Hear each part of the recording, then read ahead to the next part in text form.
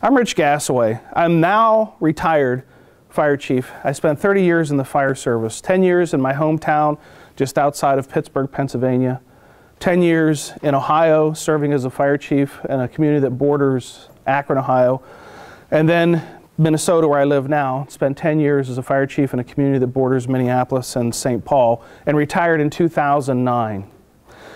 Backing up five years, in 2004, I went back to school and earned a PhD studying cognitive neuroscience. Now that sounds kind of um, kind of a heady topic, but let me tell you why I chose that topic.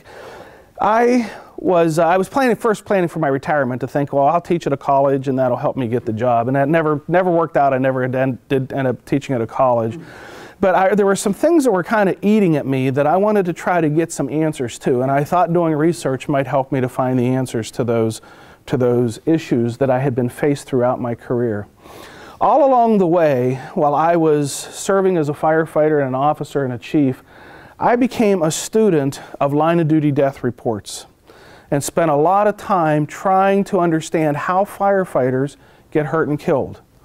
And there are a lot of lessons contained in those line of duty death reports. And as I was reading them and watching videos and reading case studies, I found myself asking a question that I could not answer. And it wasn't a hard question. It was a very simple question. And I asked, my, I asked it to myself over and over and over again. And I just could never come up with a good answer. And I thought if doing research might help me to come up with the answer to that question that had plagued me for almost 30 years, I might discover something that the fire service finds some value in. And the question was simply this. When those firefighters were working in their high risk, high consequence, time compressed environments at emergency scenes, and things were going bad, and somebody was going to get killed, how could they not see it coming? That was the question. Time and time and time again, when I read those case studies, I wondered, how could they not see this coming? There were so many clues and signs and indicators that this incident that they were operating at was going to end in a disaster. But for some reason, they couldn't see it.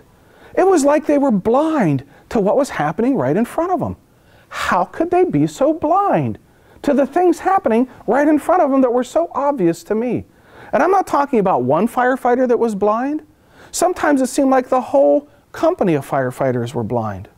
Sometimes it seemed like the whole incident scene was blind. Like no one operating there could see what was happening, could see the tragedy unfolding. Now, as I was reading those case studies, I had a benefit. I knew something that everybody operating at that incident scene did not know. I knew the outcome. I knew that somebody was going to be dead by the time I got to the end of the report. When they were at those scenes and the things were playing out in real time, they didn't know that. They didn't know it was going to end in tragedy.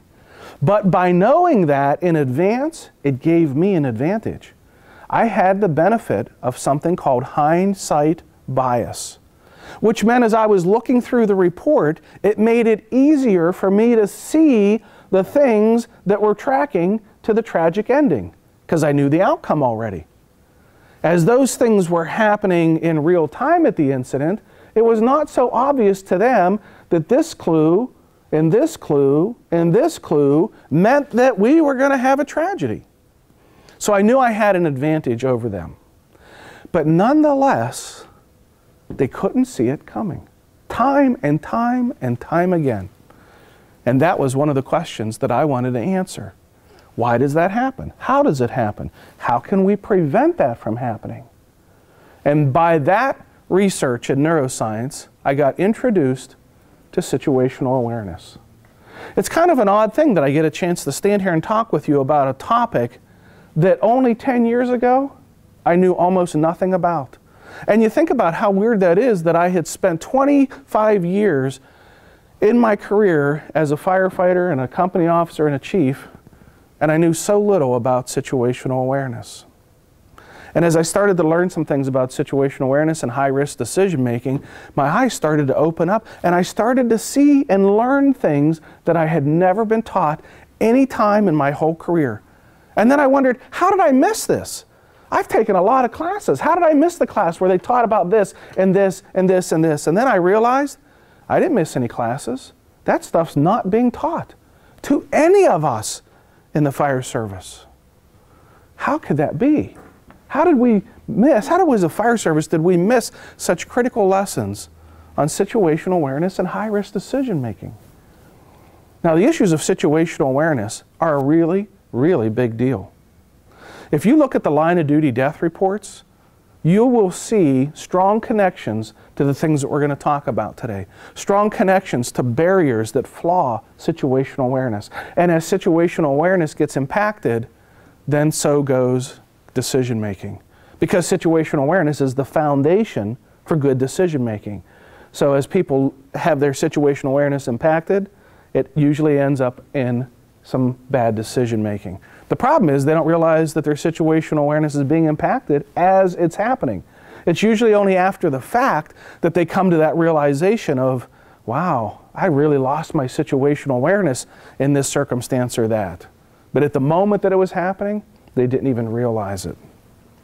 So, what I'm going to share with you today is some neuroscience, but I'm going to do it in a very, very friendly way. I'm not going to try to impress you with any big terminology from neuroscience because these lessons are so important that I don't want you confused and I don't want to be talking over your head. I want to make sure that you get these lessons so that when you get on the street, these lessons make perfect sense for you. And you will be able to see and experience the very things that I'm going to be sharing with you today. I'm going to overlay to those to that to that um, to the science my 30 years of experience. Now, there's really nothing stellar about my 30 years in the fire service. I didn't work for any big cities, and you know, I saw a lot of fires over in other types of emergencies over the course of my 30 years, but it's just been what I would call, you know, an average person's career. I don't have any any really special knowledge there, but I, I do want you to understand that I understand the, the, the fire and EMS business. And then I'm going to overlay more than 500 line of duty death reports that I have evaluated, all from the perspective of situational awareness and high risk decision making. And that's really where the lessons start to pop. Because when you take the line of duty deaths and you overlay it to the neuroscience, it was, it was, like, it was like this light bulb came on over my head. And everything that before was confusing to me of how these things could happen made clear and perfect sense. And that's what I'm hoping to accomplish today. If I say anything that is confusing or you're not really sure that you got it, raise your hand and hold me accountable and make sure that I explain it in a way that you get it completely. Because I want to know that when you go onto the street, you totally understand the things that I'm sharing. So hold me accountable if, if, we, if, we, need to, uh, if we need to do that. So in addition to the line of duty death reports, which I encourage you to become a student of, that, those reports really taught me things, so many valuable things throughout my whole career. And in fact, early on in my career, a, a, a chief recommended to me, he said, if you want to if you want to make sure that you're doing your best not to get anyone killed, then study the line of duty death reports. You realize that every firefighter that has died in the line of duty has taught us something and the lessons that they taught us are contained in those reports. When you go to those reports, you're going to see strong tie ins to issues related to situational awareness. It's, it's a really, really big deal. The second place you can go to get your proof of how big of a deal this is is there's a website called the Firefighter Near Miss Reporting System. It's a place where firefighters can go and report their own near miss events and, and give all the details and, and what happened and how it happened and the lessons that they learned. That's another valuable resource for us. Now, the near miss reports, you actually get to hear right from the mouths of the people who almost died. So they get to tell their story of, wow, I, I didn't see this coming. I made this mistake. I wish I would have done this differently. Uh, and, and that's very powerful. When you go to the near miss report uh, website, they summarize the near misses for uh, every year. So when somebody reports a near miss, there is a list of 20 different contributing factors that a person can identify is what caused their near miss. And they're, they're able to pick five, up to five of those contributing factors. So what you see up here on, on the board is the summary of near misses for just one year's data. And you'll notice that there is one bar that rises above all the other bars on the contributing factors for near misses, and that is situational awareness. This particular year, it was the number one contributing factor to near miss events. And it's been number one every single year. Every year it's number one. It's a really big deal. The problem is, most of us have not been taught anything about it. Think about how that might be funny if it wasn't so tragic. That the number one contributing factor to our near misses and casualties, most of us get little to no training on. That needs to change. It's going to change for you today. What we have in the fire service is a knowledge gap. Up here is what we need to know about situational awareness. Down here is what most of us have ever been taught about it. And that is a knowledge gap. And that's, that's what we need to close so that we have a better understanding of these things that are, are leading contributing factors to our injuries and fatalities. So, to start it off, we have to come up with a definition for situational awareness. What is it? As I uh, as I have the opportunity to talk with many audiences, one of the things that I will do is I will get the most experienced person in the room um, and I will ask them a question. And uh, for this gentleman in the back here who's retired after how many years did you work, sir? Now that you're, you're doing it kind of part time, right? All right, so how many years in, in the service? Fire service? Yeah. 35. 35 years in the fire service. Okay, let's. Volunteer. Volunteer. That's that's fine. 35 years in the fire service. Now, when you got in 35 years ago, and you got some training about how to be a firefighter, did they teach you about situational awareness? No. No. And that's that's the consistent answer that I get. No, they didn't. But there's a good explanation for that because 35 years ago, those words, situational awareness, had not really come together yet for the benefit of first responder community. We didn't know anything about it then. So we didn't, we didn't learn anything about situation awareness. Nobody knew anything to even teach us about it. When I was new, same thing. I wasn't taught anything about situation awareness. I was told things like pay attention and don't get tunnel vision. And that was pretty much it. That was, the, that was about the, the extent of the lessons. As I get a chance to talk to new firefighters, I often ask new firefighters, hey, did you learn anything about situational awareness in your basic training program? Most of them say no. Some of them say yes, because in some departments, like Madison, they have embraced the value of the lesson of situational awareness. And I know from talking with my son who went through the academy a year and a half ago, he said, he said uh, situational awareness is included in just about every lesson we get when we're going through the academy, which is awesome. I can't even tell you how good that makes me feel. And I know that Chief Langer has a lot to, lot to do with that because he's attended some of my programs. And as he says, he says, Doc, I've drank your Kool Aid. I believe in the message. But a lot of places still teach nothing about situational awareness. And that really is tragic. All right, so what I'm going to start out with is the definition that we're going to use and work throughout with throughout the whole day. What is this thing that we know as situational awareness? Situational awareness is the ability to perceive and understand what is happening in the environment around you. In context as to how time is passing. Because as time passes, conditions change. And as conditions change, so will then our awareness of those changing conditions. And then, in turn, be able to predict the future, hopefully in time to avoid a bad outcome.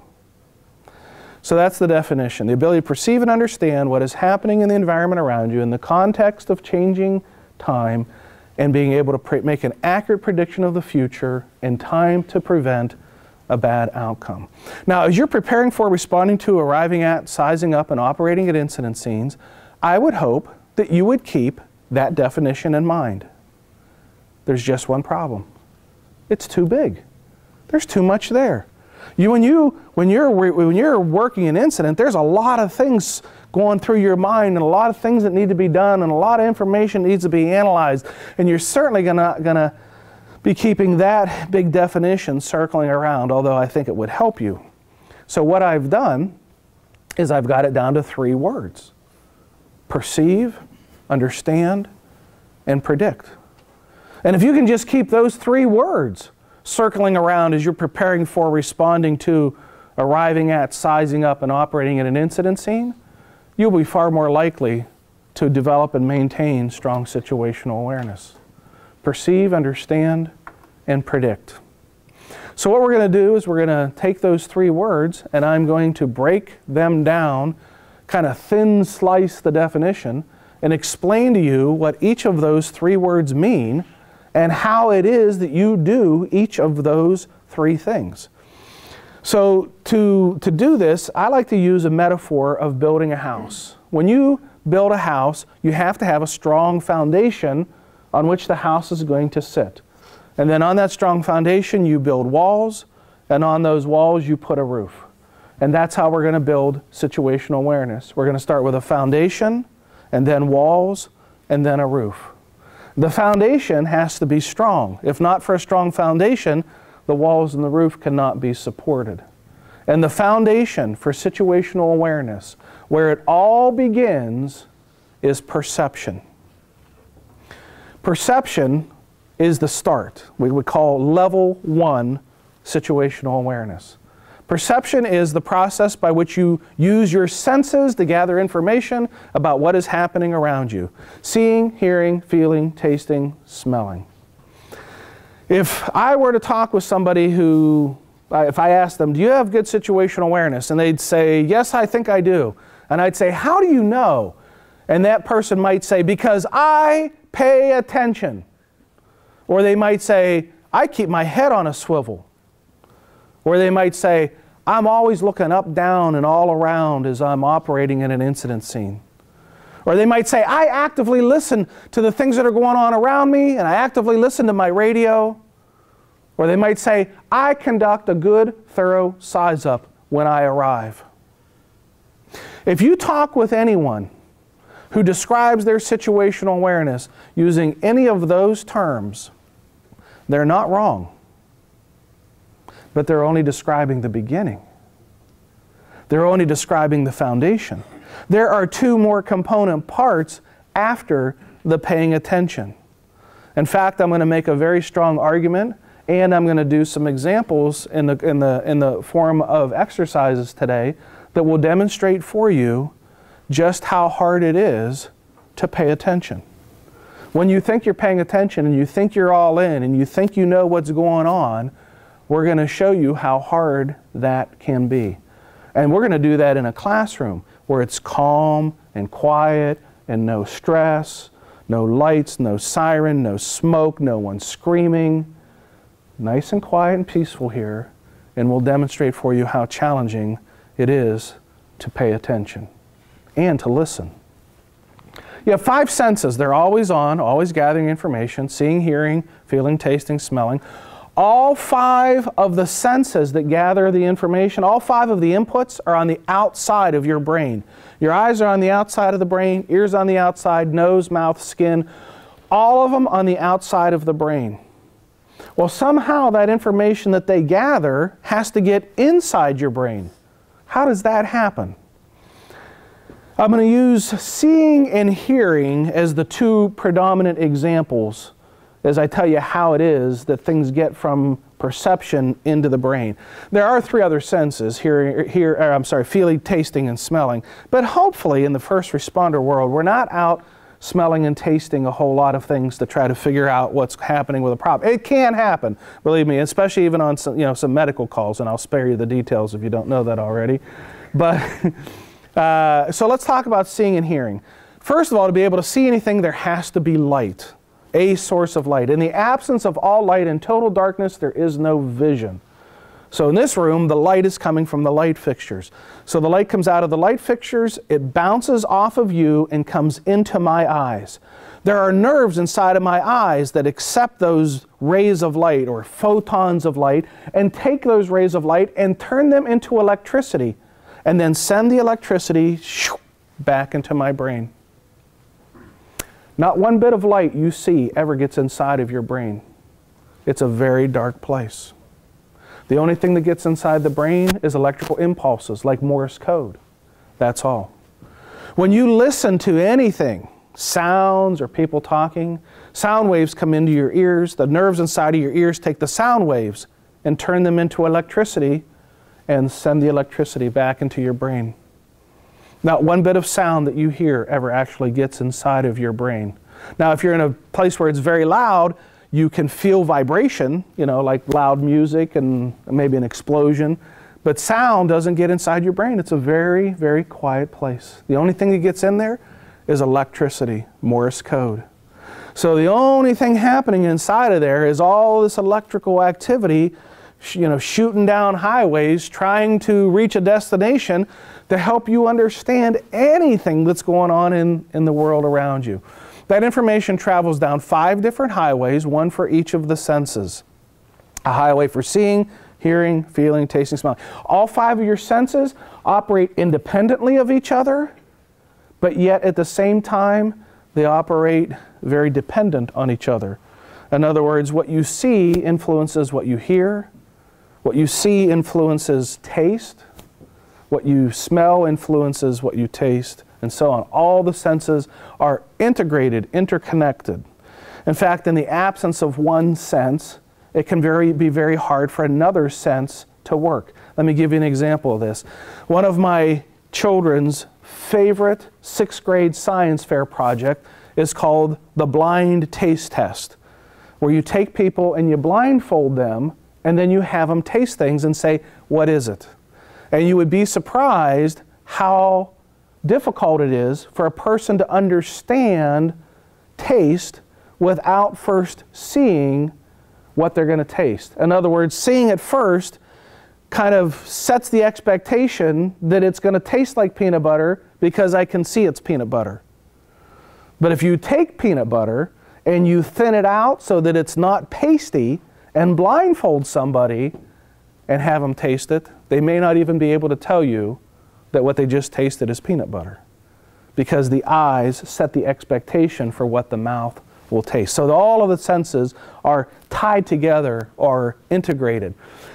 When those five highways of information come together, and the puzzle pieces of information from seeing get added to hearing, feel, taste, and smell, and the puzzle all gets assembled, then we advance to the second level of situational awareness, the walls of the house, so to speak, understanding. Understanding is the process by which your brain takes what you see and adds it to what you hear and feel and taste and smell. Basically, assembling the puzzle. Sometimes it's called comprehension. Sometimes it's called having a moment of clarity. Maybe you've been in a situation where something seemed confusing, and all of a sudden in come one additional piece of information from one of the senses, and that missing puzzle piece popped right into place, and you went, Ah, now I understand. Just a moment ago I didn't understand, but now I understand completely because of that missing information gave you that moment of clarity. When you're trying to understand what's going on in the world around you, you might ask yourself a couple of questions. One, what does this mean? Because in your mind, you've got this picture, this puzzle that's been put together, asking yourself, what truly does this mean? And does it mean what I expected it to mean? Because as you're preparing for and responding to and arriving at emergency scenes, you have expectations about what you're going to see at that emergency scene based on your past experiences and based on your training. So when you're looking at the current situation, it's always a best practice in developing situational awareness to say, did I expect to see this? Or is this something novel or completely unexpected to me. Because the, the expectations then set up a whole bunch of other things to happen. For example, if you expect to see something and you want to see it bad enough, you will see it, even if it does not exist. Your brain will hallucinate the presence of something that isn't there if you have an expectation that you're going to see it. If you want to hear something bad enough, even though it was never said, your brain will hear it as if it were said because you wanted to hear it bad enough. It makes it up and you hear it. And it can also do the opposite. If you don't expect to see something and it is there, you may not see it at all. That's called reverse hallucination, where you don't even see what's going on right in front of you. And the same thing can happen with hearing, and the same thing can happen with all the senses. So, one of the things that we have to get over quickly is the realization that the things that we experience in life are only a partial representation of reality. Because at all the time, the brain is actively assessing what it thinks you should be seeing and hearing and planting those audible messages and visual images on your brain. Constantly, the brain does this, making up its own reality, almost independent of what really is happening. That can cause us some problems on emergency scenes, as you could imagine. It seems so easy. All we have to do is just see something turn it into electricity, send it down the highway, and let the brain understand it. All we have to do is hear something, turn it into electricity, send it down the road, and let the brain understand it. But it's really not that easy at all. It's a very, very complex process, and a lot of things can go wrong. You can even go as far as to say to someone, I understand what you're saying to me but you may not understand at all what they're saying to you, even though you say you understand. Do you understand what I'm saying? Yep. See, it just happened. right? How do I know? I said, Do you understand? He said, Yes, I do. But does he really? I won't do this to you, but the only way I could really know is to ask him, repeat back what I said. And if he repeated it back, and if he got it right, then I could say, you truly understand. And in fact, that even, I even could go further to say that if what I intended to say you truly understood, you and I now have what is called shared situational awareness. In other words, your understanding and my understanding are agreeing with each other. If I said repeat back what I said and he got it wrong, doesn't mean it's his fault. I could have said the wrong thing. I could have explained it the wrong way. I could have had a slip of the tongue. He could have said, You said this. And I could say, I didn't say that. And you'd say, Yes, you did. And I said, No, I didn't. I'm sure I didn't say that. And the rest of the class would say, Oh, yes, you did say that. Really? I said that? I didn't mean to say that. Well, that's what you said. Because you can say the wrong thing and not even realize that you're miscommunicating. So it's very easy to have these um, errors in, in understanding.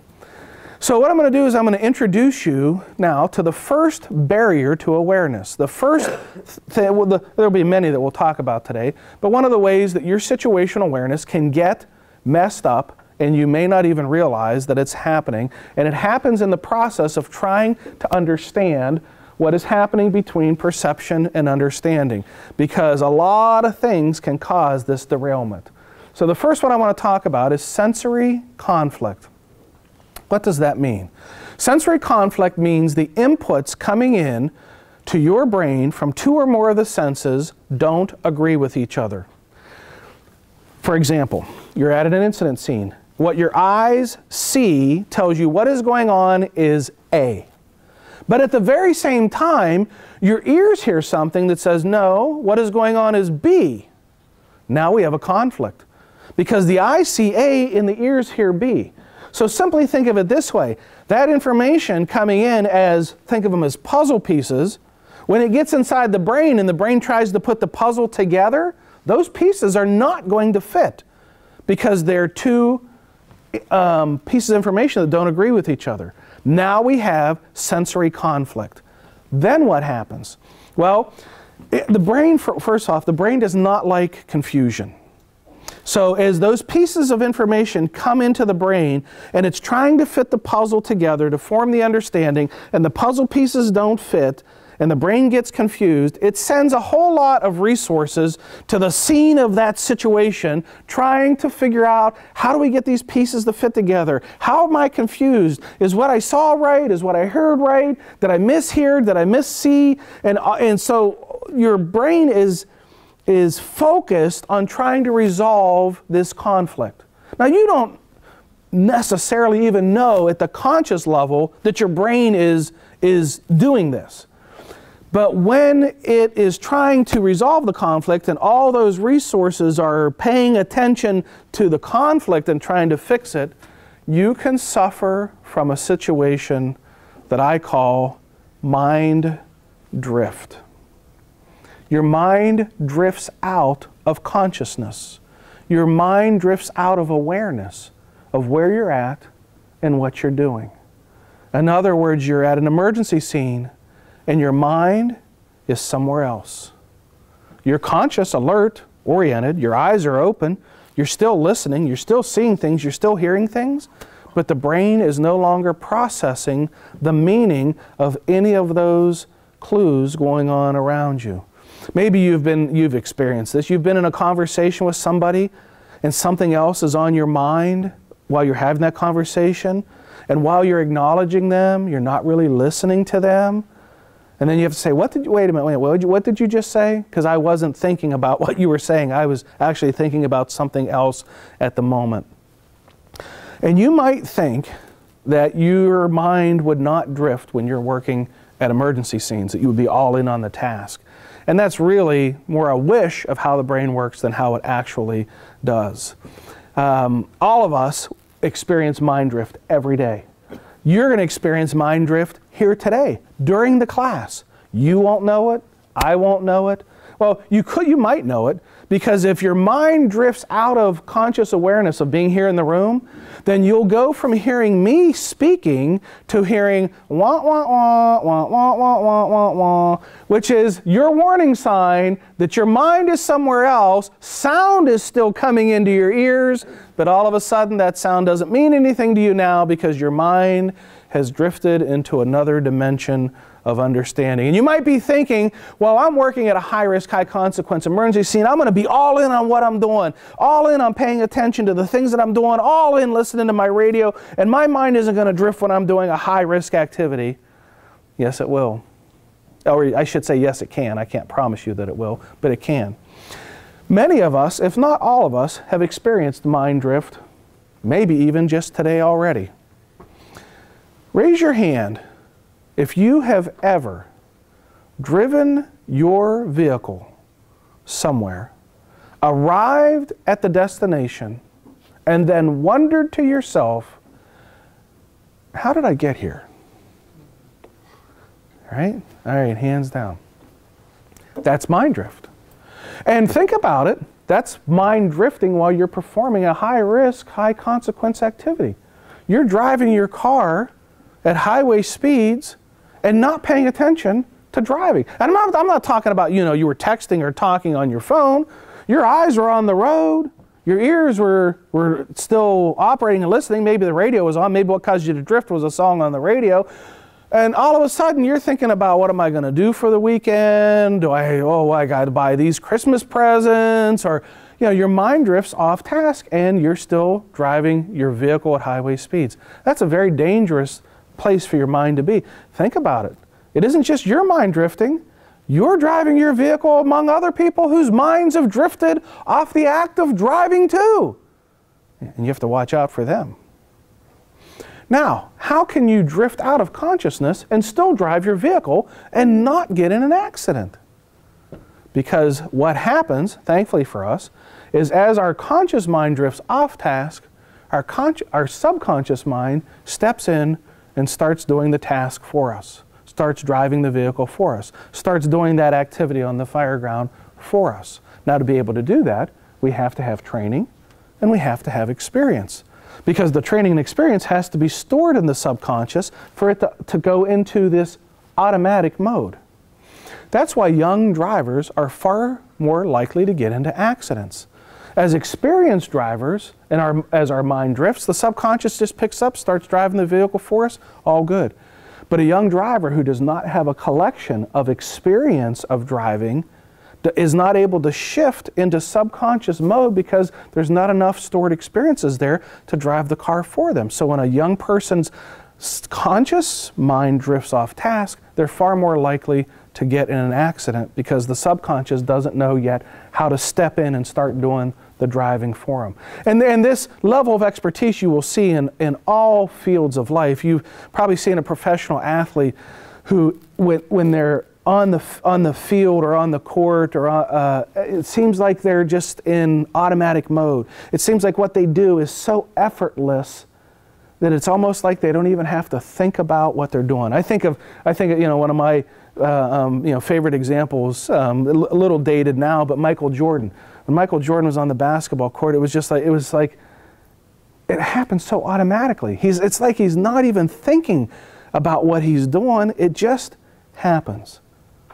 And as you talk to professional athletes, a lot of them say, what do you, you say, what you, were you thinking when you, they, they don't think about the game?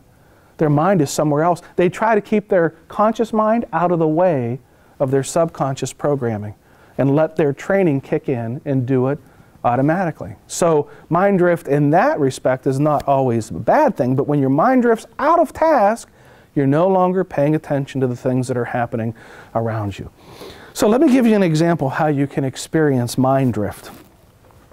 So it, I'll give it to you in the form of a homework example. I don't know if anyone's ever really done this homework example, uh, but it's, it's just kind of a, a, a metaphor to give you an idea of how you could experience it.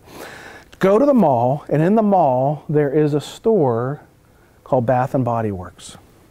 I want you to go to Bath and Body Works. That's your homework assignment. Bath and Body Works, they make the most amazing foaming hand soaps in the world. I'm telling you. Now, I don't, I'm not, it's not a paid endorsement. Their foaming hand soaps are amazing. Now I know some of you you're throwing judgment at me. Oh, he's a he's a he's a foaming hand soap guy. Look, they're they're amazing how they smell. And what I want you to do is I want you to go there and try one out. And the one that I want you to try out is called Peach Bellini. It's amazing. I don't know how they do it. It is incredible. You, you so what I want you to do, they got a sink there. They'll let you try anything else. Say, I want to try this Peach Bellini hand soap. Go over, get the foaming stuff, that's the best. Go over to the, to the sink, close your eyes. With your eyes closed, what I want you to do is spray the, the hand soap on your hands, rub them together, and smell it. I'm going to tell you now, it is going to smell just like a fresh cut bowl of peaches. I don't know how they've done it. They've got it perfect. And then I want you to taste it. Okay? What's it going to taste like? Oh, oh, you know, right? you know, yeah, poor Ralphie. this is sensory conflict. The nose smelled peaches, which sets up an expectation that when you taste it, the taste should agree with the smell. That's pretty standard human expectation. But it doesn't. And when it doesn't, that sets the alarm bells off. When it doesn't, the inputs coming in are not in agreement. The puzzle pieces are not going to fit together, and you are going to experience a mind drift. Now, obviously, if you're there with that intention to do that experiment, it wouldn't exactly happen that way. But imagine if you tasted something that was not consistent with what you smelled and how that could set some alarm bells off inside of your head saying, What just went wrong? That's what can happen excuse me, when you're experiencing mind drift. Now, where in the, where in the brain does the five highways of information come together? There has to be some place where what you see and what you hear and feel, taste, and smell, that all those puzzle pieces get assembled to give you one coherent understanding of the world. And there is a place where that happens. It is the neural location of consciousness. It's the place in the brain where you become consciously aware of the things that are happening around you. If that part of the brain were ever damaged, in an accident or illness, you might live in a permanent comatose state, never again able to be conscious. It is also the location where you form your situational awareness. It's the place where the puzzle pieces get put together. And here, I'm going to show it to you, is where, where it happens. On your magical Etch a Sketch. Yeah. Every one of us has an Etch a Sketch inside of our brain. Now, before I get too deep into talking about the Etch a Sketch, I have to ask Does everybody in the room know what an Etch a Sketch is? Yeah? I'll tell you why. I was in uh, another state and I was doing a program. For, they had had me come out to do a program for young wildland firefighting hand crews, college students working summer jobs as wildland firefighting hand crews. And I had about uh, 150 of these young men and women in this program. And I was about 20 minutes deep into my discussion of the etch a sketch in the brain when this young man at the, sitting on the end of one of the rows raises his hand. And I said, Yes, what is it? He said, What's an etch a sketch? And I'm like, I didn't see that coming. so I had, to, I had to actually stop and explain to him what an etch a sketch is and how it works. And you got the two knobs, and as you turn them, you know, it's kind of got a little thing that kind of draws the picture on the screen. And he says, "Oh," he says, "I get it." He said, "It's like a like a paint program for old people." That's what he says to me. and there's 150 of them, so I can't even like you know defend myself because they're all you know they're all like oh, like yeah okay. Think of it as a paint program for old people. Every one of us has in our brain an etch a sketch or a paint program. And the Etch a Sketch inside of the brain truly is a magic screen. When I explain to you what happens here and how it happens here, I, I, I don't know if you'll be as amazed as I was, but I was absolutely astounded how the brain processes the meaning of anything that we experience in life. Everything you see, hear, feel, taste, and smell travels down five different highways and lands on your Etch a Sketch, where the puzzle gets put together. Now, here's the, here's the really interesting thing. Everything that you see, once it gets then turned to electricity, comes down and gets reassembled here as a picture. Well, that makes sense. What I see gets turned into a picture. But everything you hear also gets turned into a picture. Imagine that. Everything that you hear gets turned into a picture on your Etch a Sketch. Everything you smell gets turned into a picture. Everything you taste gets turned into a picture. When you smell a peach, for you to understand that that smell is a peach, your brain has to go into memory, pluck a peach, and put it onto the Etch a Sketch to tell you this smell matches this picture. Everything you see, hear, feel, taste, and smell gets assembled as a picture of understanding. Now, um, we have um, company officer, com- so somebody, somebody that uh, uh, rides, rides an engine or a ladder as a company officer. You, is that you, sir? Yeah, okay. So what's your first name? Jerry. Jerry. Jerry, I got a question for you. As you're going to a call, and dispatch tells you what you're going to, you know, giving you information about the call. Do you see a picture of the scene that you're going to in your mind? Yeah. Yeah. Think about that. The words from the dispatcher coming over the radio paints a picture of understanding in the mind of the responder. Now, some dispatchers are far more talented at painting pictures than others. Some of them are like Picasso's, they're so good. They know what words to say, what words not to say, exactly how to paint this beautiful picture of understanding in our mind. Some dispatchers are not as good as others. Maybe they lack experience. Maybe they've never been on a fire scene before. You imagine a dispatcher who's never actually been out in the world of firefighting and been on a fire scene. Where would their understanding of how what a fire scene looks like, where would it come from? Television and movies. Backdraft, Ladder 49, Rescue Me. If you're old enough, Towering Inferno. That would be their understanding of how fire scenes operate. And for anybody who's lived in the real world, you know the real world of emergency scenes is really not the same as what we see in TV and movies. So some of the best dispatchers are, are dispatchers who've also served as firefighters or do ride-alongs with the fire department so they get to see the real world of what happens and then their words become our understanding.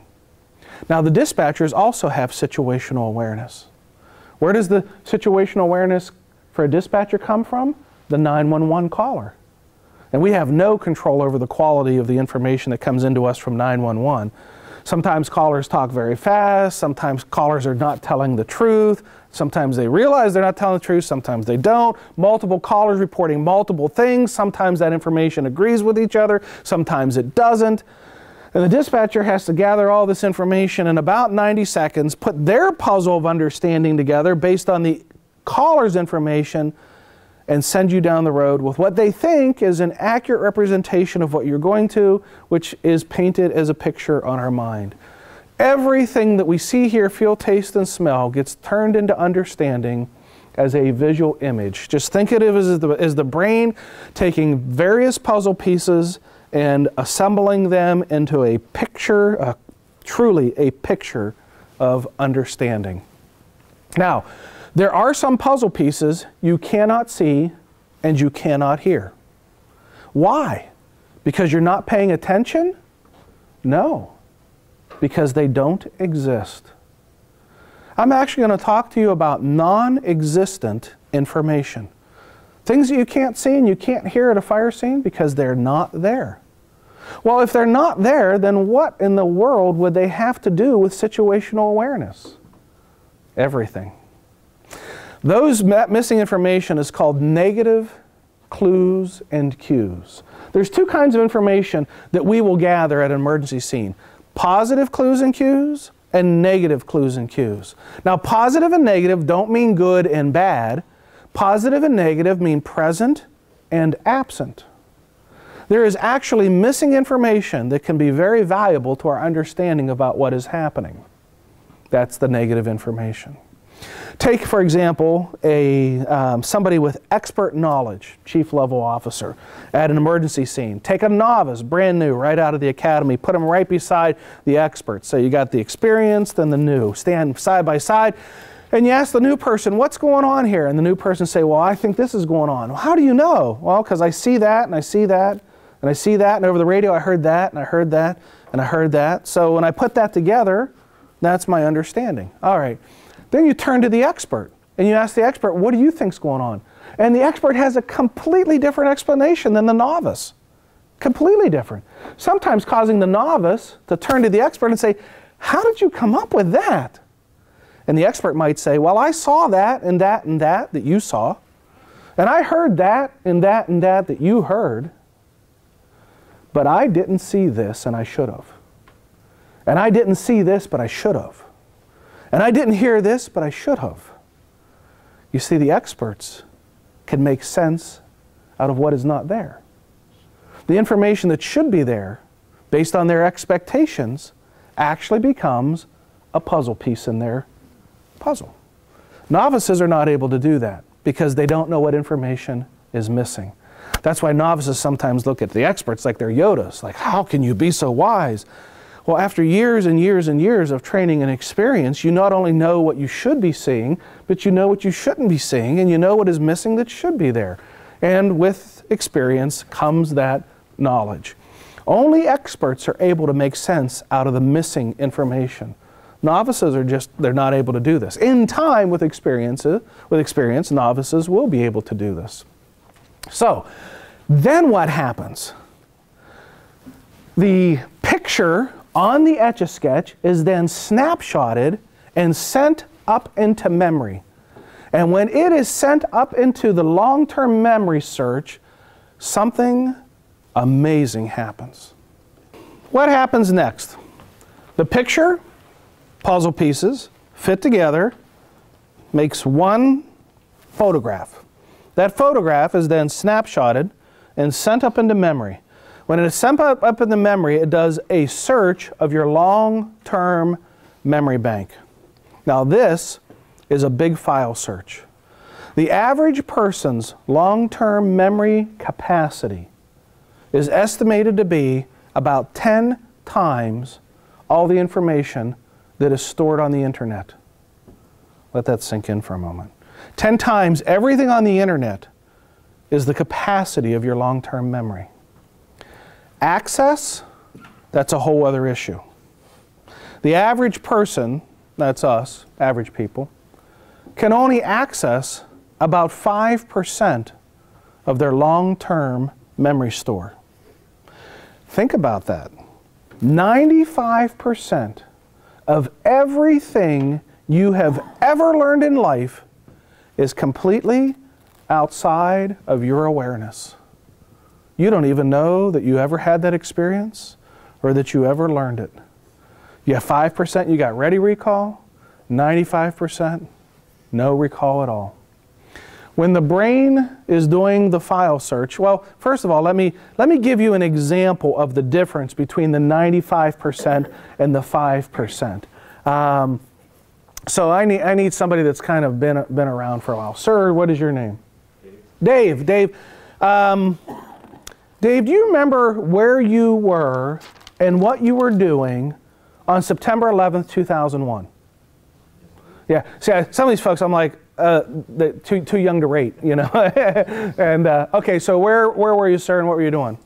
Uh, just got off shift. I was in my vehicle at the intersection of Highway 53 and County M and heard it on the radio.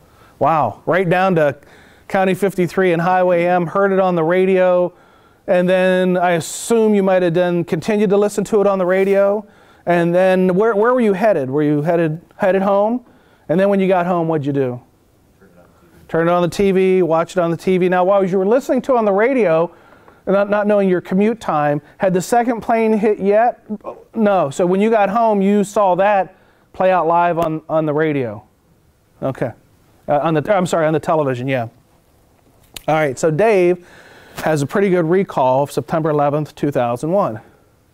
Dave, if you would please tell me where you were and what you were doing on August 11th, 2001, just 30 days earlier? Not a clue. Now, are we somehow led to believe that September 11th went into Dave's memory bank, but August 11th was just erased away? Nope. August 11th is in there too, but it's outside of his awareness. See, the September 11th is part of his 5% memory, and the August 11th is part of the 95% memory. Now, what causes September 11th to stick in his 5% memory and August 11th doesn't? Two things predominantly repetition. As you know, the events of September 11th played over and over and over again on television for not only days, but weeks, months, years, and now decades. Repetition and emotions. The more an emotional event is, the more likely that event is to take up a permanent place in our 5% memory. So, what we probably know about August 11th is it was not a particularly emotional day for Dave, and it wasn't the day that he lived over and over again in repetition like a Groundhog Day, and he has no memory of it. But it's in there. And when the brain does this long term memory search, it's searching both those, the 5% and the 95%.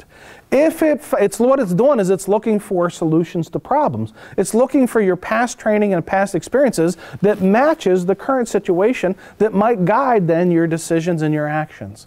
And if it finds a match that is part of the, of the 95% of memory that resides outside of your awareness, if it finds the match there, it can trigger the sixth sense. Now, the sixth sense is the only sense that resides inside the brain and sends its information outward. Remember from earlier that all the other senses are all on the outside of the brain and send their information inward. The sixth sense work almost in opposite fashion of the other five senses. Now, what is the name that we give to the sixth sense that resides inside the brain and sends its information outward. What is the name of that sixth sense? Anybody know? ESP. Well, it's sometimes called that. I'm looking for a different term. Uh, that's how you know it, but there's a term for it. Spidey senses. Yeah, if you watch the movies, that's that's where it is. But it has a has a name. Intuition. Yes, sir. Who said it? Intuition. What's your name? Matt. Matt. Matt, I was so sure that you were going to say intuition that I programmed it onto the screen. Intuition. What is intuition? The definition for intuition is strange. Intuition means knowing without knowing how you know. Knowing something without knowing how you know it because your knowledge of it is at the subconscious level. It's at that 95% knowledge level that's outside of your awareness. You know something because you learned it on August 11th, 2001. But you don't know how you know it. You don't even remember that day. You don't remember that hazmat class you took, but, all, but you know what to do almost automatically. Intuition is your brain's most powerful red flag warning system designed to alert you to danger. Because it contains all of your life's experiences. Imagine how many things you've learned in life that could actually help you, if not save you.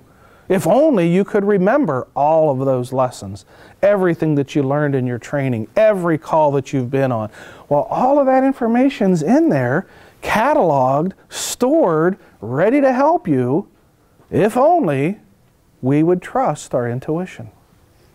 Now, this is a part of the program where I feel a little bit like a hypocrite because I'm going to try to make a very strong and compelling argument for why you should trust your intuition, but yet at the same time make a confession to you that I haven't always done that, especially when I was working as a first responder.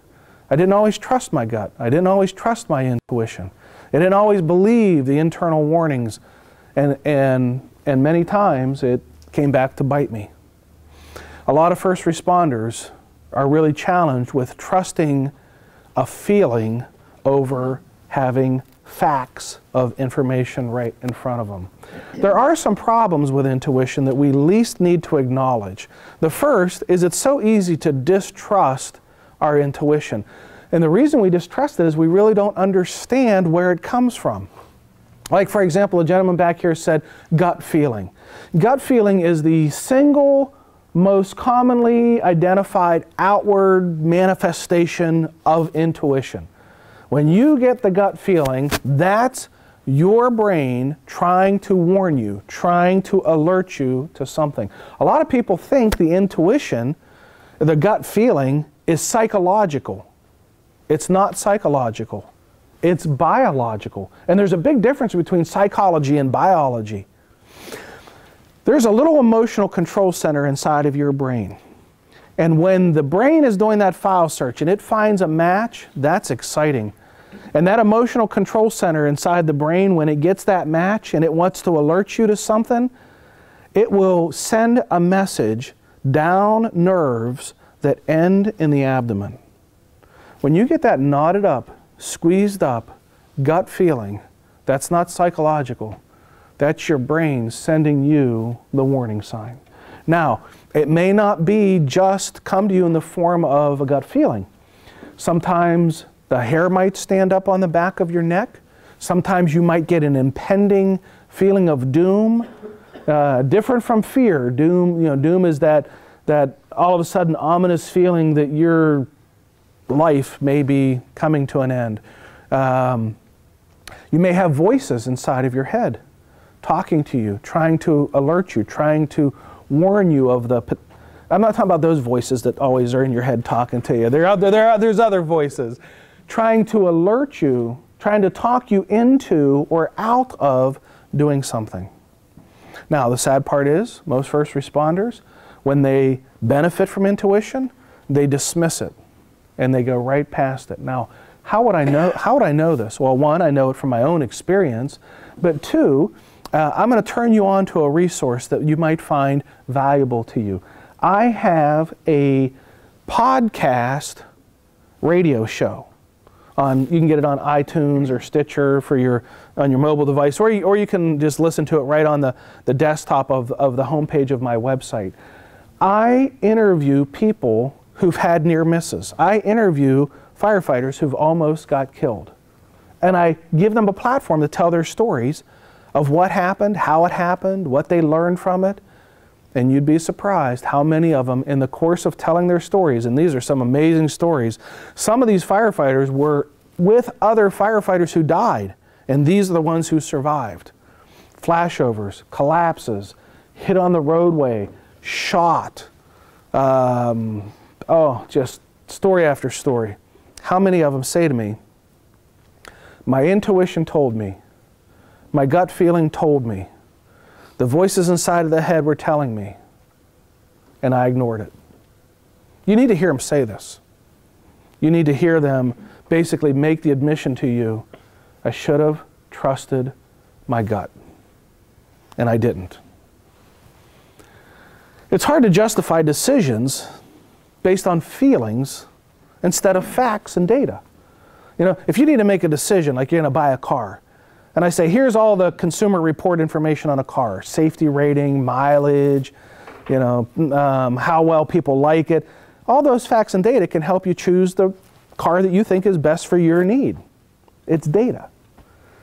But when you make decisions based just on feeling, it's a little harder to justify, especially on a fire ground. Imagine a fire ground on a fire ground when some, an incident commander makes a decision to pull everybody out of the building. And the crews come out. Of course, some of them aren't going to be real happy that they were pulled out of the building because we're firefighters and we tend to be on the, a little bit on the aggressive side. And somebody comes out and they go up to the incident commander and say, Why did you order us out? And imagine the reaction if the commander said, I don't know, I just kind of had a feeling. A feeling? You pulled us out because you have a feeling? Suck it up, buttercup. Set your feelings aside. We got work to do here. It's really hard to make decisions based on feelings because when somebody calls us on it and says, Why did you do that? or Why didn't you do that? to be able to say, Well, here's the evidence, here's the proof, here's the facts, here's the data, it's much easier than to say a feeling. In fact, let me, uh, let me share with you uh, a story right from a, from a class that I did. I was in, in uh, Carmel, Indiana, and I was doing a situation awareness class with about 150 people in the room, and I was talking about intuition, and the chief of the Carmel Fire Department stood up out of his chair and come right to the front of the room and said, Can I talk to the class for a moment? I had no idea he was going to do it. I said, Sure, Chief, go ahead. And he, said, he says, First thing he says is, It wasn't my intention to get up and say anything to you folks today. He says, But when he said this, he said, I feel like I need to tell you something. And he shared a story that was so compelling that with his permission, I've shared it with every class since. Here's what he said. Many of you know I'm the chief of the Carmel Fire Department. Before Carmel, I was the chief of the Indianapolis Fire Department. And in 1992, I was the incident commander at a structure fire that we had in a hotel in downtown Indianapolis called the Athletic Club Hotel. He says, I want to tell you what happened that night. He said, I didn't plan on telling this story, but it, it ties to this lesson of intuition. He said the, the call came in just a little bit after midnight, and he said, I'm uh, at the scene. I've got, I've, let me tell a little bit about the Athletic Club Hotel. Uh, somewhere around a 10 to 12 story, turn of the century, really old hotel in downtown Indianapolis. No sprinkler systems, still being used as a hotel, and the fire is on the third floor in the ballroom. All right, so they got the companies there. They're on the fire attack. Everything's, everything's, you know, working out to a plan. And all of a sudden, Chief Smith gets a gut feeling that something is about to go wrong. And he says to himself, I need to pull everybody out. I need to pull everybody out and go defensive. And be, just before he makes that call, his safety officer walks up to him and says, So, Chief, how do you think things are going here? And he says to the safety officer, I don't think things are going well.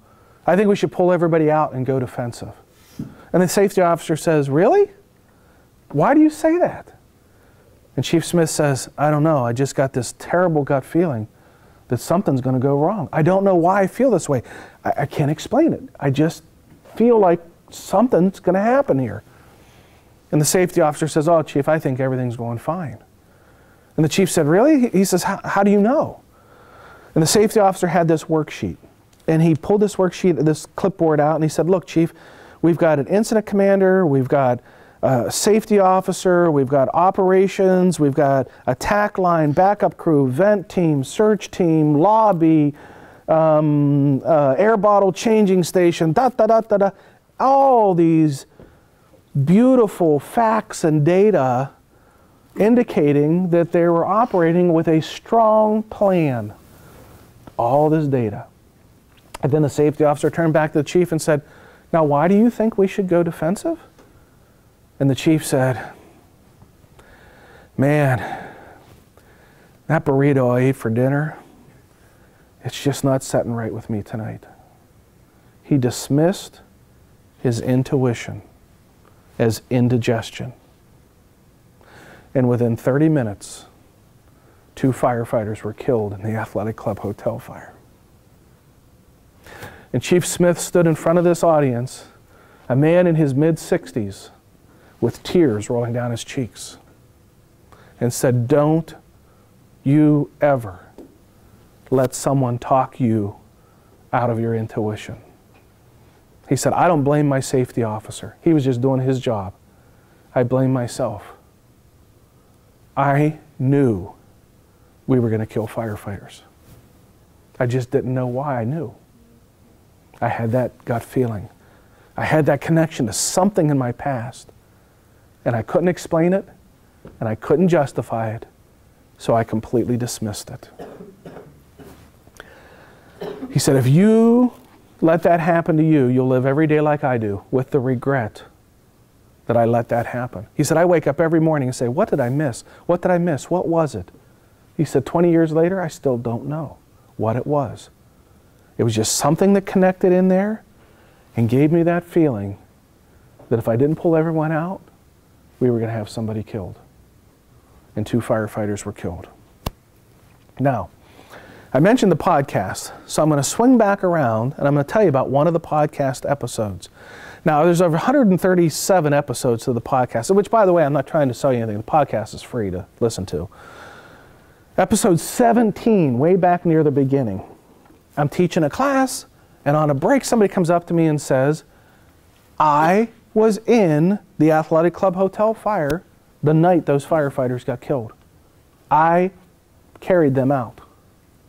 And I like, you want to do a podcast? You want to share the story about what happened? And he agreed to. His name's Doug Abernathy. He, at the time he did the podcast, he was the health and safety chief of the Indianapolis Fire Department. When the fire happened, he was brand new on the job. Been on the job two years. When I when I did the podcast with him, he shared something with me that was just it, it just hit me on a very personal level. He said I wasn't even supposed to be working the night of the fire. He said I got called in. Somebody had to go home sick or whatever, and they called and said, "Do you want to come in and work um, you know, work the rest of the shift. And he said, I went to a station that I never work at, and I went, and there was a crew there that I never worked with before. He says, and when I went into the station and was setting my stuff up, he said, I ran into another firefighter that I went to the academy with. And we're like, oh, he's like, he said it was like a homecoming. It's like, man, how you been? What's going on? You know, and I told him I just got married, uh, you know, a year ago, and he got married right out of the academy. And he says we just had this kind of like homecoming, re-get connected thing. It was really cool. And he says, and you know, we had dinner that night at the station. And he says, and after dinner, he says this firefighter had told me that his wife had just had a new baby. And he said, and after dinner, she brought the baby by the fire station. And he says, and I got to see him hold his newborn baby. And he said, and I remember thinking to myself, because I didn't have kids yet, how cool that was. And how I couldn't wait to have kids of my own so I could show them the love that, I could, that he was showing for that newborn baby. He says, it'll stick to me forever. And then that night, that firefighter who held that newborn baby died in the athletic club hotel. And Doug had to carry him out. Imagine the lessons you can learn from somebody who's experienced that firsthand on the sharp end of those decisions and have to live with those kind of consequences. That's powerful. Swing by, listen to some of those episodes. I think you'll be. I, one of the recent ones I did was somebody from Wisconsin um, who actually, at the time he had his close call, was serving as a police officer in Illinois, and he was involved in a shootout. And while he was involved in the shootout, he'd realized that he had taken off his ballistic vest when he was eating lunch and didn't put it back on, and now he was in a shootout without a vest on. Again, swing by, visit it. All right, intuition can be wrong. Whoa, wait a minute, Rich, you just spent all this time telling us these stories about why we should trust our gut and why we should trust our intuition, and now you're telling us it could be wrong. Well, if it could be wrong, maybe we shouldn't trust it. Well, maybe you shouldn't. So, what should you do? Trust it or not trust it? The answer is both. Trust it and not trust it. But how can you do both, trust and not trust at the same time? It isn't at the same time, it depends on the circumstance. So, here's my advice for you. Well, before I get to the advice, let me tell you how your intuition can be wrong.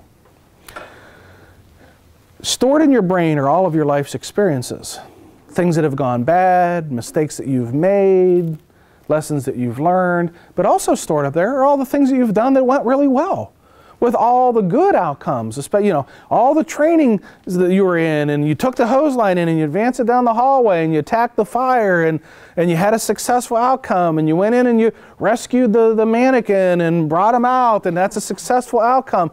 All your successes are also stored in there as well.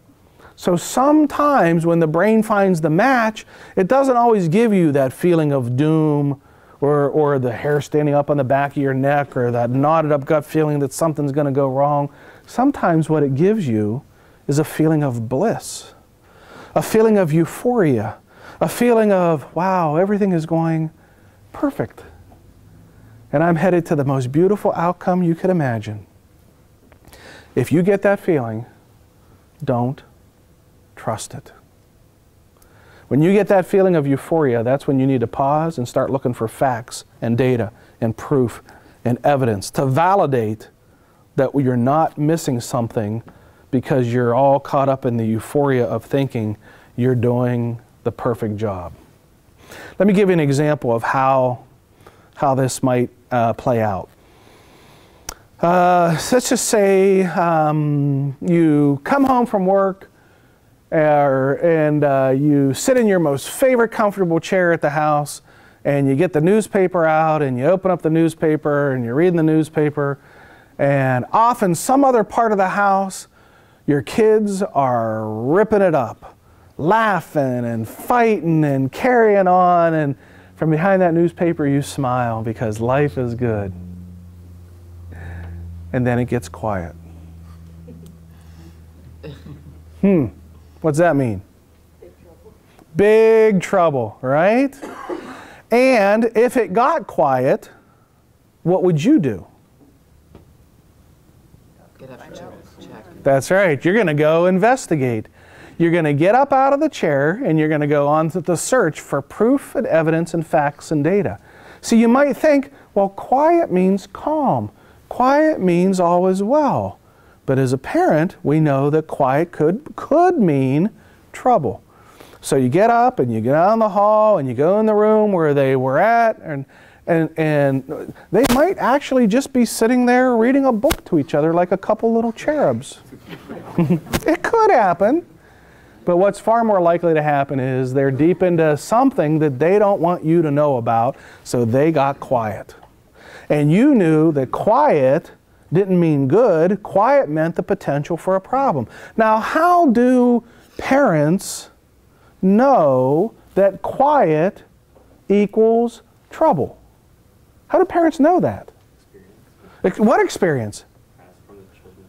Their experience from when they were kids and they were doing the wrong thing and they got quiet and all of a sudden some authority figure appeared in the doorway like magic and we got caught. So we learn those lessons intuitively and to know that when we have our own kids, we know that quiet can mean and often does mean trouble. Same thing for us when we're operating on emergency scenes. Quiet and calm could be me could be quiet and calm. They could be reading the book to each other, or it could mean big trouble. So when you get that euphoric, euphoric, blissful feeling, look for the proof and the evidence, the facts and data to validate, and everything could be going really well. But just validate it, just prove it. All right, so let's demonstrate the power of intuition. To be able to do this, I need to have a volunteer. Now, as you volunteer, you can stay right in your seat. You don't have to come up to the front of the room or anything. And now let me tell you what the volunteer is going to do before you, you know, commit yourself to something that you're not sure you might want to do or not do. My volunteer has to be able to read. That's the only requirement. That's my disclaimer. You know, coffee or McDonald's on their coffee cup says this coffee is hot. That's a disclaimer. There's a reason it's there. If you don't know, Google it later and you'll find out. Why does McDonald's coffee cup say the coffee's hot? Isn't that intuitive, you know? No, there's a reason. The reason I say you got to be able to read is I called on somebody once who was dyslexic. And they didn't do very well reading and they got people laughed and they got embarrassed and I got embarrassed and it's like, no, Rich, don't don't do that. Don't don't call on somebody because you don't know, you know, anyone's reading ability. So I'm just going to ask if I can have a volunteer who will help me out by reading something that I'm going to put up on the screen. Anyone? Bueller. Okay, you'll do it, sir. What is your name? John. John. Now, John, as you do this, I want you to do it out loud for everybody to hear. All right, now I don't have a microphone for you, so you're going to have to, you know, belt it out there pretty good, all right? All right, John. So what I'm going to do is I'm going to put up on the screen 29 word problems. And you're going to solve the 29 word problems. And when you get the answer, you're going to say what the answer is to the 29 word problems, all right? Now, there's nothing particularly amazing about the fact that John is going to solve 29 word problems. He's getting a pen and paper ready to help him out with it. Where it gets amazing is when I tell you that John is going to solve those 29 word problems in under 10 seconds. And he's not going to write anything down. How's he going to do that? He's going to do that using intuition. Pattern matching of stored information in his long term memory and um, intuition, pattern matching, and, and the gut and, and the gut the, the gut feel, his his uh, knowing without knowing how he knows. So, John, what I'm going to do is I'm going to um, when I put the 29 word problems up, you just you're just going to solve them uh, out loud. Now, there's two sides of your brain, John: left brain, right brain. Your left brain's your analytical brain, mathematical brain, critical thinking brain. That's the part of your brain that said, get a pen and paper, you're going to need it. Just turn that side of the brain off. You're not going to use that side of the brain at all. Your right side of your brain is your creative brain, your pattern matching brain, your musical brain, your artistic brain, your creative brain. I want you to turn that way up and use that side of the brain. Because, John, what I'm going to ask you to do is not going to make a one bit of sense to you or anybody in the room, but I just need you to trust me. When I put those 29 word problems up there, all I want you to do is say what feels like the right answer. Even if you don't know why you're saying what you're saying, you're just going to say things and they're going to be right. All right? Trust me? Trust you. All right. Here's John solving 29 word problems using pattern matching, intuition, and the 95% knowledge that resides outside of awareness. Do it nice and loud for everybody. Ready? All right, read it.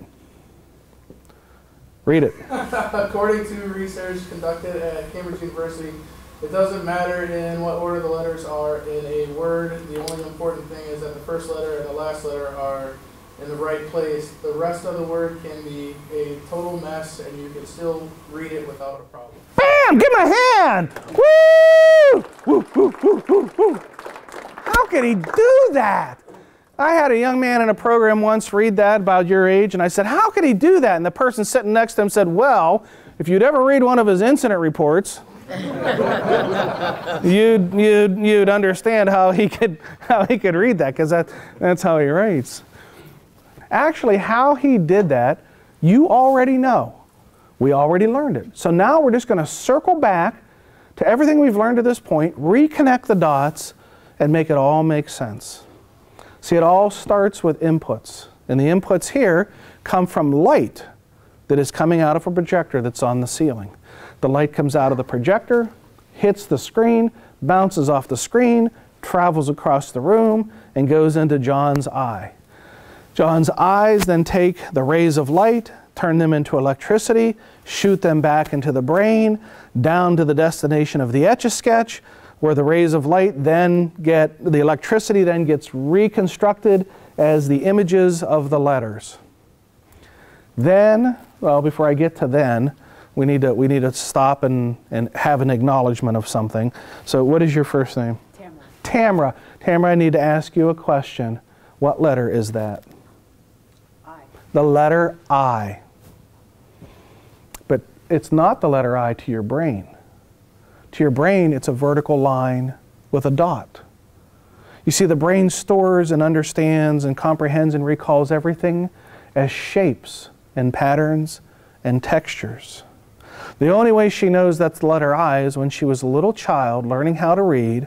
Her teacher said, This shape, the vertical line with a dot, it has a name. And it has a sound. And it has a meaning.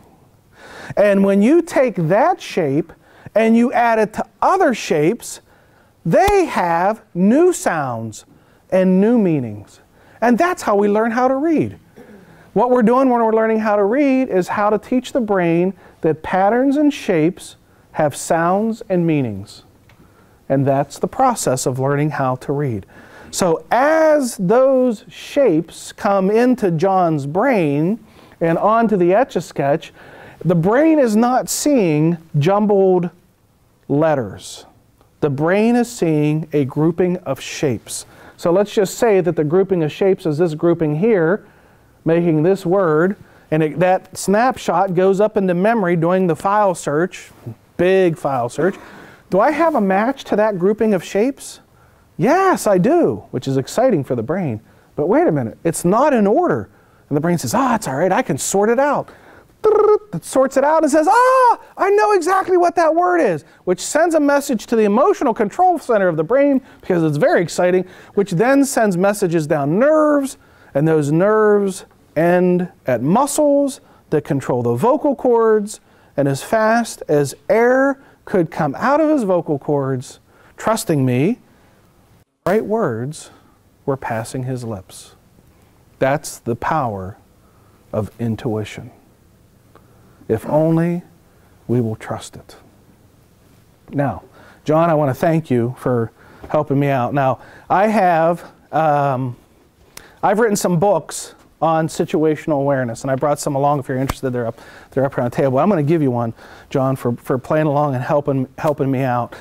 I've written five books on situational awareness. You can imagine there's that much to learn about this topic. And I brought along three volumes of them, volume one, two, and three. I'm going to give you volume one.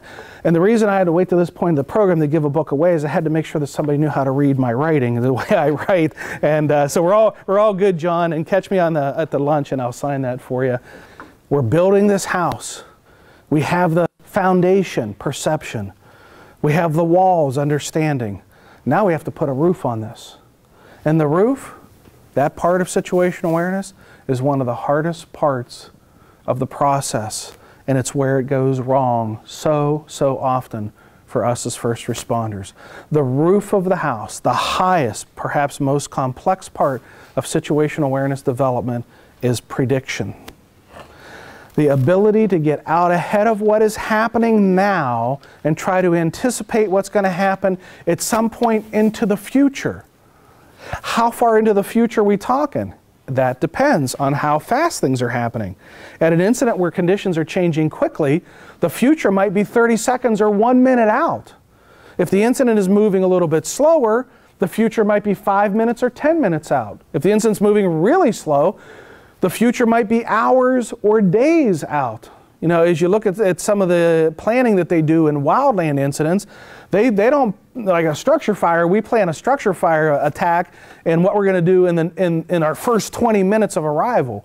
You know, some of these wildland incidents are so large and so complex, they plan a, their, their uh, events in days. And day one, we'll get this done, and day two, we're going to get this done. So it depends on the complexity and the speed at which the conditions are changing as to how far into the future we do this level three situational awareness, the prediction. So how do we do it? We run some options in our head. So we say, looking at the, you know, taking the perception and understanding, got the puzzle, run a plan and say, if we do this, whatever this is that you decide to do, how's it going to turn out? And you kind of play that ahead in your mind and see how it's going to turn out. If it turns out well, then that might be the plan that you implement. If it doesn't turn out well in, in your thinking part of it, then maybe you won't want to implement that plan because you've been able to see a flaw in it before you even implement it. We sometimes call that forecasting. We sometimes call that making projections. Stephen Covey, wrote a book, the number one all time best selling business book in the world. The book is called The Seven Habits of Highly Effective People. I'd recommend it uh, read for, for anyone. Uh, it's, not a, it's not a first responder training book, it's a leadership book. But it's a pretty good book Seven Habits of Highly Effective People. In his book, he talks about one of the habits that applies directly to the world that we operate in, and that is to begin with the end in mind. That's what he tells business people. If you're to if you're to do something in your business, start the planning on the front end with what the end result is supposed to look like. So you know, you know when you reach it that you've you've reached the, the location that you were supposed to end up at. So for us in the first responder world, I would say the same thing. Begin with the end in mind. Start the operation with what the outcome should be. And what that does is it gives us a benchmark, it gives us a target. So, say for example, if I were to be operating in an incident scene and I begin with the end in mind and I say, where do I, where do I want to end up? And say where I want to end up is just hypothetically, you know, uh, in front of the screen here. It, it's not always a geographic location. It, you know, sometimes it's a, it's a, you know, just the successful outcome. But I'm just picking geography here for the example. So I'm here, and I want to end up there.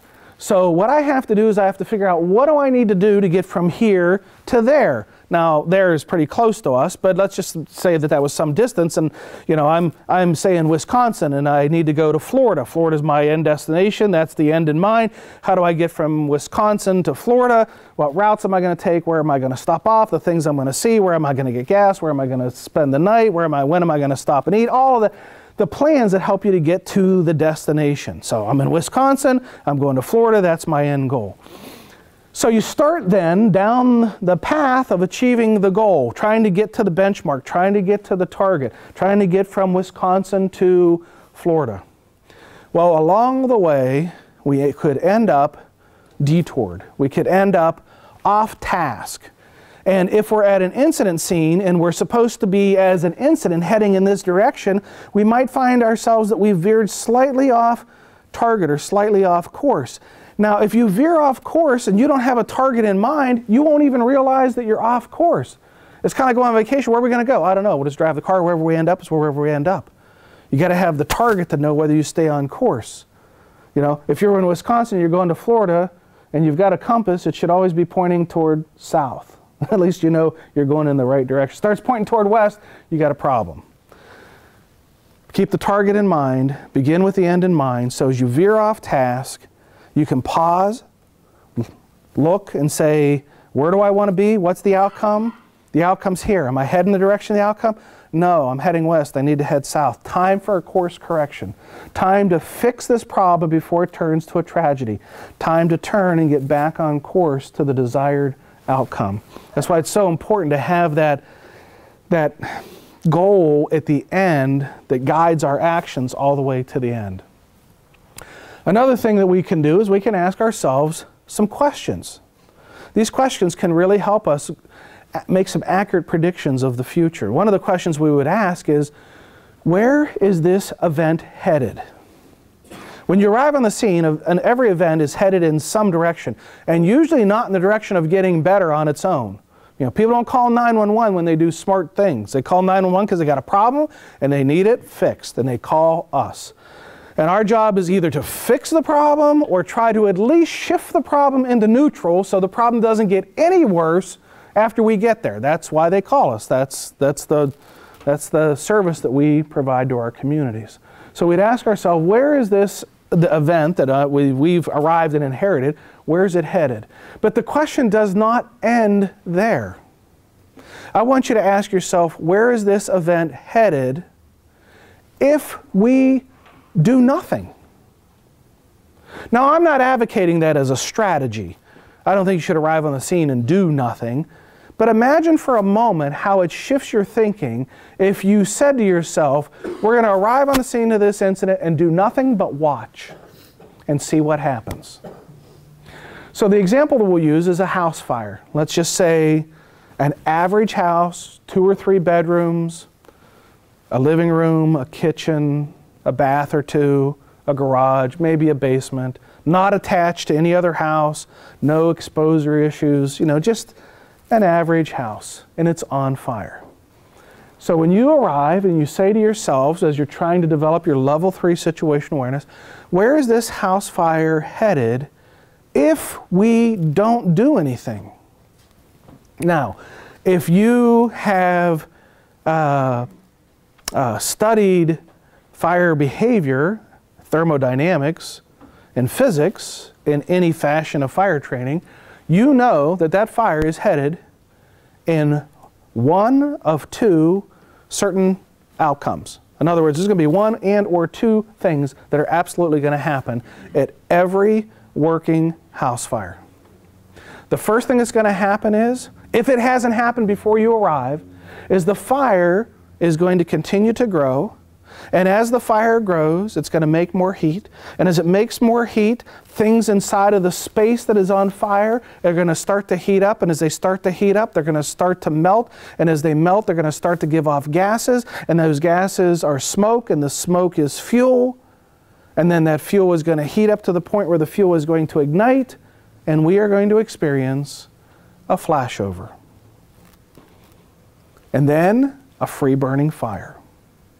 If you arrive at a, if it hasn't happened yet when you arrive, you arrive assuming that there's contents in there and the house is not protected by a sprinkler and you did nothing but watch, you will see a fire grow to the point of flashover and free burning fire, right?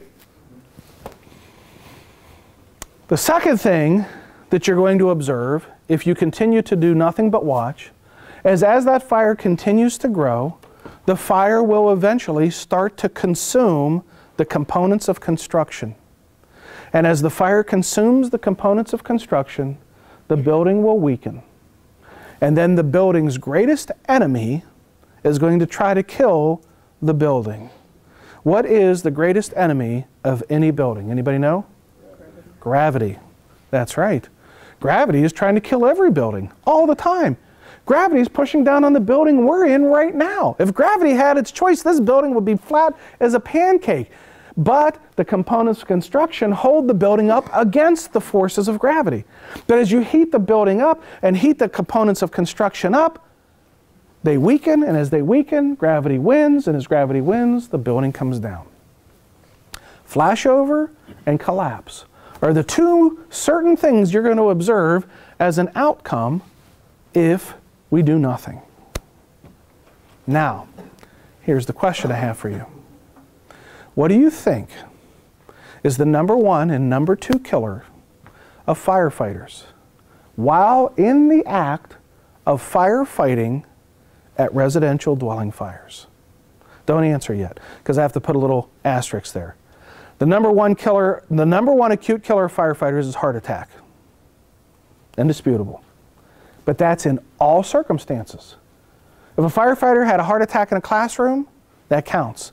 If they have it on the treadmill at the station, that counts. If they have it while they're having dinner, it counts. If they have it while they're responding to a call, it counts. And in all circumstances, heart attack is the number one killer of firefighters.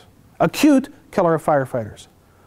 What's the number one chronic killer of firefighters over the long run? Cancer. Keep your gear clean. Wear your SCBAs. Shower after calls. Cancer will kill you. In this job, your propensity of cancer is infinitesimally higher than the average of our um, age and demographic group. So we're going to set cancer and heart attack aside because what I'm talking about are firefighters dying in the act of firefighting at residential fires. Number one and number two. Anybody want to guess them?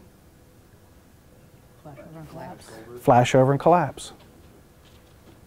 So here's what I'll tell you. Don't be inside when either of those things happen. Now you're thinking, that was a blinding flash of obvious, right? right? But here's the thing. If it was so obvious, why is it number one and number two? It's obvious to, it's obvious to us in here because we're in a classroom. No stress, no consequence, no time compression, no screaming families, no peers expecting us to do heroic things, no media ca- cameras other than the cameras watching us today. In a calm classroom, logic prevails, and you'd say, Yes, I should not be inside when it flashes over or collapses. But yet, flash over and collapse are the number one and number two killer of firefighters in the act of firefighting at residential fires. And please, don't believe me. Just watch the casualty reports yourselves. Watch the announcements come out of firefighters that get killed in the act of firefighting and pay attention as to how many of them is some form of collapse where they're getting a thermal assault overrun by the fire and they're inside and it's killing them. How long is it going to take to get there? How long is it going to take for the fire to get to flashover? How long is it going to take for the building to get to the point of where it will collapse? There's a time element here. Every event unfolds at a certain pace, at a certain speed. Some events unfold very fast. Some events unfold very slowly. It's important for us to understand how fast these things are happening, how fast are conditions changing. Because we're going to have to make a decision of whether we're going to engage or not engage based on how fast the fire is spreading, how fast the building is decomposing. Therefore, we must pay attention to how time is passing. The passage of time is critical to the formation of situational awareness. In fact, so critical that I actually built it into the definition of situational awareness. Situational awareness is understanding, perceiving, and understanding what's happening in the environment around you in context to how time is passing. If you lose track of the passage of time, you will, by definition, have flawed situational awareness. And compounding that is the fact that under stress, time becomes distorted. Your internal clock inside of your brain that teaches you how to, or show, that keeps track of your time passing, doesn't work so well in a high stress, high consequence environment. And experienced firefighters will tell you that there have been incident scenes that they've been on for 20 minutes and it only seems like they've been there for five minutes. Or they've been on the scene for five minutes and things are drawing out and it seems like, oh my God, we've been here a half an hour. We have to keep track of how time is passing to be able to have situational awareness. The final thing to do when we're, when we're trying to develop our level three prediction is to set some expectations. Those expectations have to do with what we think we can get done under the conditions that we've inherited. Can, the first question, can we change the outcome? That's a great question. Can we change this outcome? Can we shift this in the neutral? Can we fix the problem? We want to. We train to. We take oaths of office to change outcomes. But can we change this outcome? For so much as your heart's in the right place and you're well trained, it doesn't mean you're going to change every outcome. It doesn't mean we're going to save every building. It doesn't mean we're going to save every life. We want to, but we're not always able to. So we have to ask ourselves, can we change can we change this outcome? Here's the thing I'll tell you. This comes right from the line of duty death reports. In fact, what I, what I tell folks in the program, I say, if you're going to write something down and you're going to take it back, this is it. And it's not even on any slide. Right from the casualty reports, I will say this don't get in the way of outcomes you can't change. That's what I see in the fatality reports. Firefighters getting in the way of outcomes they weren't going to change anyhow.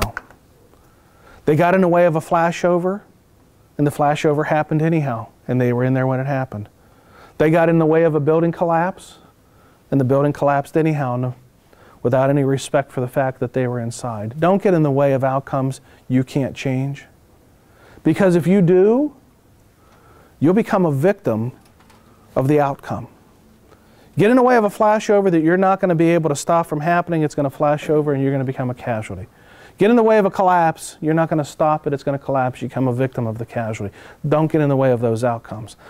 Are the conditions right? To understand the conditions, we have to understand smoke behavior, fire behavior, building construction. We have to understand how conditions change as time progresses. That's all part of our essential training. Do we have the right resources? Do we have the right personnel? Do we have the right equipment? Do we have the right water supply to be able to get the job done now? Now, um, company officer, Madison? Yes. Okay. So I'm going to ask you a question and uh, first name again is Jerry. Jerry. When Jerry gives the answer to this question, Jerry, I want you to be honest. But in the process of giving an honest answer, it might sound like Jerry's being mean. Jerry's not being mean, he's just being honest. Jerry, as you know your crew, and you know your shift, and you know the Madison Fire Department as you do, are all firefighters on the Madison Fire Department equal in knowledge, skill, ability, fitness, and stamina? Are they all equal? No. See, he knows that. I hope he would say no, because that means he knows. We're not all equal. We all don't carry the same knowledge. We don't all don't have the same experiences. Some of us have got 20 years of experience. Some of us are brand new. Some of us do CrossFit. Some of us do not. Some of us are very uh, um, uh, deep into our training. Some do just the minimum. He knows that not everybody is equal in knowledge, skills, and ability. And when you're assessing your resources, you have to take that into consideration. Because on your crew, as you look at your crew and you say, I've got a crew of four, a crew of five, do I have a weak link in my crew. And as you're assessing that, you're not being mean, you're just being honest. Because if that weak link breaks, it jeopardizes the safety of the entire crew. So that officer has to take into consideration what that weak link can and can't do. And the fact that uh, an, an inexperienced person is going to take longer to get it done because they don't yet have the experience. And it's not a thing of, it's not a thing of judgment to be mean. It's just a thing of being honest to say, can, how, how does the quality of our crew affect our ability to get the job done in the time that we have? If you have a highly experienced crew and you have a task that you know we need to get in, get it done, and it's going to be four minutes and that's all we have, and you got a highly experienced crew, man, get in, get it done, four minutes. But if you got a crew that is varying experience levels and varying fitness levels, and you are honest with yourself, you might say, "This we got we got a window of time of four minutes. We're probably not going to make it because we don't have the right resources." When you find yourself in that leadership position with that scenario, take into consideration that if we try to get done what the experienced crew can get done in the same four minute time frame, we could end up in a bad spot. Can we operate faster than the conditions are changing? And that's a factor of our resources, and it's a factor of how fast the conditions are changing. It's a factor sometimes of environmental things, like if the fire is wind driven, you know, wind-driven fire is going to speed up the change of conditions. Can we operate faster than those conditions are changing? And the final question: How much time do we actually have to get our task done? We should never start into a task under changing conditions without saying to ourselves, "I'm giving myself three minutes, four minutes." Or as an incident commander, that the commander thinks to themselves, "When I send this crew in under these conditions." I'm giving them a X amount of time. And if they're not done in that X amount of time, I'm pulling them out because the conditions will have progressed to the point where we're now potentially in jeopardy. To be able to predict the future, you have to be able to use your imagination. Your imagination actually draws pictures on the etch a sketch. Not factual pictures, imagined pictures. Imagining three minutes out, five minutes out, eight minutes out. You're actually using your mind's eye, that's the layperson's term for the imagination, the mind's eye to try on the etch a sketch to see the outcome, to see the future before it occurs. So, summarizing the process of situational awareness development, level one, perception, the sensory inputs from the five senses. Level two, comprehension, being able to use visual imagery, drawing pictures on the Etch a Sketch, doing the long term memory file searches, sometimes triggering intuition, but not always. And then level three, forecasting using the imagination to try to anticipate what's going to happen before it happens. It is at the level three that I see most of the mistakes occurring. I see responders that are well trained and well experienced being very good at being perceptive of their environment, very good at conducting size ups, very good at gathering the information, very good at putting it together and understanding what is happening. Where, where I see it going off the track is when they then once they figure out the problem, they start an action plan without trying to anticipate the outcome of the action plan before they start the action plan. All right, so what I'm going to do now is we're going to do a case study. The case study is a video of an incident that I'm going to show you where things do not go well. I'll just tell you that straight up. That's why it's my video case study. The, uh, I want you to both pay attention visually and audibly to the things that you're seeing and the things that you're hearing. And then, uh, uh, and then we're going to have a discussion about the video and the things that occurred in the video. As you're thinking about the video, I really want you to be thinking about situational awareness. Level one, perception. Level two, comprehension. Level three, prediction. You might be seeing things um, that are strategic or tactical that you might say, well, I think that was a mistake, or I wouldn't, tactically, I wouldn't have done that that way. And that's okay if you're thinking about that, but when we have our conversation, we want to have our conversation about the situational awareness of these responders and, and where it was, and was it strong, or no, was it not, or how did it, how did it go uh, in a path that they would have rather not had. And, and this incident does. Um, unfortunately and rather rather tragically. Um, so let's let's watch this video and then we're done. We'll have a discussion.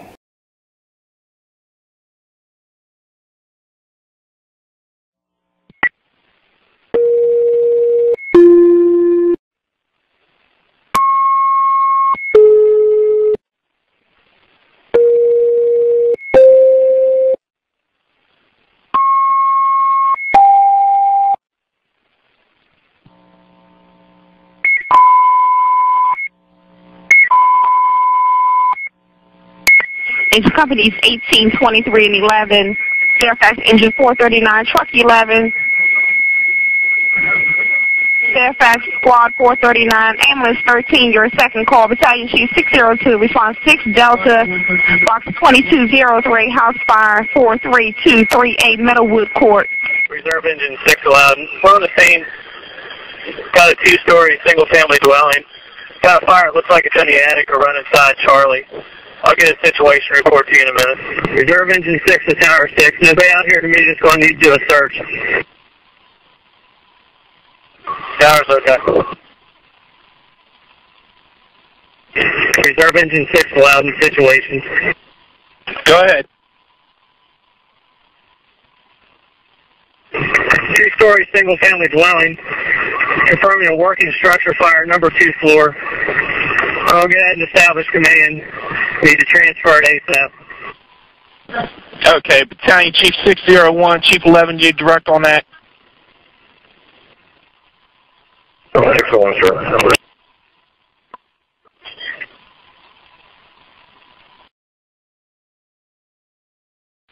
Now, Safety 601, the call Meadowwood Court is going to be for a working structure fire. Okay. Rescue 13 for lot 14.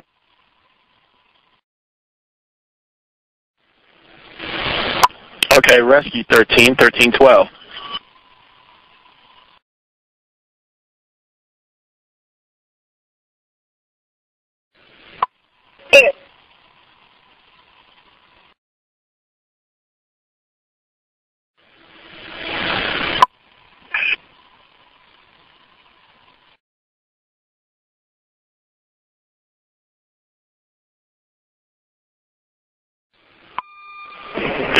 Chief 11 traffic same report, command. Okay, Chief 11, 1313. Chief 11, these last nine, first phase also.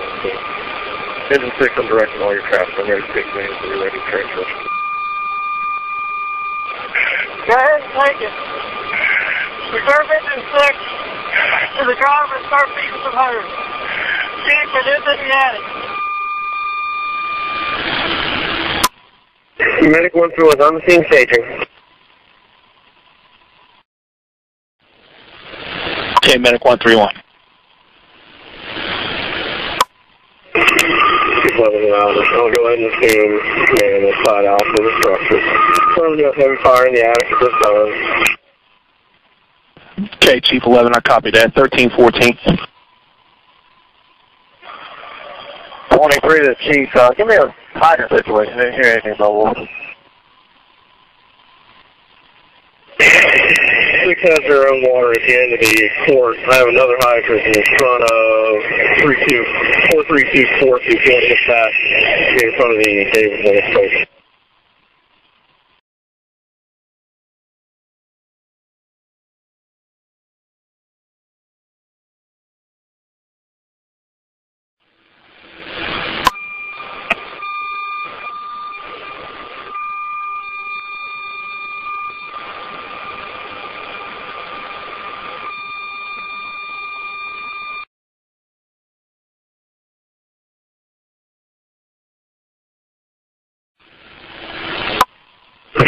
Nine six one's on same for me, command. Okay, Battalion Chief 601, 1350. Reserve engine six to command.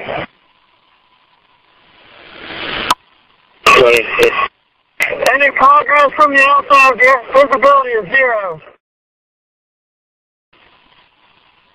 After you were starting to get a hit on it, looks like you still got heavy fire through the attic ridge vent.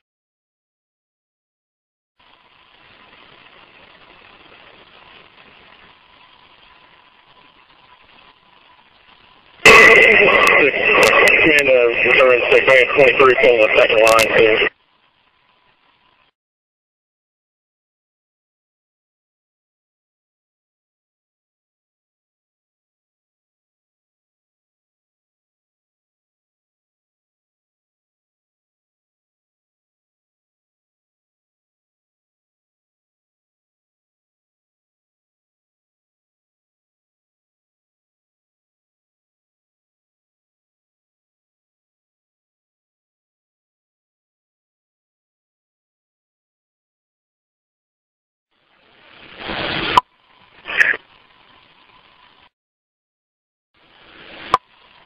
Rescue 13 is on the scene. Okay, Rescue 13, 1316. Safety 601 also.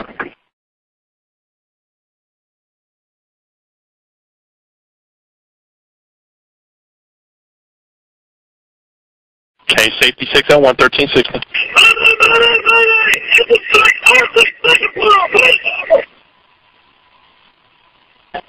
Command acknowledge Mayday, engine 6, second floor.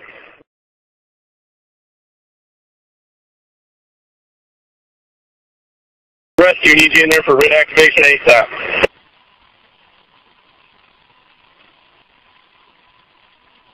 Frank 61 to command, evacuate.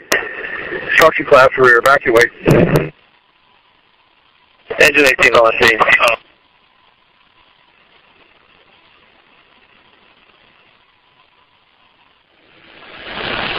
Loud to Chief 11, did you copy everything? So I'm trying to get radio traffic. Command all out. All units operating fire ground. Evacuate structure ASAP. You have a red activation from engine 6. In accountability on reserve engine 6.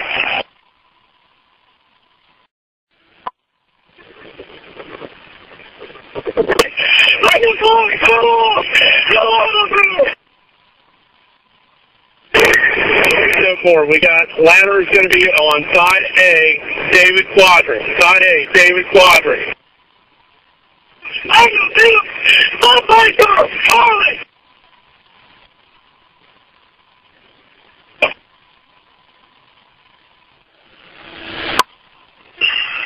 Last show we did 10 with her all the same. We'll be taking red.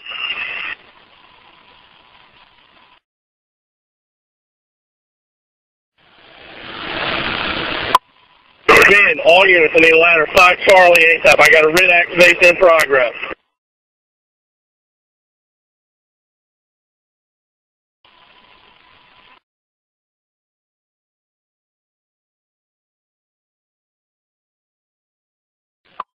Command Reserve Engine 6, your status.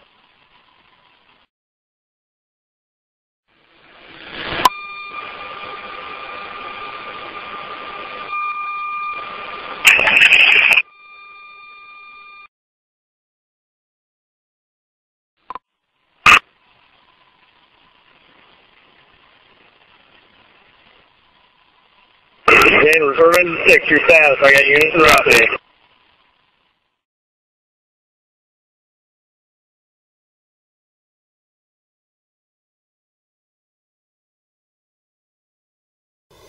Could you see it coming?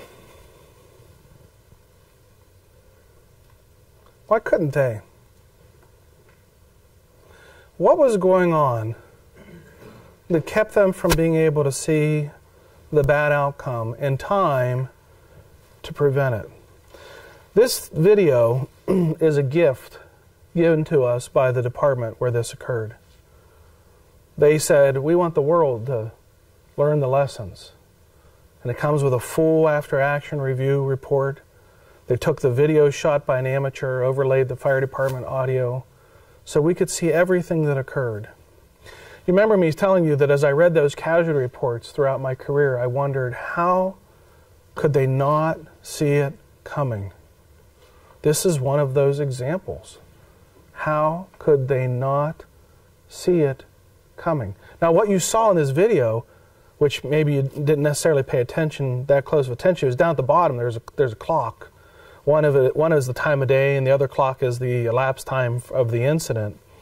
And I cut this video, so you know even though the video may have been like seven minutes long for you, it's you know a 15 or 16 minute video overall. But I just cut out the the parts where there wasn't radio traffic and such, so that we could just keep it short, so we'd have more time for discussion.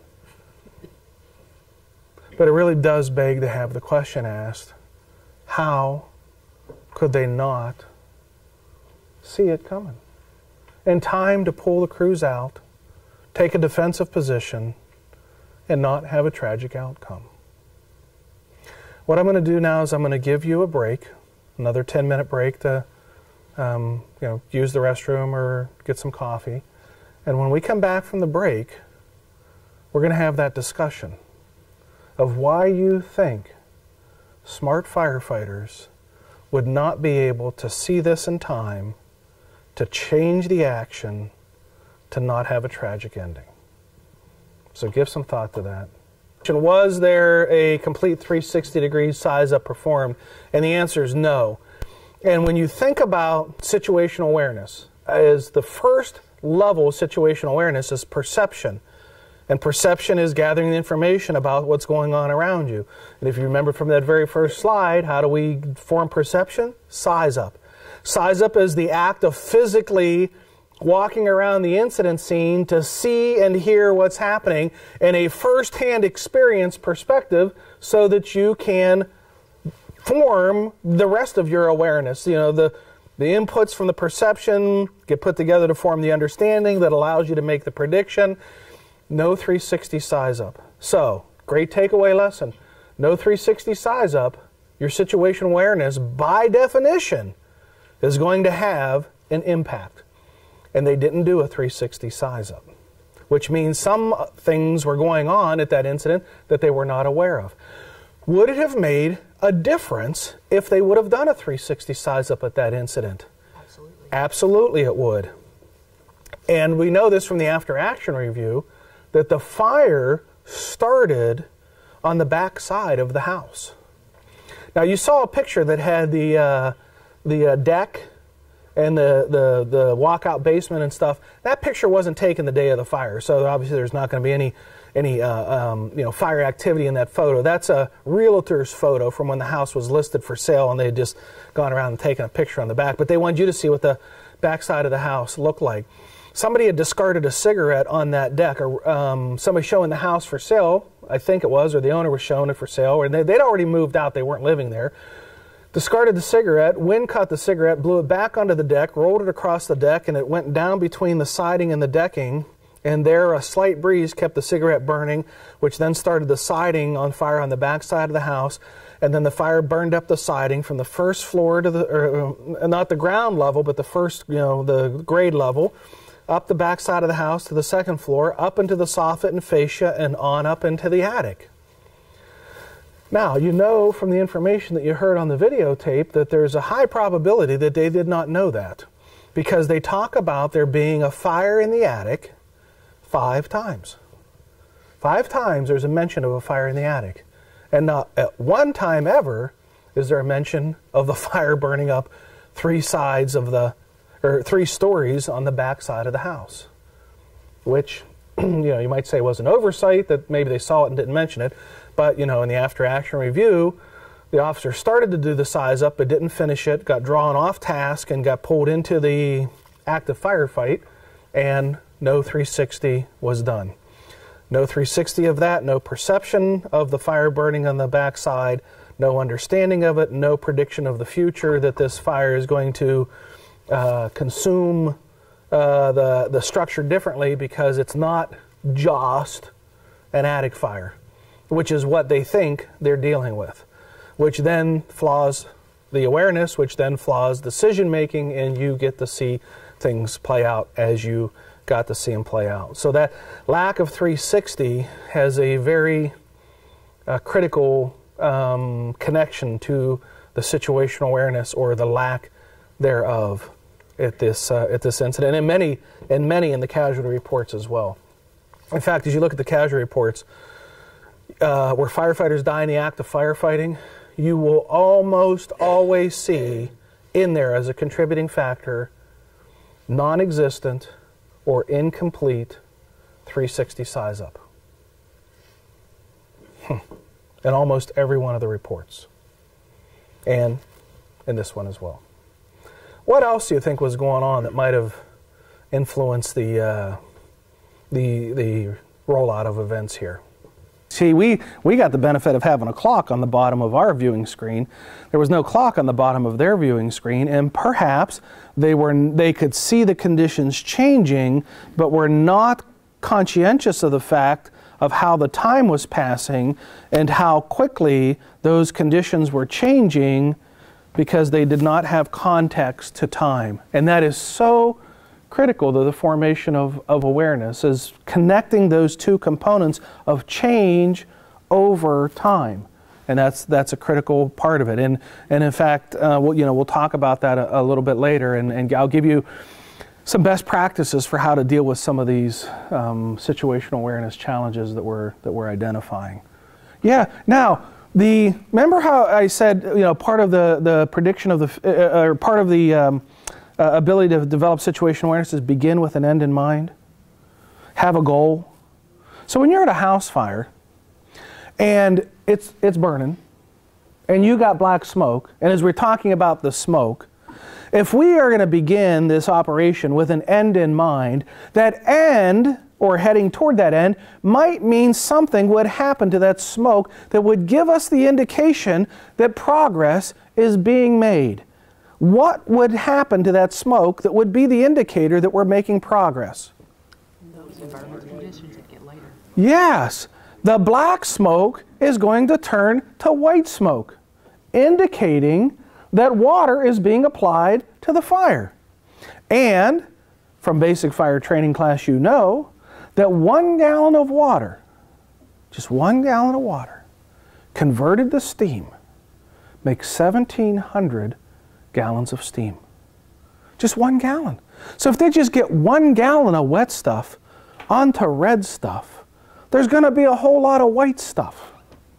And if you begin with the end in mind, and we arrive and we say, there's a lot of black smoke here. What do we want to accomplish? Let's turn that into white smoke. And then you start an action plan progressing toward the end result of, of slowing or stopping fire progression by turning black smoke to white smoke with steam from fire conversion.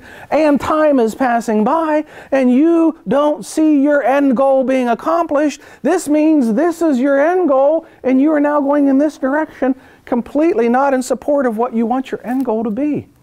Because you're not seeing any conversion, you're not seeing any progress, you're not seeing any extinguishment of the fire. Now, there is the tiniest little bit of white smoke coming out the end of one of the uh, vents at the end of the roof, and you might have noticed this that little whiffing of white smoke coming out the end. I really do not think that that is smoke, or whites, or steam from water conversion. What I think that is, is I think that's the moisture that is being baked out of the attic rafters. You know, all the wood in that attic, it has moisture in it. And as you heat it up and it's starting to uh, dry out, it draws the moisture out of that wood and turns it into steam. And I think that, that just tiny little whiff of smoke you're seeing coming out the end is probably that steam from the attic roof rafters being um, baked under the, the stress of the fire. But that's a, that's a great observation. I mean, you're probably sitting there wondering to yourself, when's this going to convert? you know, when is this? They're inside with a hose line. You saw that. At some point, this fire should convert to knockdown, right? But it never does.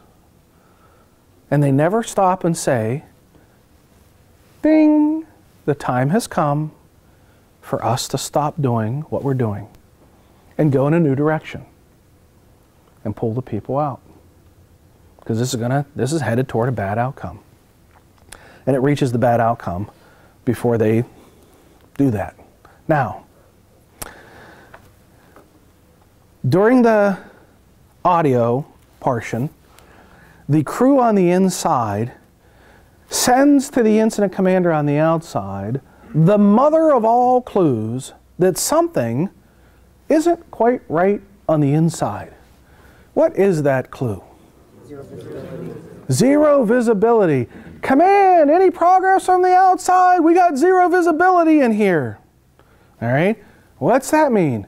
That's code word for it's bad in here. We're taking a butt kicking. You see, when you're down at the floor level and you got heavy, thick, black, angry smoke down to the floor and it's so insufferably hot that you feel like you're burning up, that's not a good place to be. That fire is that that room is headed in the condition that is going to that that environment of zero visibility with high heat is pre-flashover conditions. And if you stay in those conditions, absent some intervention, it's going to turn into a fire. They call command, say any progress from the outside, zero visibility in here. Now, why didn't command react by telling the crew to come out? First thing we have to give consideration to is maybe command didn't hear him say that. Simply because you heard it doesn't mean command heard it, right?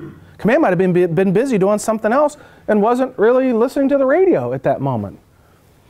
Or maybe the command's radio didn't work, or maybe that crew was on a different channel than command. There's lots of possible explanations why command might not have heard him say that at all. So we have to just, you know, give at least the, the thought to that possibility. And this is another thing. When you're looking at the, when you're reading casualty reports, the casualty reports will almost always have a radio log. At 90102, this was said.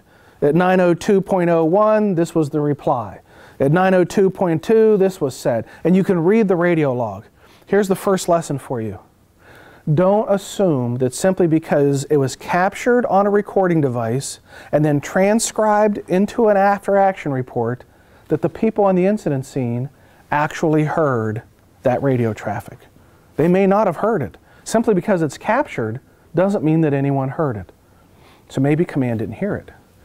The only way we know the command heard it is that command replied to it. So once you know the command replied, we know that at least he heard that radio traffic. Now, the commander replied with three additional pieces, three pieces of radio traffic that command said in reply to command any progress from the outside? We got zero visibility in here. And command said three things. Does anybody remember any of the three things the command said after that? One of them? Still got heavy fire in the attic roof vent, coming out of the attic roof vents. I got engine 23 going what? Engine 23 is pulling, pulling another line for you. And the third thing the command says is absolutely astounding every time I listen to it. He says, It looks like you're starting to get a hit on the fire. Did you hear him? Here's how it went. Command, any progress from the outside? It looks like you're starting to get a hit on the fire. You still got heavy attic in the roof and the attic roof vents. I got engine 23 bringing you another line. That's the sequence of radio traffic. And as I watch that and I hear command say that, I think to myself, how could he think that? How could he say that? There is no progress being made here. Why would he say that? That is a lie. I'm witnessing the incident commander telling a lie. The audio is overlaid to the video, time synchronized. So as he's saying you're making progress, you're, we're seeing no progress. Because he wants to see it. Hear what she said? Because he wants to see it. You remember that I told you this morning? If you want to see something bad enough, you will see it, even if it does not exist. And if you don't expect to see something, you won't see it. For example, somebody might have asked the commander, Well, weren't you concerned about that heavy smoke coming out the front door? Wait a minute, front door? Fire's in the attic, above the second floor. If he doesn't have any thought that that fire is on the first floor, also, and it is, he may not even see the smoke coming out the front door because the brain says smoke coming out the front door for an attic fire doesn't make sense. Erase it. Just get it completely out of awareness. And he may not even see it. Even though it's easy for us to see on the video, doesn't mean that they, in the moment that he or she, the commander, is able to see it. That's a great observation. Who, which one of you said that? that yeah, nice. There are also a couple other barriers in play that could have affected the commander saying that. One is optimism. Optimism is a barrier to awareness. The belief that any, at any given moment they're going to make the conversion, that the black smoke is going to turn to white, and I'm just going to give the crew some encouragement and try to keep them you know, going on the task and tell them 23 is bringing another line, keep up the good fight. So optimism is a barrier to awareness. So is denial. If you deny how bad things really are, are you know, not being honest with yourself and saying, is it, it's not as bad as I, is, is, is another fire that I've been on and it turned out okay, or it's not as bad as this one I was on and it turned out okay. So denial can be a barrier to awareness as well. But indisputably, you got to observe the incident commander saying something that clearly was not true. Now, the next question I have for you is this crew on the inside on the second floor has heavy, thick, black, angry, insufferably hot smoke bearing down on them all the way to the floor. They call command. In fact, it's so hot in there. Uh, one of the people that survived said, he said, I wished I could have pulled the carpeting over my head. That's how hot it was. It's really hot in there. They called command, gave him the report, zero visibility. What do you think that company officer who reported that command, that command, what do you think he might have been secretly to himself wishing or hoping the command might say to him in response to that? Get out. Get out. The command didn't say that, so they didn't get out. They stayed. Now, the question I have for you is why would they stay? If it was that hot and they're burning up in there, why wouldn't they just turn and leave without being told to? He ignored his intuition. Perhaps. I haven't interviewed him to know if, he, if his intuition told him. It was beyond intuition. I mean, he was telling command, it is this bad in here. It wasn't just thinking how bad it was. He knew, he knew it was that bad in there. Why wouldn't he turn to his crew and say, let's leave? Might, might be construed as insubordination. See, isn't, if it, it, that's a great observation because if you call command and you describe the conditions and you're thinking, order me out, order me out, and command doesn't order you out, command says, looks like you're starting to get progress and I got 23 bringing you another line, that could be construed as a thinly veiled order to stay and keep up the fight because I got 23 bringing you some backup resources. So if you left independently of command, it could be construed as an act of insubordination. I didn't tell you to leave, and there's a risk if you do things that are inconsistent with the desires of your superior officers. So maybe that's on the mind. What else could be an explanation as to why they wouldn't leave? So the crew on the inside thinks that command from the outside, paying attention to the big picture, has a is in a better vantage point to see the danger that we might be in or might not be in. But here's the fallacy in that. The conditions on the inside and the observable conditions on the outside can be very, very different. I had uh, the opportunity, in fact, Cameron, with, Cameron come along with me. Uh, Asheville, North Carolina Fire Department had a firefighter fatality incident, and they invited me down, and Cameron came with me to help them figure out how it happened and to learn from it and figure out how to never let it happen again. And this fire was in the, in the fifth story of a medical office building. And from the outside, it looked like a non event. It looked like a small fire that was being held in check by a sprinkler system. On the inside, it was terror and chaos because there was no sprinkler system, and this fire was actively growing. And through the broken window, the smoke was not traveling because the smoke was moving into the overheaded voided space above them. And from the outside, non event. From the inside, it was a horrid condition that ended up killing one of the captains on the Asheville Fire Department and almost killing more than, than, than him. So things don't always look the same from the outside to the inside. So the, in, the people on the inside have to defer a little bit to the knowledge of the person from the outside, but the person from the outside also has to defer to the knowledge of the person on the inside. So when it doesn't look that bad from the outside, the inside crew is saying, you know, it's hot and zero visibility, then that has that information, command has to give some consideration to the fact that the crew on the inside might be in an environment that is not so obvious to the commander on the outside. So that's great observation. What else might have kept that crew from leaving on their own? The, the fire service culture is not one of run from danger, right?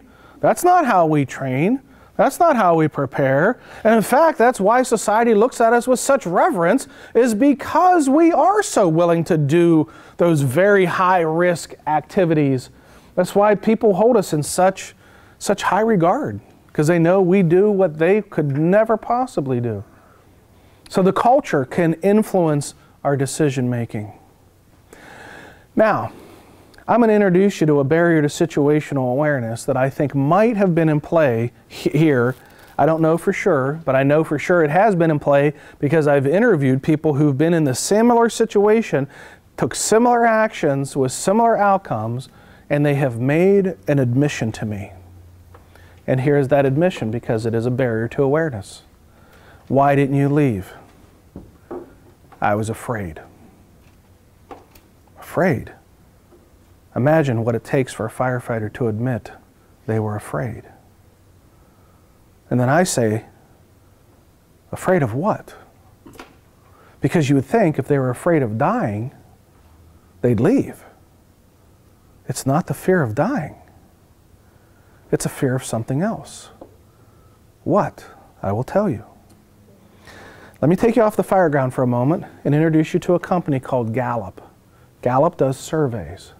They survey people on all kinds of stuff. Like they'll go to the mall and they'll say, What's your favorite vacation place? And they'll ask people, and then they'll publish the list of favorite vacation destinations for people who live in the Madison area. What's your favorite car? What's your favorite movie? survey says, ding, lists. One of the lists in the Gallup surveys is called the Fear Survey. What are you afraid of? What are you afraid to do? Ironically, the Gallup survey has a pretty consistent result. The number one fear of people is anybody know? Failure is a consequence. Doing what are they afraid of doing? That's consequence. What are they afraid of doing? Making a decision. Public speaking. Fear of public speaking, number consistently number one on the fear survey. You'd think they'd be afraid of dying. Fear of dying, number seven. Fear of public speaking, number one. Now you think about how irrational this is. That there are people out there that are more afraid of giving the eulogy at a funeral than being the person in the box. Now, we have to ask, what is it about public speaking that people fear so much? And some of you said it when I said it's a consequence. Now you can say it again. Embarrassment, failure, ridicule, ridicule.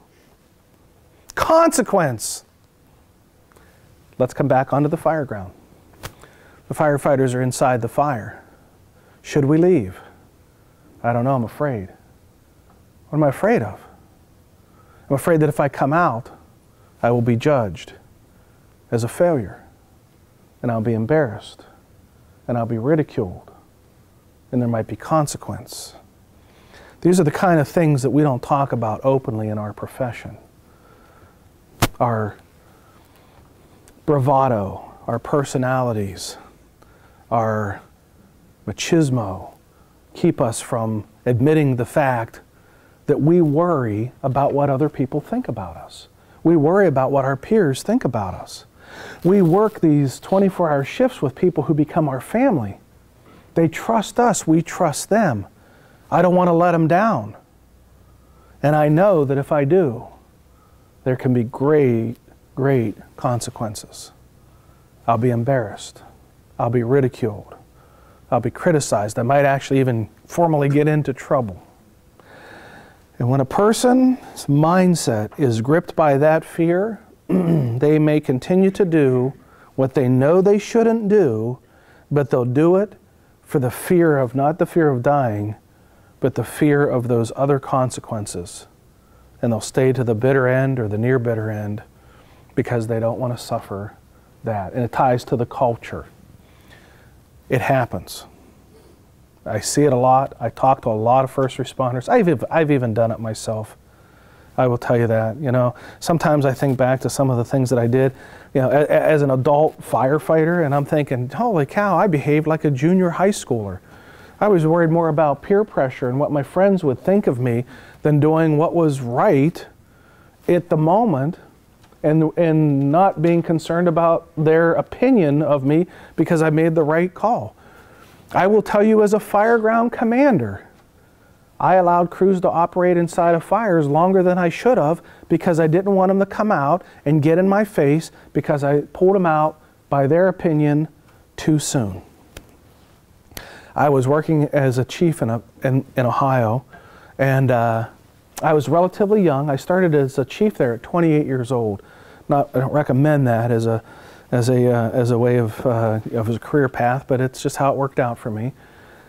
And I'd been on the job a couple of years, and I had a firefighting crew inside of a house fire, a single story house. And the, uh, the captain that was in there with the crew was, uh, was a big guy, 6'4, could, uh, could shadow the doorway if he was standing in it. And uh, he was leading the crew inside the firefight, and I was, I was out at the street level, and it was time to come out. The fire, which had started on the first floor, had worked its way into the attic. I knew it had worked its way in the attic. I was giving them some time, but the fire in the attic was growing and it wasn't, they weren't getting the knockdown and it was time to leave. I told them to come out. Of course, you know what they do. They gave me pushback. Oh, we almost got it. Give us a couple more minutes, you know, which is of saying, you know, no, no, don't, don't pull me out. You know, we're, we're, we, we're, we're, we're fine in here. I said, no, no, it's time to come out. I had to get forceful with him. When I got forceful with him, and he, and he come out the front door and he stood up on the porch and he tore off his face piece and his helmet flipped off. And he saw me down at the end of the, at the, end of the yard in the street and he comes stomping down that yard and I'm sure he was making indents in the, in the grass as he did it. And he come up and he got right up in my face and started pointing his finger at my chest and he was screaming at me so vigorously he was literally slobbering on me. That's how mad he was that I ordered him out and saying these things to me. And as he's screaming at me, behind him, the roof um, weakened under the stress of the fire, started to collapse. And it was like slow motion collapse. You know, it was just kind of like sagging and sagging and coming down and down and down and down. And I told, I said to him, turn around and look at what I was looking at, and you'll understand why I told you to get out. And he turned around and he looked, and through that front door where they had just come out, not even five minutes earlier, there was nothing but burning roof rafters and attic material in that space, just glowing red. I said, That's why I ordered you out. What do you think he said to me? Nothing. That's right. He said nothing. For five years, he would not talk to me. I thought, thank you might have been in order. I felt like I just saved a crew's life. No, he was bitter and angry because I ordered him out. I embarrassed him. Now, at that time, I knew nothing of neuroscience, I knew nothing of psychology. All I knew is I had done something that made him very, very upset with me. And he never talked to me again after that.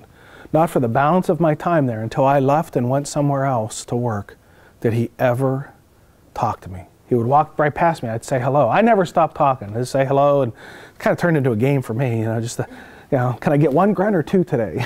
you know, and uh, that was it. I mean, it was it was completely destroyed relation because he thought that I embarrassed him by calling him out in the middle of a firefight, and sadly, if I would have not held my ground and left him in there, that roof would have come down on that crew, and uh, so I I myself have also struggled on occasion, more than once, with that fear of embarrassment and consequence and ridicule that not just my peers, but the firefighters who would work for me. What will they think of me if I pull them out prematurely and the house burns down?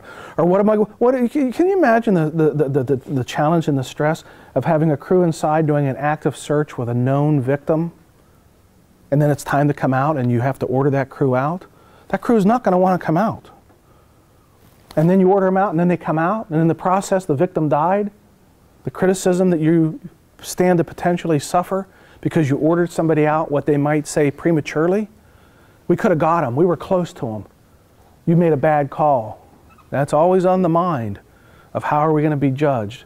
By superiors, by peers, and by subordinates. That fear is real. All right.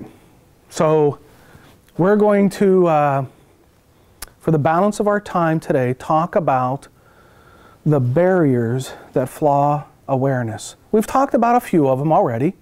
We talked about sensory conflict, We talked about mind drift. We talked about fear as a barrier, optimism, denial, tunnel vision. So we've, we've starting to amass a pretty good list, but I want to spend the balance of our time making sure we go over the big ones, the ones that can really impact your safety and survival. A barrier is anything that disrupts the ability to perceive or understand or predict, or disrupts the ability of information to pass from perception to understanding, or from our understanding to pass to prediction. Now, when I did my research, the, uh, what allowed me to earn my PhD was uncovering these barriers that flaw awareness. Everything that I've pretty much taught you so far, I did not discover. That was all information there. For, I, I kind of uncovered it in, for the benefit of the fire service because it was, it was living over in the world of military and aviation and medicine. And uh, uh, so I kind of brought those lessons that you've got this morning into the fire service world.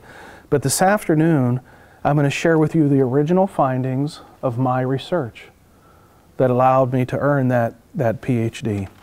And uh, we're going to talk about a, a relatively small list of very dangerous situational awareness barriers. Now, there are a lot of barriers that can flaw your awareness, over a hundred of them. Think about it, over a hundred different ways your situational awareness can get messed up. So it's a very complex topic. But among that hundred, there's a small number of them. They're the ones that are most likely to cause you harm. So if you understand, as you do now, the neural basis of intuition comes from the collection of life's experiences and that 95% of knowledge outside of awareness, it would stand the reason that that person with 30 years on has a whole lot more experiences on which to draw that intuition from to make the connections, to fly the red flags, versus somebody who is newer in, in the job. And in fact, and I'm really glad you brought this up because uh, folks that are new in firefighting or even new in law enforcement um, have to learn to manage their natural fear responses.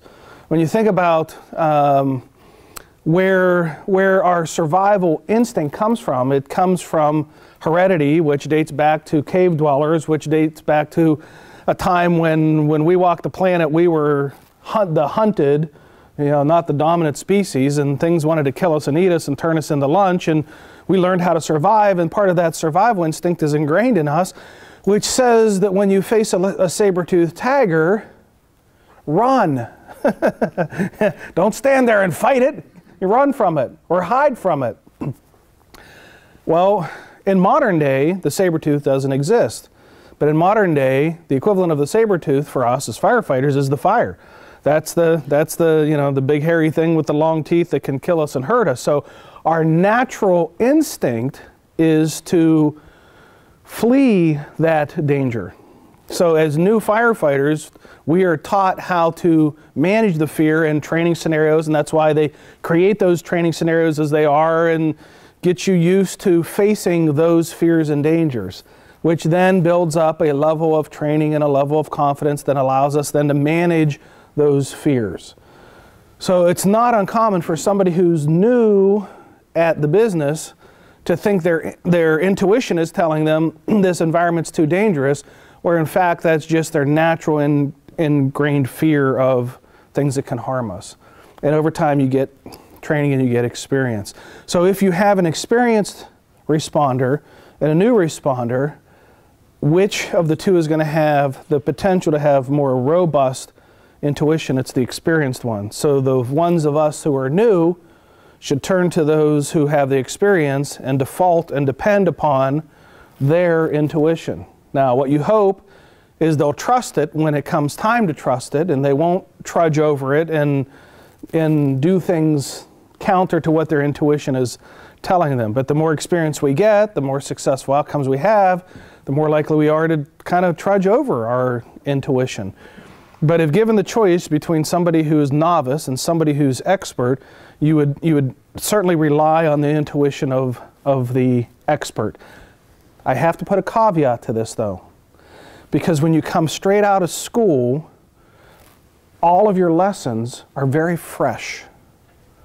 And some of those experienced responders, for better or worse, have forgotten some of the things that are the lessons that are the freshest for you. So you may actually be able to tap into some knowledge quickly that they might not be able to remember. They may not be able to recall because your education is so recent. For example, if you were going to have to have a major surgery, would you want a surgeon who's been out of med school and doing surgeries for 30 years? Or would you want the surgeon who's fresh out of med school with all the most recent technology and recent practices and, and you know, fresh mind and fresh skills versus that person who's been at it for 30 years? I think different people would make a different argument of give me, give me the one that's fresh out of school because they got all the newest, latest, greatest findings of science and, and you know, their, their, their education is the most up to date. Or somebody might say, give me the person who's been doing it for 30 years and I will defer to their, not their textbook knowledge, but their intuitive knowledge of how to, how to do that surgery. But all things considered, the experienced person is always going to have the better intuition. Whether they trust it or not is a whole other point of discussion. As the 30 year person, as time passes, things evolve, building construction evolves, contents inside of houses evolve. And if we learn those skills back with a different technology when houses were stick built and things were, you know, more class A materials versus the more modern, it really depends on how the person has evolved in their learning as society and construction and contents has evolved. In other words, as long as they have stayed a student of the fire service and continued to learn and grow, they would build on that foundation of experience of 30 years ago, but all along the way are realizing that this is a constantly changing profession. And it is. And we never stop learning. I have people that come to my class, and I think to myself, how old are you? And I'll talk to these people, and they're like, oh, I'm, I'm like, I'm 65. How long have you been in the fire service? About 45 years. 45 years in the fire service, and you're still going to school? Wow, that's a really important lesson for a lot of people in the room who've only been in this fire service for maybe four years, and looking at that person who's been in 45 years and going to school.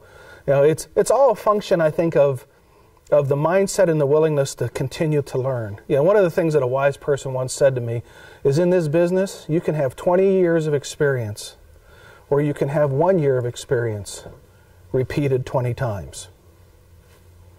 And it's a matter of how you want to learn and grow and evolve in your position. Those that learn and grow and evolve, their, their, their value to us is immeasurable. Those who choose not to, they're dangerous. So, well, you bring first of all, you bring all your life's experiences in, into, into the fold. And so, somebody, you know, somebody comes into, uh, say, a firefighting job. What'd you do before you was a firefighter? I was a farmer. Oh, what's that got to do with firefighting? You'd be surprised how resourceful farmers have to be at critical analysis and problem solving and dealing with stress and changing situations. And you don't necessarily, unless you're a farmer, think of farmers' life as being stressful and complex, and it is. And as they learn and develop skills as to how to manage through those challenges of farming, those skills can have an application when you're on the fire ground. So all of life's experiences bring bring lessons for us. But I do want to I do want to swing back and, and make one observation, and that is um, you don't have to have you don't have to be on the job for 20 years to get 20 years of experience. You don't. And I hope that that I can explain this in a way that becomes very, uh, very um, encouraging for you as some of you are just starting your career out.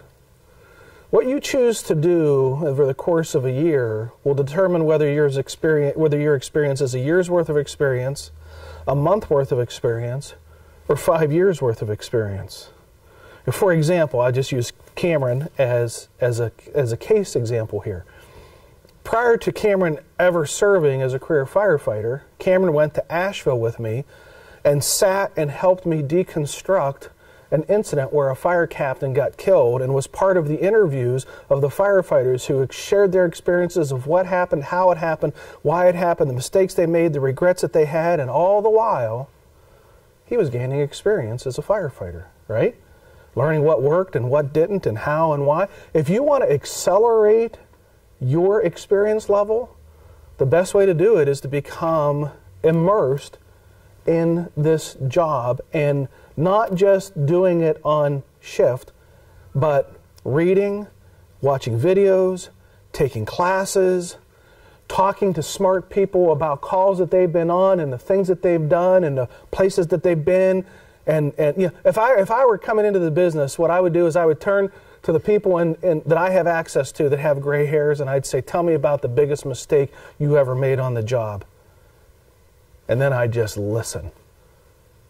And for so long as they wanted to pass air over their lips, I would glean those lessons. And guess what? That's experience.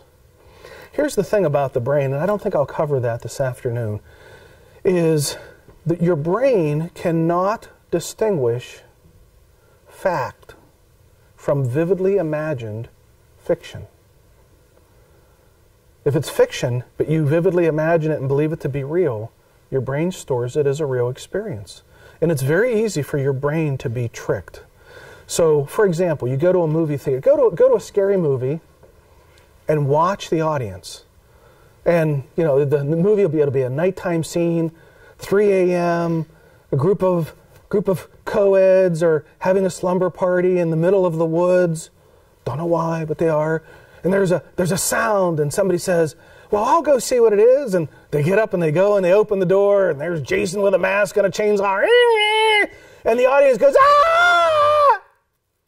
Why does the audience scream? Ain't nothing coming off that screen gonna hurt you, right? Your brain has been tricked into somehow believing that when he's done cutting them up, we're gonna be next. We are in the scene when we're training when we're reading case studies, when we're watching videos, get into the scene. Immerse yourself in it. Make it real. Make it emotional. When you're reading a case study, when you're watching that video like I showed earlier, don't look at it like you're some third party observer from 19 states away. Say, that's, that's my crew in there. And I'm, I'm going to immerse myself and live this experience as if it were real and the brain stores it as a real experience. That's why the more realistic a training scenario is, the more realistic the brain thinks and stores that as a as it really happening. Here's one of the things when I became a new fireground commander, you know, I went from company officer to fire chief. And, uh, and I didn't have a lot of experience at the fire chief level. You know, I had experience at the company level. Take the hose line through the front door, lead a crew to attack. Not big picture, stand back, command from the, you know, big picture point of view. I didn't have a lot of that experience, a little bit, but not very much. And I was, you know, pretty underconfident about what I was doing. And here's what somebody told me to do. This is, again, way, way, way before I knew anything about neuroscience and how the brain functions and everything. He says, What you need to do sounds like bad advice. He says, You need to start going around your town and burning buildings down. What? Well, not really burn them down. Just pull into a parking lot and look at the building from the perspective that you're the incident commander and that building's on fire and your first engine is going to arrive and imagine the smoke condition and the fire condition and the rescue scenario and give your give your first crew an assignment and the second crew coming in give them an assignment and literally manage the fire incident as if it's playing out hear the radio traffic Throw in a mayday now and then. Throw in the hydrant broke. Now, we, what are we going to do for a water supply? And burn these buildings down in your imagination. And you'll be building experience and confidence without ever setting, you know, match to fuel. And I started doing that. And, and lo and behold, I started going to fires, and it's like, I know what to do. I know what to do. I've already rehearsed this. I've already practiced this. I already know what to do in this scenario. I know what to do when when the water when the hydrant doesn't work. I've already I've already practiced that one. I know I'm, I'm skilled, I'm ready. Does it work? Well, I don't know. Let me ask you this. When Captain Sullenberger landed his Airbus A320 on the Hudson River, they interviewed him in the media. Now, anybody seen the movie Sully? Anybody? Hands up if you have. Let me tell you something about the movie that you, as somebody who's seen the movie, wouldn't know. The audio component of what is happening in that cockpit is word for word exact to the black box recorder. That's one thing that Captain Sullenberger insisted on when the movie was made because they said they told him, you know, we're going to take our Hollywood liberties with the movie here. So some of the things we're going to, you know, you're going to look at a movie and say that never happened. You know, that's Hollywood. We got to make it. Know, we got to make it so it'll sell tickets. And he said that's fine. He says, but everything that happens in that that happened in that cockpit has to be absolute 100% spot on accurate, and it is. I've heard the black box recorder, and it is word for word accurate. After that incident, Captain Sullenberger got in, interviewed by the media, and somebody in the media said, "How many times have you ever landed an airplane on water like that?" You know, because he did it so flawlessly, and and you would think that his his answer would be once. And that's not what he said. He said once in real life, thousands of times in my mind. See, Captain Sullenberger, in addition to being an Airbus pilot, as had a hobby of being a glider pilot. So he was used to flying planes that were not under engine power with a glider. So basically, that Airbus was a big glider once it lost both of its engines. And he, when he was gliding, always thought, how would I, if I had to land my glider on water, how would I do that? How would I control the descent? How would I control the nose up? How would I control what happens when the wings hit the water because you're going to have a rapid deceleration? He had all of that rehearsed in his mind before he ever actually had to do it. He told him, I've done that. I've done that thousands of times in my head figured out how would I do it if I had to. He had that one worked out already. And so when he had to, he started it, he, they started a landing process that usually starts at 30,000 feet at 2,500 feet. And they were not controlling the descent. The plane was controlling its own descent under the force of gravity. It was just gliding to the ground, and it was going to, you know, there, there was no keeping it airborne. It was, it was on its path. And uh, so they, they only had, as you know, just a few minutes on which to safely get that plane landed in the Hudson River. And he had that experience. I mean, when, when, when I heard that he had had that interview, I'm thinking, my God, I burned buildings down like he used to land planes on water. And you just preload those experiences by doing all of, the, all of those things. Vividly imagine yourself in those various scenarios. When you're in a, when you're in a training at a, at a burn building, scenario, you should think every time this is a real house. This is somebody's real property. This, this, this, is not, this is not practice. This is game on. This is for real.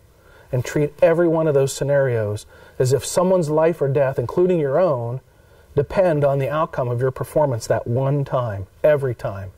And do it till you get it right. Make sense for you? Okay. All right, so any more questions?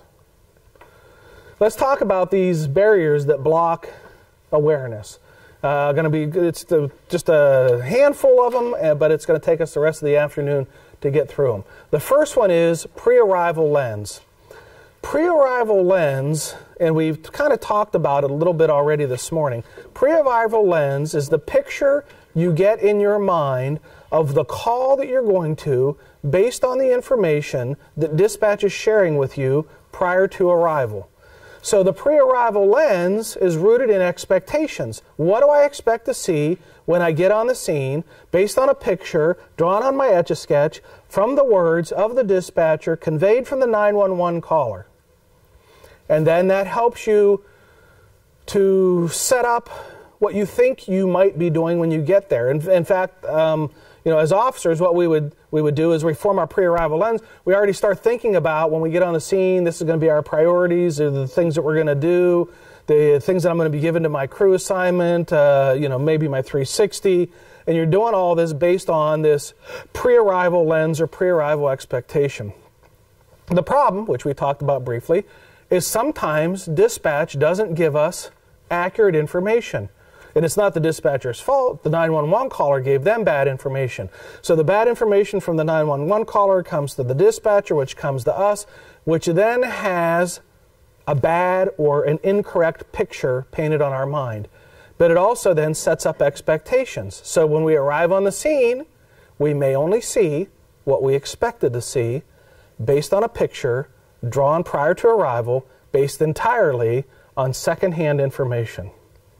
You can see how this could end up being a challenge for us. Another problem with the pre-arrival lens is once we get this picture drawn in our mind as to the what the problem is, it can be hard to unlock from that picture. It's like the picture dries in quick dry ink. It can be hard to let go of it and imagine that the incident scene is something different than I, what I already know it to be. You're always going to form a pre arrival lens, so there's, there's nothing wrong with that. What we have to realize is that it might not be accurate. And so we need to do some things just in case we get tricked with a bad picture. So here's some advice that I'm going to share with you. No matter when you're going to a call, no matter what you hear over the radio, shared with you from dispatch, always end what dispatch says with the word maybe. You're going to a working fire, maybe. It's a two story house, maybe. There are people trapped inside, maybe. Now, when you're saying maybe, you're not doubting the dispatcher, you're doubting what the caller told the dispatcher which is much easier to do because the dispatchers are sworn professionals and you think that you know they're going to give us accurate information. Well they're only giving us the information as accurate as they know it to be. So when you're saying maybe you're saying well there's a chance that that caller who told that to the dispatcher who shared it with me may not know truthfully what is happening. And they may not be accurate and they may be lying sometimes even on purpose. You know i had a conversation with uh, with uh, chief langer this morning about the the um, ballistic vests that the fire department has to wear on certain types of calls. And I was expressing to him my concern about wearing the ballistic vests on certain types of calls. Because how are we, as company officers, to judge which call is a call of threat and which call is not a call of threat when I would say that every call holds the potential to be a call of threat? And I was sharing with him, I said, I was in a dispatch center once when they took a 911 call for a domestic violence situation, and the victim was the one calling 911, talking to the dispatcher, and I was listening in on another headset, and the dispatcher asked the caller, Are there any weapons in the house? And the caller said, No, there aren't any weapons. And I thought to myself, if that dispatcher shares that with the officer and the officer believes that to be fact, how foolish could that be? First of all, would the victim necessarily know that the perpetrator had not at some point brought a weapon into that house, but just didn't happen to tell the victim that they had a weapon in the house? How many things in a house, other than a firearm, is a weapon? Yeah, let me walk through your house and show you the weapons I can find baseball bats, steak knives, chains, all kinds of things are the potential to be a weapon. Are there any weapons in the house? No. She writes in the computer, confirm no weapons in the house. This goes off on the MDT, off to the responding units. And I think, my God, Please don't believe what you were just told that there aren't any weapons in the house. Don't buy, it. don't, please, don't paint that picture that you're walking into a safe scene because somebody affirmed to you no weapons. Every house is full of weapons, right? It's just the weapon of choice. Some people think the only weapon is, is a, a firearm. No. I always say maybe. Conduct an original size up to improve the accuracy of your situational awareness, which means arrive on the scene and no matter what dispatch told you, conduct your own size up. When you get on the scene and you conduct the size up, that's your first time that you're ever really seeing facts. Everything else is second-hand, third-hand, fourth-hand information. Gather your own facts. Gather your own information. Take your etch-a-sketch. When you arrive at the scene, take your etch-a-sketch, shake it clean, and fill it full of puzzle pieces based on what you're literally seeing as facts, not what you were told, but what you were seeing. In fact, what you were told by the time you get there is most of the time old information. There are new facts, there's new information, the conditions are different. Avoid making premature decisions based on assumed information. This is something that I did as a company officer. I didn't know at the time how foolish I was for doing it, but I see now that it's not really a smart thing to do, but there's still a lot of fire departments that are still still in this practice. Here's how this goes. I'm sitting in the right front seat of the engine, responding to a call, and back in the jump seat here is my crew. All right, so we're all riding along. Dispatch is saying, "Got this, got this, da, da, da, burning, da, da, da, tra- entrapment, da, da, da, da." We're on our way to the call, and I would turn back to my crew and say, "Okay, you guys heard all everything that I heard on the radio. When we get on a scene, you pull an inch and three quarter line to the front door. You grab the irons in case." Uh, the door is locked, you throw a ladder to the second story window in case we need an ulterior means of egress, and you catch the hydrant on the corner of, of street A and B. Okay, you know what we're going to do? Great. We arrive on the scene, we got a plan. What can happen is we take that plan that we made before we were ever on the scene, before we ever gathered fact one, and that plan goes into action. And I see it all the time. And you watch in YouTube videos, you'll see the fire, the fire first and fire engine gets on the scene. It looks like poetry. The line is gone, the ladder is gone, the irons are gone.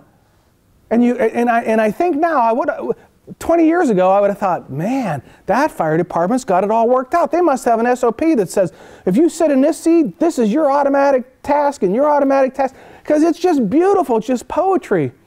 And now when I see it happen and I see that first engine pull up and they get off and they just start doing all these actions, I think to myself, man, I hope that beautiful plan fits the problem. Because you got a great plan going here, but you didn't take time to figure out if the problem is going to be solved by that plan you're putting into action. Take a moment to conduct a size up and make sure that that plan is actually the right plan for that problem. Does that make sense? Don't get too caught up in the speed of having to take immediate action that you're implementing a plan that isn't going to fix the problem that you're dealing with. As a best practice to consider, have dispatch remind your first arriving to conduct the 360 size up. Some departments have policies that say, you know, you, have, you must do a 360 as long as you're, you know, physically able to get around the structure. Some just have it as standard practice. Some don't even have it as a standard practice at all. They just hope and wish that somebody will do it first in or second in. But because the size up and the gathering of the facts is so important as the foundation of situational awareness, it warrants the potential of having a best practice that says dispatch reminds our first arriving that we need to do a size up. Now, it doesn't have to be engine one, you're on the scene, remember to do your size up because that might even sound a little parental. But it might be engine one's on the scene and dispatch says copy engine one on the scene, waiting for your 360 size up. Bing! That reminds them dispatch is waiting for it, so I better do it because I know they're going to, you know, somebody's going to circle around and ask if we did the 360 size up. Now, another best practice that can go along with that um, is that once an officer completes a 360 size up, that they actually announce on the radio that the 360 was completed. Upon completion of the 360, we, we have this and whatever that. And once they announce it, basically what it's doing is it's telling everybody responding to the scene, we did get the opportunity to do the 360. You know, we weren't distracted or we didn't shortcut the process or whatever. We went and we did the, somebody did the 360 and looked all the way around. That's what was missing in the video you saw this morning if somebody would have done the 360, they would have seen fire burning on three, three floors. Now, let me help you understand how this not only can mess up the situational awareness of the first arriving crew who doesn't do the 360, but how it can mess up the situational awareness for other responders too. So let's assume that we have one, two, three companies, all right? This row is a company, a company, a company. This company's first on the scene, you're the officer, all right?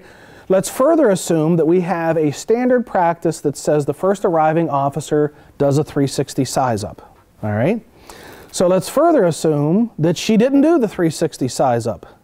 But when she got on the scene, she gave a windshield report and she gave a secondary size up, just like in the video, causing the second and third end to think the 360 was done. But it wasn't.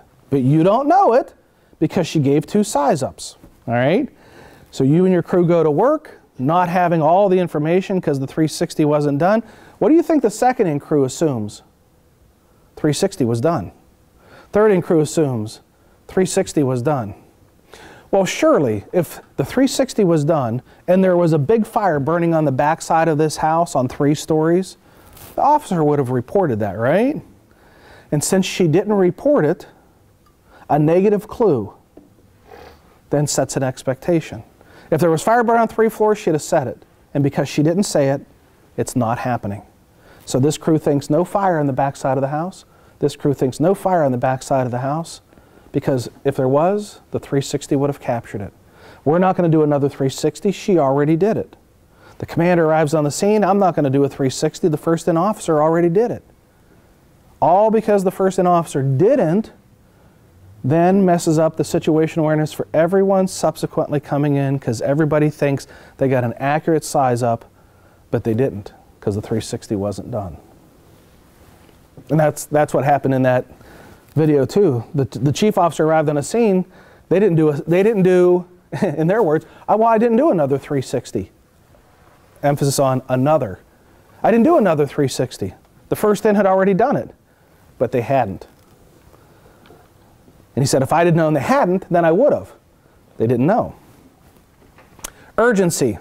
Urgency is a barrier to awareness. What causes us to feel the sense of urgency? From looking at the casualty reports, here's what I will tell you. The faster the conditions are changing when we arrive, the more likely we will feel a sense of urgency to do something quickly. In other words, you, you arrive and you don't have anything showing.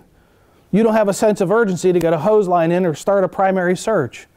But you arrive on the scene and you got fire blowing out a window and it looks like it's spread into another room and you got a report of a victim inside and it's a fast moving fire with changing smoke conditions you will feel a sense of urgency because you are under a time compression to get in and get the problem either solved or shifted into neutral or get that victim rescued because of how fast the conditions are changing. And as these conditions move fast, we get gripped by this sense of urgency. As I talk to responders and I say, um, why did you do this or do that or not do this or not do that? I can always tell when urgency was the barrier. Because when I say, why didn't you, da, da, da, they'll say, there was no time to waste. That's how I know that they felt urgency. There was no time to waste to do this or to do that. There was no time, hypothetically, let me give you, there, a, a, a, ladder needs put up to the second story window and, a, and we need to vent. There's no time to waste to put on all my turnout gear before I do this. Now, you'd never really see that happen, right? You've never seen a la- firefighter climb up a ladder. Didn't we? Didn't we? That crew's advancing on the inside, and that firefighter's climbing up that window to break out that, climbing up that ladder, break out that window. For what purpose? Maybe to vent, maybe to make a secondary means of egress for the crew operating on the second floor. But if the feeling is it has to be done quickly and because of the changing conditions, you might shortcut your best practice, like putting on your gear before you break glass and have it rain down around you. Avoid taking shortcuts, especially those shortcuts that come with forming your situational awareness and the process of how to make a good decision, rooted in situational awareness. Don't shortcut that. Don't ever shortcut a size up. Don't ever miss the opportunity to figure out what the problem is before we start throwing around big, fat, hairy solutions. Figure out the problem first. That's not wasting time, that's investing time in your survival. Avoid that mindset. There is no time to waste. Doing things that are best practice for the sake of our safety is not a waste of time. Overconfidence. It's a barrier to awareness. But what causes it? Before we talk about what causes let's just talk about confidence in general. Most responders starting out in this business, if their mind is right, should be underconfident, realizing there's a lot I need to know and there's a lot I don't know, and therefore I am not confident about what I'm doing because I don't know enough yet. Hopefully, all of us start underconfident. And then we get some training and then we get some experience. And as we get training and experience, we build our confidence level up, which is where, you know, I want every responder to be confident. But what causes some to drift over into that minefield of overconfidence. How do we how do we make that transition from being a confident and competent responder to being an incompetent, overconfident responder? From looking at the casualty reports and from the interviews that I've done, I will tell you that this is how I see it happens mostly. Firefighters doing things that are less than best practice. Whatever we're learning as our best practices, they're not doing them but they're getting away with it. They're doing something less than best practice, and they're being rewarded with a successful outcome. When the brain is rewarded with a successful outcome, it remembers how to do it by that pathway. So as you shortcut and have success, what the brain learns is that shortcut is the way to success. And that becomes dangerous because we become then overconfident thinking, I don't have to do it the way I learned it in the academy. I learned a new and better and quicker way to get this or that done. And you do it and it works. Now, what happens when you do it and it works? What are you going to do the next time? You're going to do it again and it works. What are you going to do the next time? You're going to do it again and it works. What are you going to do the next time? Do it again and it works. And every time you shortcut the best practice and it works, you're gambling. Just like going to the casino and gambling. You're laying the bet down and you win. And you lay the bet down and you win, and you lay the bet down, and all of a sudden now you got a level of confidence thinking, I know how to play blackjack in a way that I win every time. And then you make the big bet and you lose. Because the odds are always in the house's favor. The odds are always in the favor of the fire. And the overconfidence leads to the tragic ending. Don't gamble. The fire will beat you every time. Look, those casinos, just right past City Casino, I'll tell you a fact. Those really nice casinos aren't built with their money. They're built with the money of people who lose, the profits. Anytime you have overconfidence, another barrier that's going to come right along with overconfidence. Though it goes together with overconfidence like, like peas and carrots on a plate or turkey and mashed potatoes. It's really hard to have overconfidence without having this next barrier come tagging right along with it, and that is complacency. Complacency is a very, very dangerous mindset. Because once you get to the point where you become complacent, something happens inside the head that has a direct impact on your situational awareness. You see, I'll start a sentence and then we'll see if you can finish it for me. So anytime you, you think I know what I'm going to say, do you just blurt out and say it ahead of me saying it. When you become complacent, you let your guard down. You let your guard down. What does that mean? When it lets your guard down, it means you're no longer paying attention, which is the foundation of situational awareness. You're no longer paying attention to the dangerous things that can kill you. The dangerous things no longer look dangerous. That's how a firefighter can climb up a ladder without any turnout gear on and break out a window and have glass rain down around him and somehow think, broken glass? won't cut me. Why would a person think that broken glass won't cut them? Because because it never has. You see, you find yourself breaking out enough broken glass without proper protection and you never get cut, all of a sudden you think that your skin's made out of a material that glass just won't cut. Glass is no less sharp, it's no less dangerous.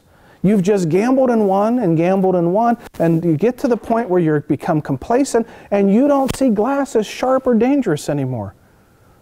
You fight a fire to a successful outcome so many times you don't see fire as dangerous anymore. You think you've got a way to beat it every time. So we need to avoid created risk. There's two kinds of risk that we take as first responders.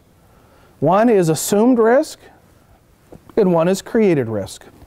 The assumed risk is the risk we cannot get rid of. It's the risk of doing this job. As soon as you raise your right hand, take your oath of office, get your badge pinned on, and get your assignment and get onto the street, there is risk that we cannot get rid of. No amount of training can get rid of all the risk. No amount of equipment, no amount of experience can completely devoid us of all the risk of this job. We try to minimize it, but we cannot eliminate it. This is a risky business.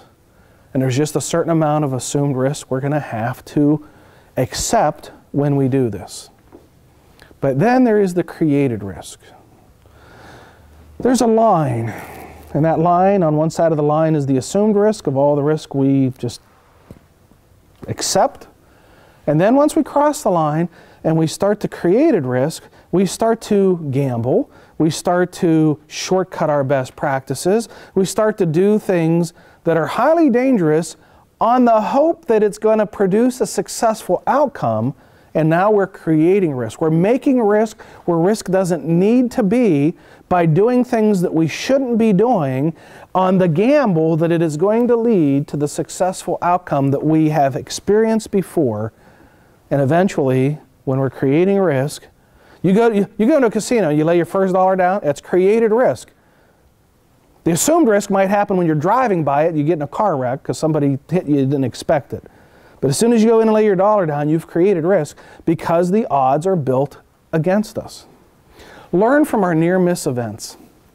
So many times I talk with folks in, in, programs and I say, Have you had a near miss? Raise your hand if you had a near miss. Three, four, five, six hands go up. Near miss. Tell your story. Tell your story. They tell their stories about their near misses.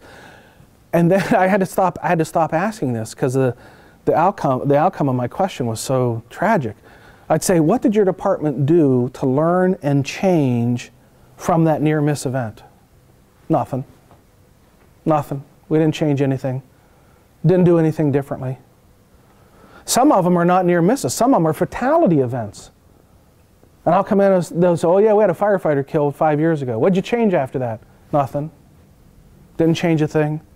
Didn't learn anything from a near miss or a casualty. A near miss is, think of a near miss as nothing more than a warning. It's kind of like a shot across the bow. The near miss is anything that if the circumstances were just slightly different, you could have a tragic outcome. Never let your guard down. Never, ever, ever let your guard down. I don't care if it's your 17th fire alarm activation in the middle of the night at the Hampton Inn, don't let your guard down. I was at the Hampton Inn in a state that I will not name because we're videotaping. Middle of the night, fire alarm goes off. Now, I had, I, I, was, the town I was staying in, I was not doing my training in that town. Although I had trained in, for that fire department, I was doing training in another town. I just happened to be staying in this, in this town. Fire alarm goes off. I get up, I get dressed. Halfway to the lobby, the fire alarm turns off. Oh, okay, alarm reset. Well, I'm already up. I'll just walk up to the lobby, see what was going on. Walk up to the lobby. There's the clerk behind the desk. And uh, I walk up and I said, did, the, did you reset the alarm? He said, no, I just put it on silence. Why did you silence that alarm? Well, because the manager tells us that if the alarm goes off at night to silence it because we don't want to disturb the people while they're sleeping. Oh. All the while, while he's trying to have a conversation with me, he's answering the phones because the phones are ringing. Okay? Who's, call, who's calling the hotel in the middle of the night? Yeah, the guest in the room saying, Is it really on fire? Do I need to leave? And he's answering, No, ma'am, false alarm. No, sir, false alarm. No, ma'am, false alarm. He's telling all these people it's false alarm. He don't know. I asked him, I said, Before you silence that alarm, did you walk each floor to see if anything was on fire? No. I said, You realize how much liability you just caused for yourself? If somebody's on the third floor burning up and dying and you silence the alarm, well, sweat's starting to form on his forehead now. You know, he's, he's like 19 year old you know, college student just working as a clerk, and he's like, oh, don't talk to me like that. All the while, he still answers the phone. No, ma'am, false alarm. No, sir, false alarm. and then I hear, all the fire department's coming. This is going to get really interesting. So the fire department pulls up, and they pull up under the canopy, and the three firefighters that uh, come off the truck come into the lobby of the Hampton Inn with no turnout gear on. They're in shorts, sneakers, t-shirts. Hmm. Bad day for them. Because Rich Gasaway's got his cell phone, and he doesn't let shit like that. I mean, he doesn't let stuff like that pass by. and uh, so I'm kind of well. First of all, uh, on iPhone, if your if your speaker's on and you take a picture, it makes that shutter sound. And, the, and I didn't realize my speaker was on. I took the first picture with the shutter on. I'm like, yeah. Didn't want them to know I was taking pictures. And, but I'm taking pictures. These guys. The captain comes to the counter and he's got the clipboard and he's talking to the clerk. And, and the other firefighter is leaning up against the counter talking to the clerk. The third firefighter goes over to where they have the uh, urns of coffee and he pours himself a cup of coffee and puts some creamer and sweetener in it, and he's standing there sipping his coffee, waiting for the captain to get the information from the report. They never walk any of the floors. They get the report, they go back, they, they attempt to reset the, the uh, uh, fire alarm, uh, won't reset, they put it in trouble mode, and they leave. I don't know what to do about this because I feel uh, a sense of obligation to say something because I know this fire department very well. I've trained with them. They're very passionate about their training. I go back to my room, I download the pictures, I send an email to the training chief, and I say, it's time, I think it's time that you have, you put out something in a training bulletin about complacent mindset because let me tell you what I observed. And I told him about what I observed at the, at the Hampton Inn, and I said, you, some I hope it's not department wide. It's a big department too. I hope it's not department wide, but you've got some complacency things that you need to address. I said, I'm not trying to get the crew in trouble, so don't, don't, you know, don't address it with the individual crew. Just put something out as a training bulletin. So that was on a Monday night. Tuesday, I go to, I'm there all week. Tuesday, I go to class. Class is over. I'm driving back. My cell phone rings. I don't recognize the number. So I pull over and I answer the phone and it's the captain from the engine from the Hampton Inn call calling me. And I'm like, oh man, this is not good. And I'm like holding the phone out to hear because I'm thinking he's going to let into me.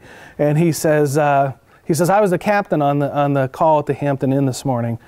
And uh, he says, uh, when you get back, you'd sent an email to the training chief. And he says, and the training chief called me and asked me for an explanation as to what happened and I had no explanation. And he says, The reason I'm calling you is I owe you an apology.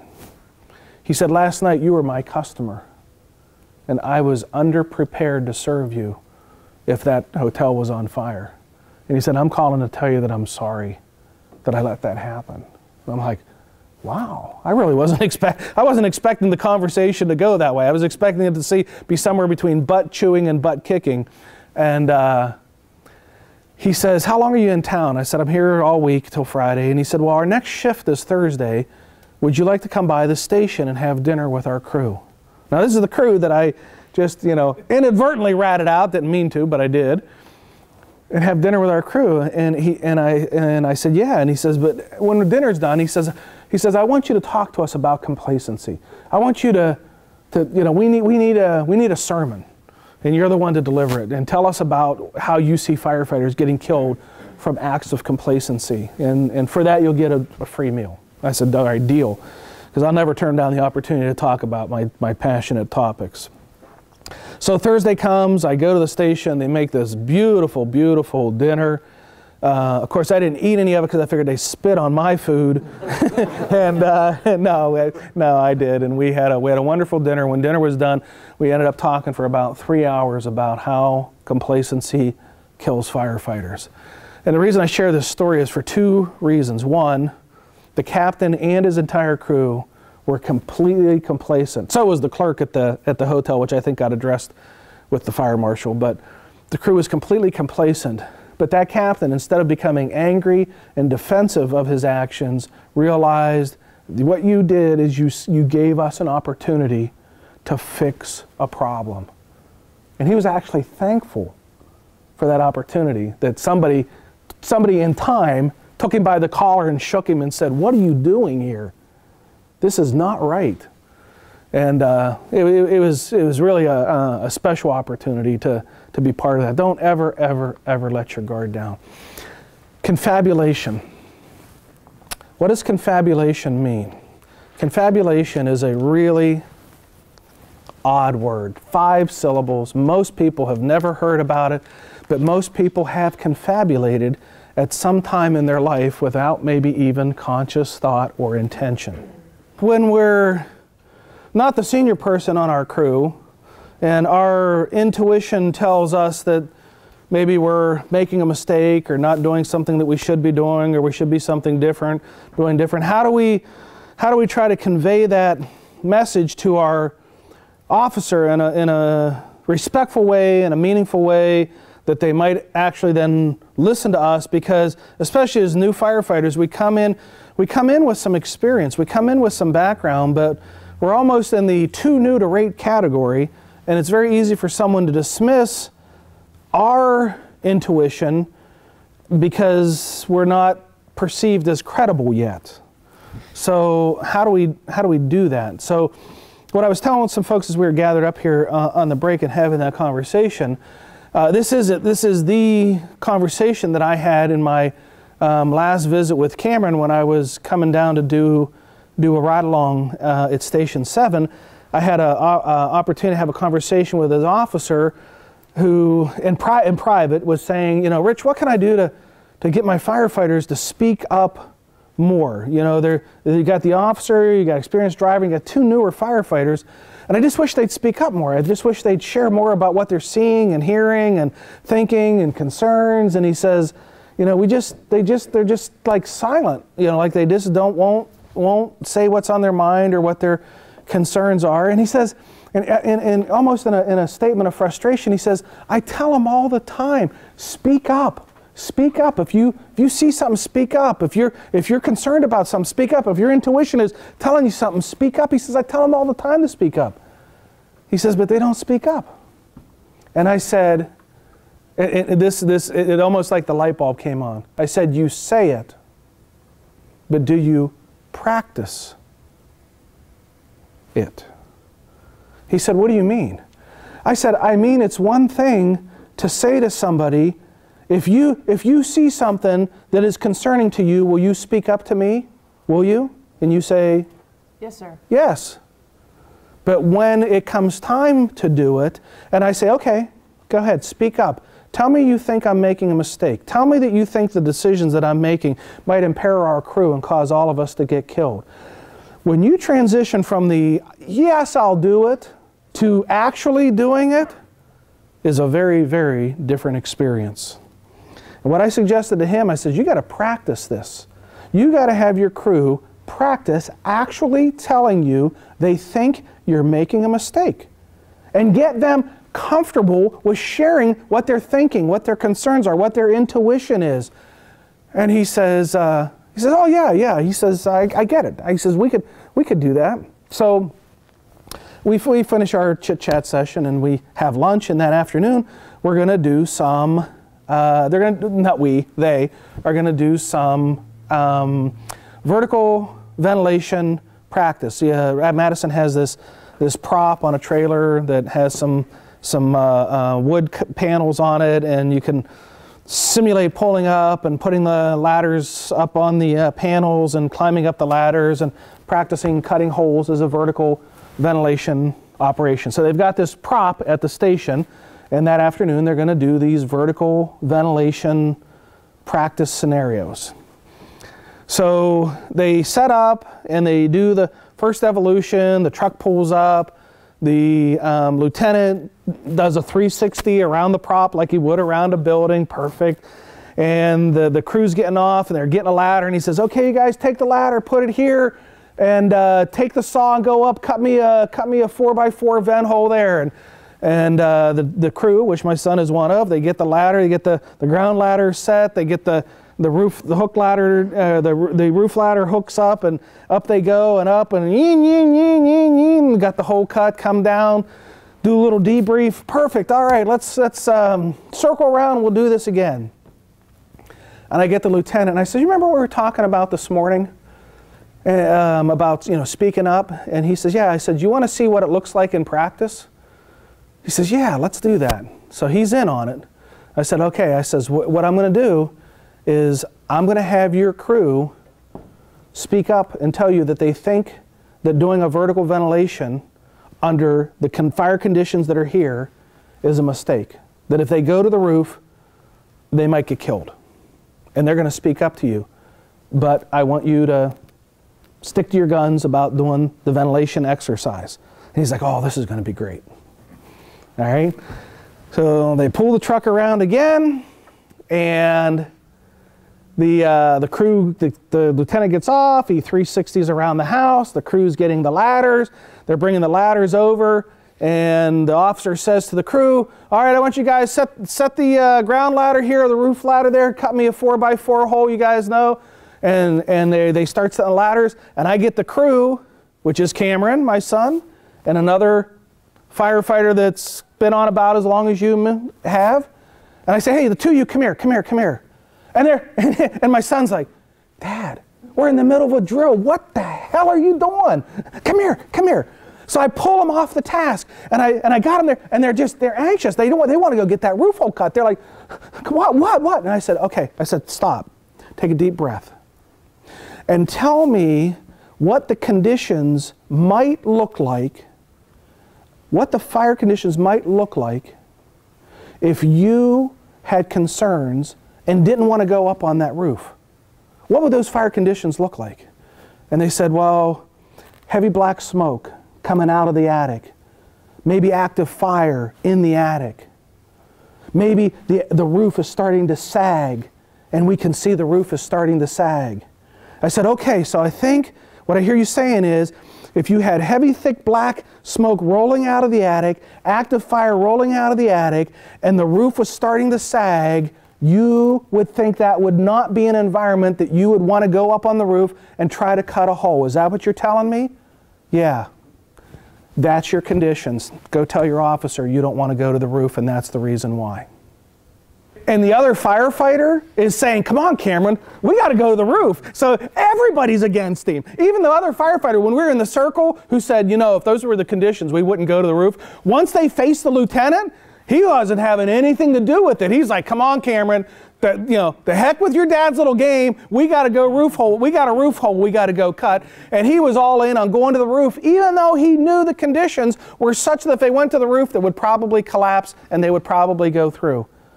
And Cameron, I don't know why, what compelled him, but he held his ground all the way to the point where the lieutenant couldn't take, he was, you know, he was role acting.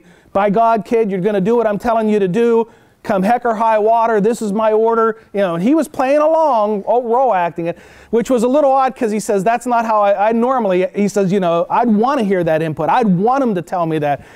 So when we, when we, when we broke it off and we stopped it and I said, yeah, Cameron, how did that feel? And he said, that was the crappiest feeling I've ever felt.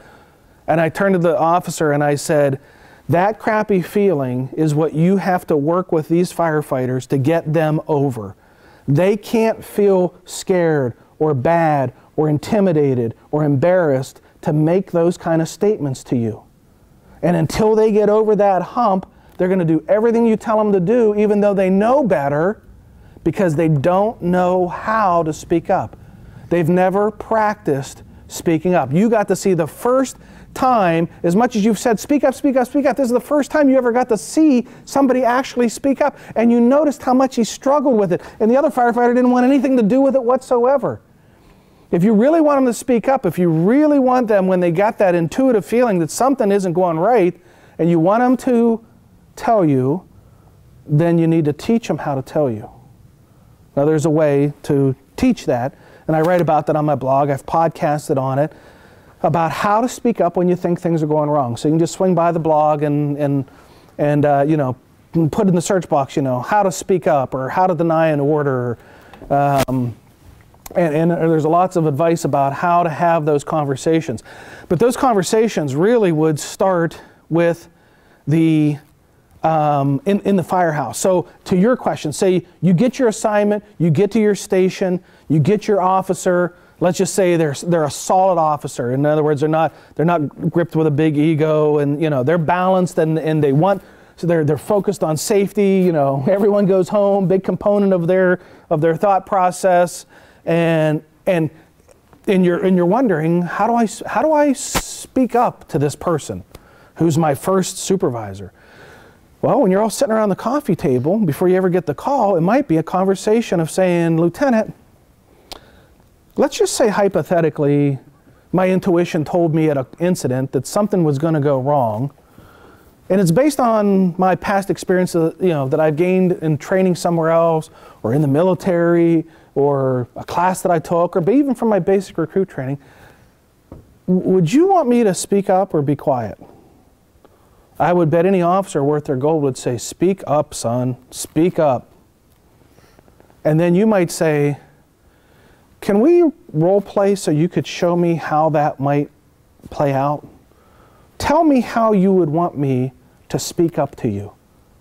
Give me an example. I'll play you, you play me, have that conversation. Because I can guarantee you what they don't want you to do is get defensive and all up in their face about it and say, you know, you're going to get somebody killed if you keep this up or something like that. Poking them is going to make them on the defense. And there is a non poking way to make your concern be known. In, in aviation, they got this figured out a long time ago when they started with crew resource management for, for, for airline pilots.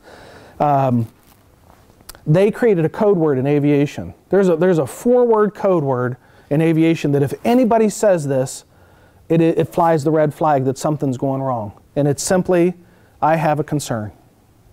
It doesn't matter whether you're pilot, flight attendant, gate agent, baggage handler, air traffic controller, anybody who says, I have a concern, those are the four trigger words that set a series of actions into motion. So if you say to me, I have a concern, what I'm, if I'm following our policy, I'm supposed to stop and say, please tell me more. What's the concern? What do you, what do you, what do you see that I don't see? What are you worried about that I might be missing? Different fire departments have different codes. Uh, way back in my podcast, like within the first 10 episodes, a fire chief took this lesson. He went to his fire department and said, We need a code. We need, we need some kind of code that if somebody says that, we know, we know what you're saying. We know what you're trying to convey. What's going to be our code word for our fire department? Then he called me and said, We got our code. You know, like in aviation, it's I have a concern. He says, We got a code in our department now that if anybody from the newest firefighter straight on through has a concern, they say that phrase and we have to stop and give them the control of, of the discussion. I said, Oh, really? I said, What's your, what's your code? He said, Actually, he says, we came up with the pigs are eating lemons. I'm like, What? He says, Yeah. He says, That's exactly what we want the, the response to be. What? What? Why would you say that? That is such a nonsensical statement that it almost begs to say, Tell me more of what you mean, right? The pigs are eating lemons. What's that mean? Well, as soon as you grab somebody by the collar and say, The pigs are eating lemons, huh? Let me tell you what I mean by that. This is what I see. This is what I see. Imagine if somebody went to the incident commander of that fire you saw that ended up with that tragedy, and they went to the commander and said, The pigs are eating lemons. What do you mean? Well, I mean, look at the smoke conditions. We're getting no conversion of smoke to steam. The fire is getting worse. The crews are on the inside. They've reported zero visibility. Maybe we should order them out and get them into a position of safety and call this house a loss.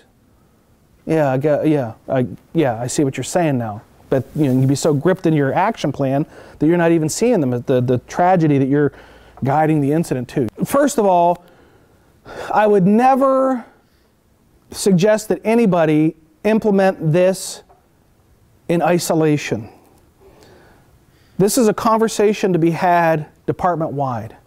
This is a standard procedure to be implemented department wide so that everyone understands the meaning of the pigs are eating lemons.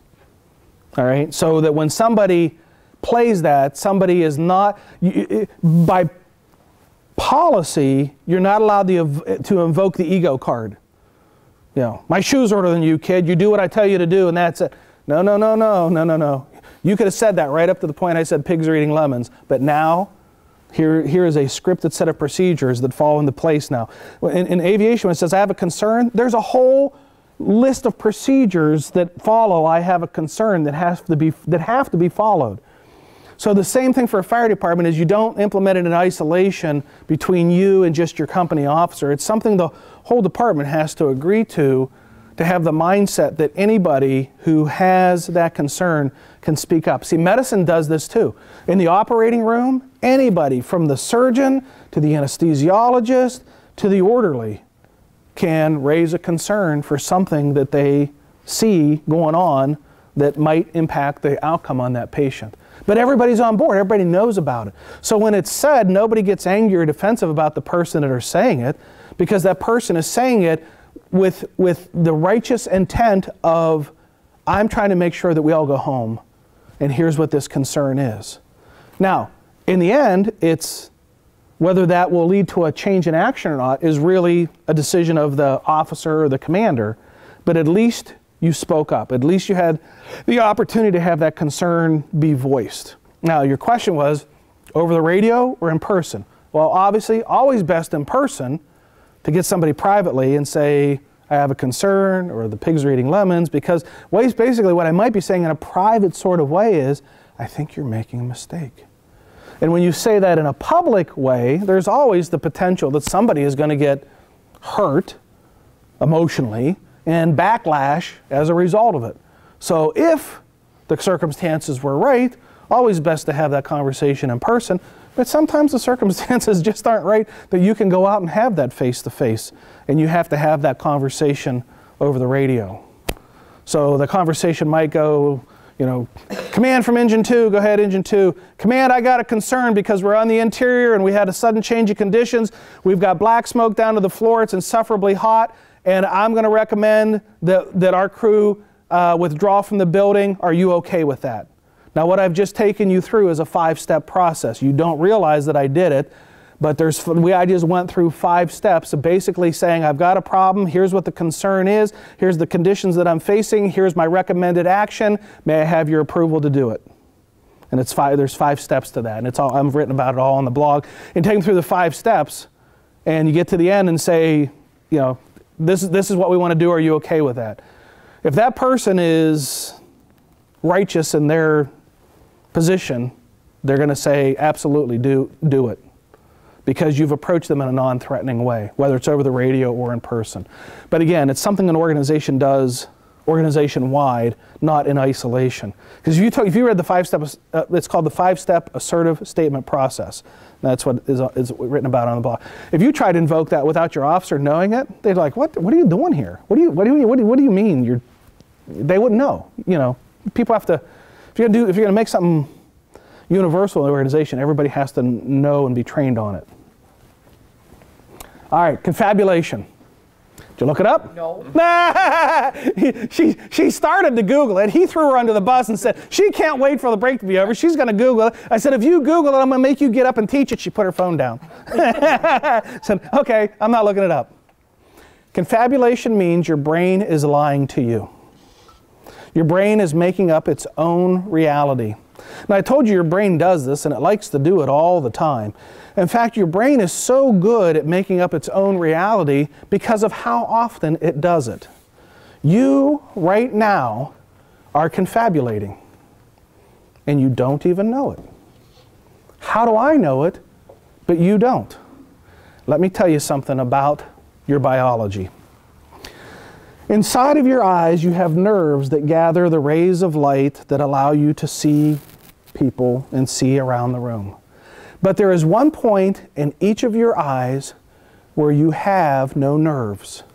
It's called the optic disc. It's the point where all the nerve endings come together and it starts to send that information back into the brain. And where that is, there are no, there are no light receptor nerves, which means at that point in your field of vision, you are blind. Every one of us has a blind spot in each of our eyes. And if I had more time, I'd actually demonstrate that with an exercise where I could bring somebody to the front of the room and make them go blind. Well, they're already blind. I would just allow them to see that they are blind.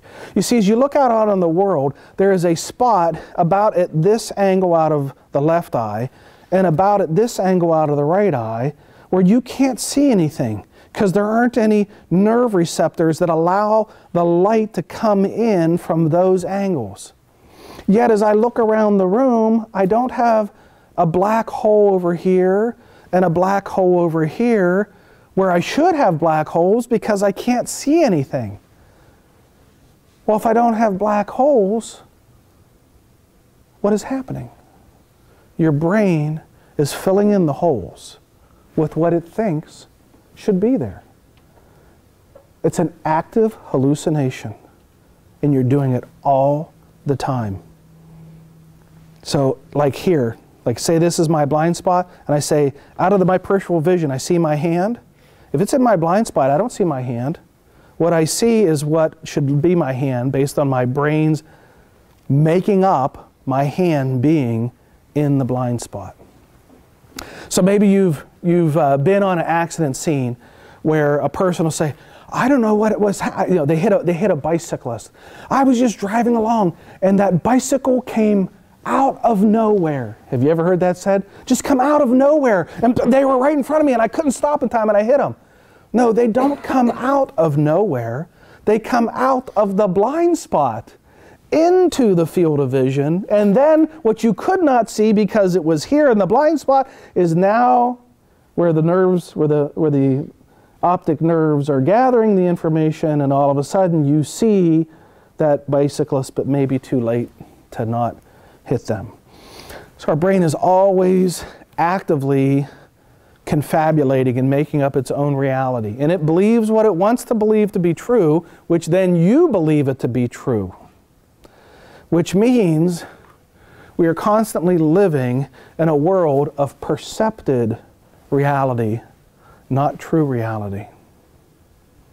Is perception reality? Hmm. Let's survey. Raise your hand if you think perception is reality. Hands down. Raise your hand if you don't think that perception is reality.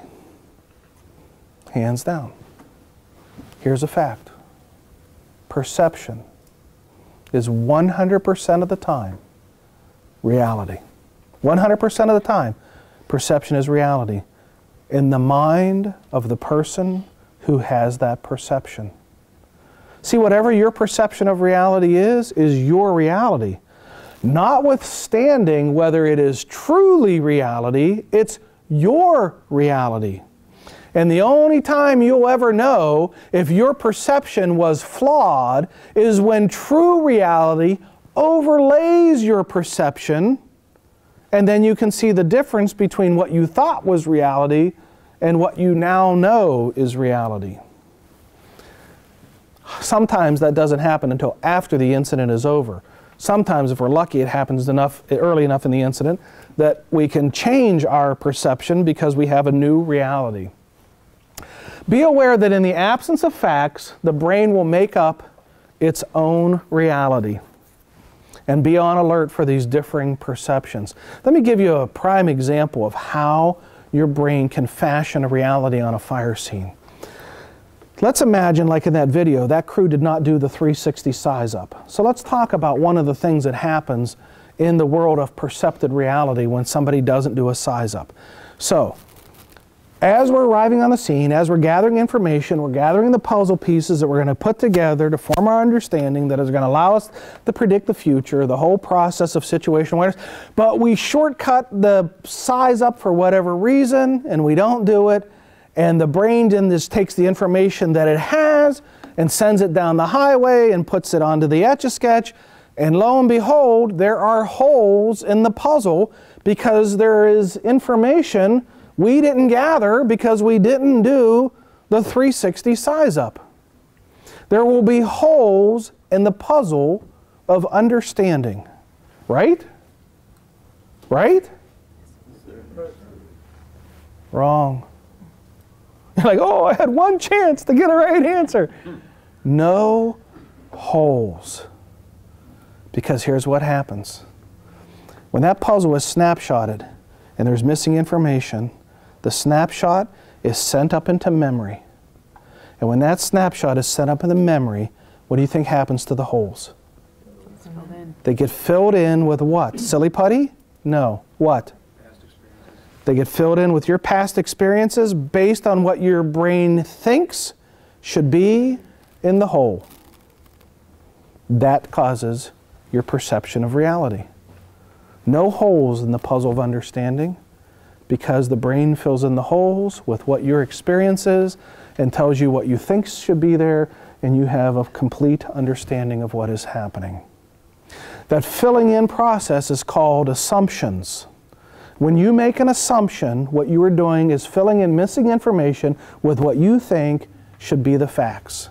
So anytime from here to evermore, doesn't even matter if it's on the fire ground. It, it could be when you got the family together for a, for a party or friends and you say something, something, something. Oh, well, I just assumed that that, that, that, that was the fact. If you ever say, I just assumed, what you're really saying is, I didn't know the facts, so I just made some stuff up and filled it in and called it fact good enough. That's what we're doing when we assume.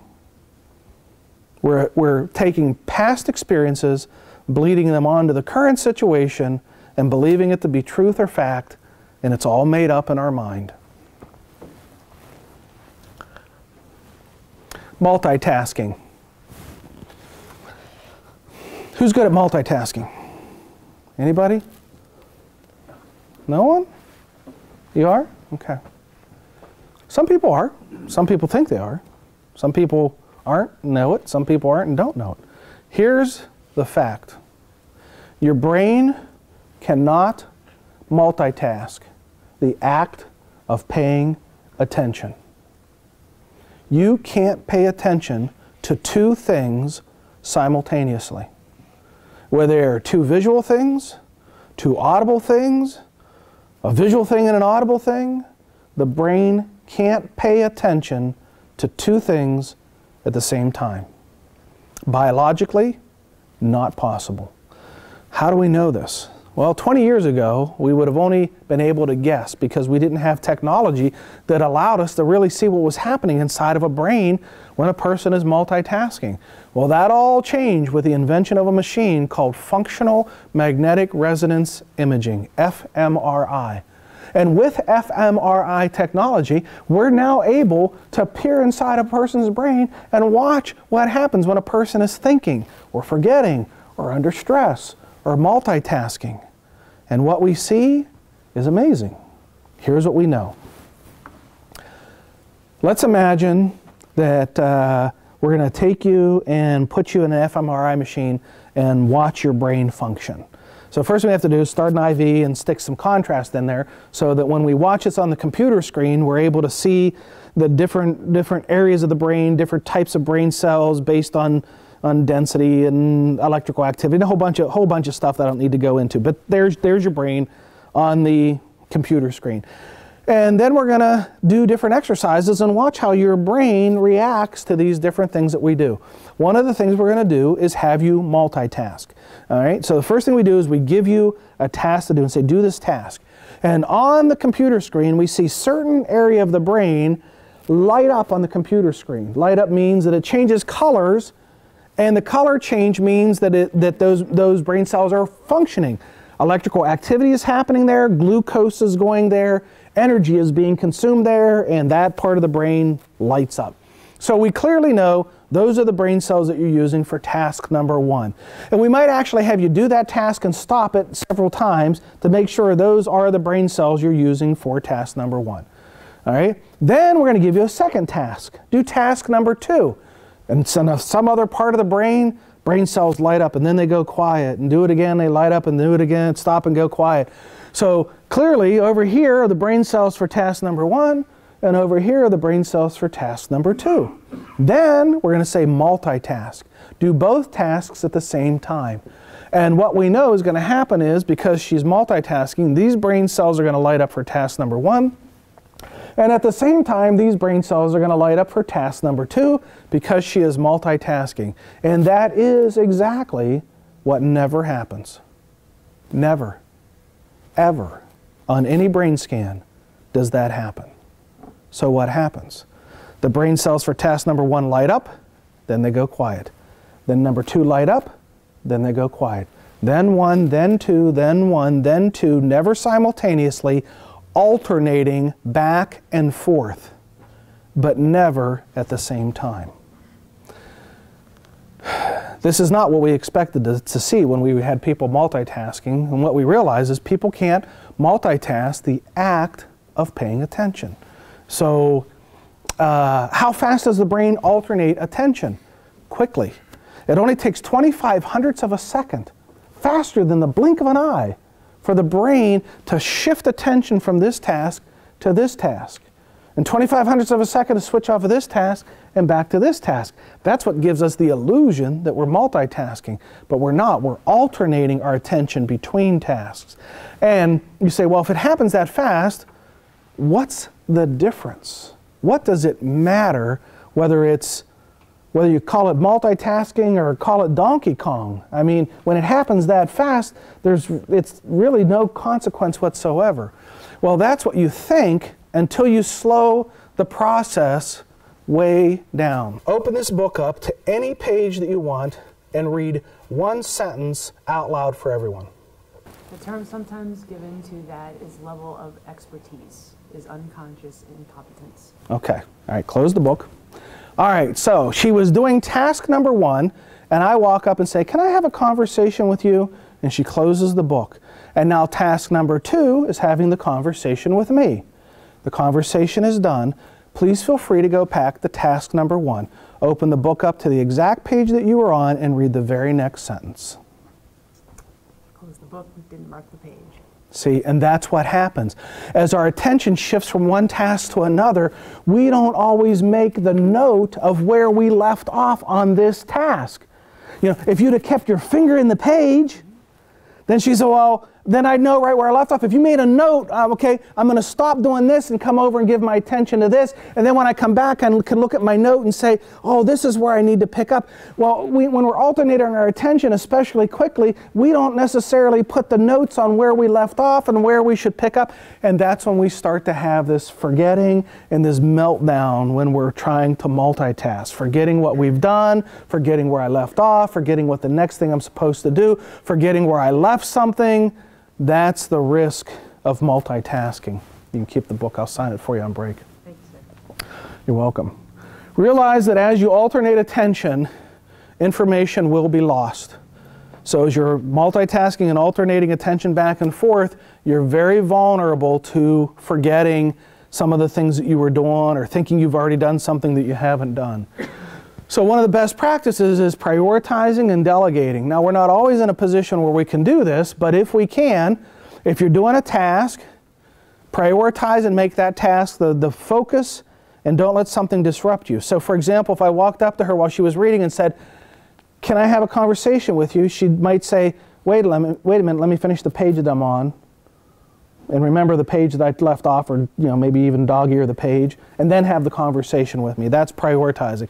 Or delegating. If I walked up to her and said, "Hey, can I have a conversation with you?" She might say, "No, I'm a little bit busy now. I'll go ahead and talk to her, and and she'll take care of your problem for you." We're not always in a position where we can delegate those things off to other people, but if we can, certainly that's one way to do it. For a company officer, um, prioritizing and delegating might mean that the company officer keeps their hands off of doing a task and lets the crew do the task while they maintain a big picture view and don't get caught up into the micro activity, but stay, um, you know, keep the, the, uh, the priority on the big picture and delegate the hands on to the, to the crew. Short-term memory overload. When we talked about long-term memory this morning, we said long-term memory was huge, about 10 times all the information stored on the internet. Short-term memory, not nearly as good. The average person's short-term memory is equal to about seven pieces of unrelated information. That's it. Give or take two. For some people, they can remember about nine. For some, they can only remember about five. The average person can only hold about seven pieces of unrelated information in short-term memory. After that, we start forgetting. Now, what you might think is, when I'm in a high-risk situation and I've got a short-term memory limit, I'll remember the most important things and I'll let the least important things slip away. No, that's, how, that's a wish. That's not how it really works.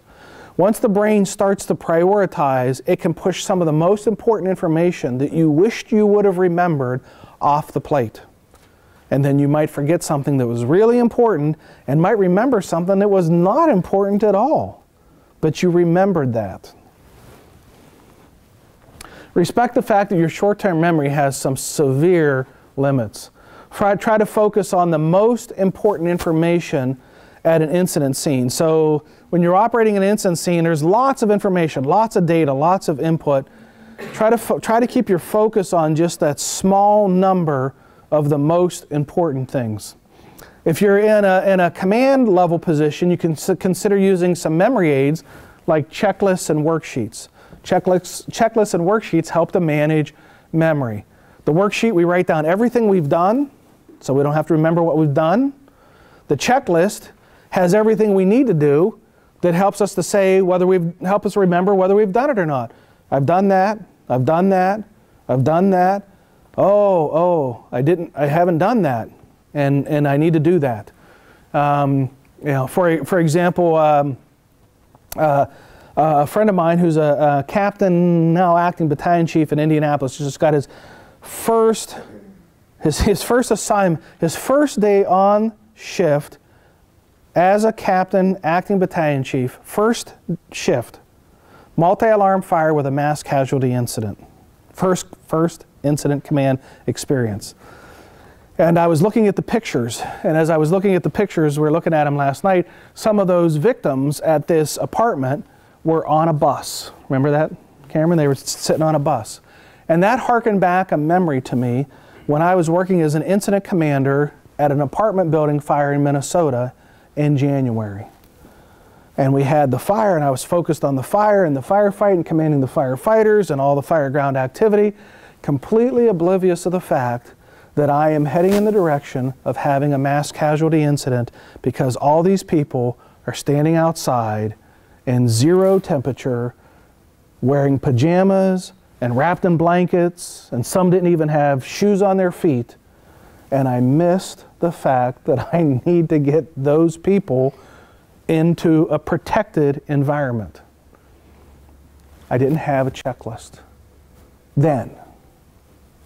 So when we got to where we made checklists, one of the things we, that we made in the checklist is if you're on an apartment building and you evacuate the apartment building and the weather is inclement, inclement be it excessively hot or excessively cold, call for a bus. Check dispatch, send us a bus.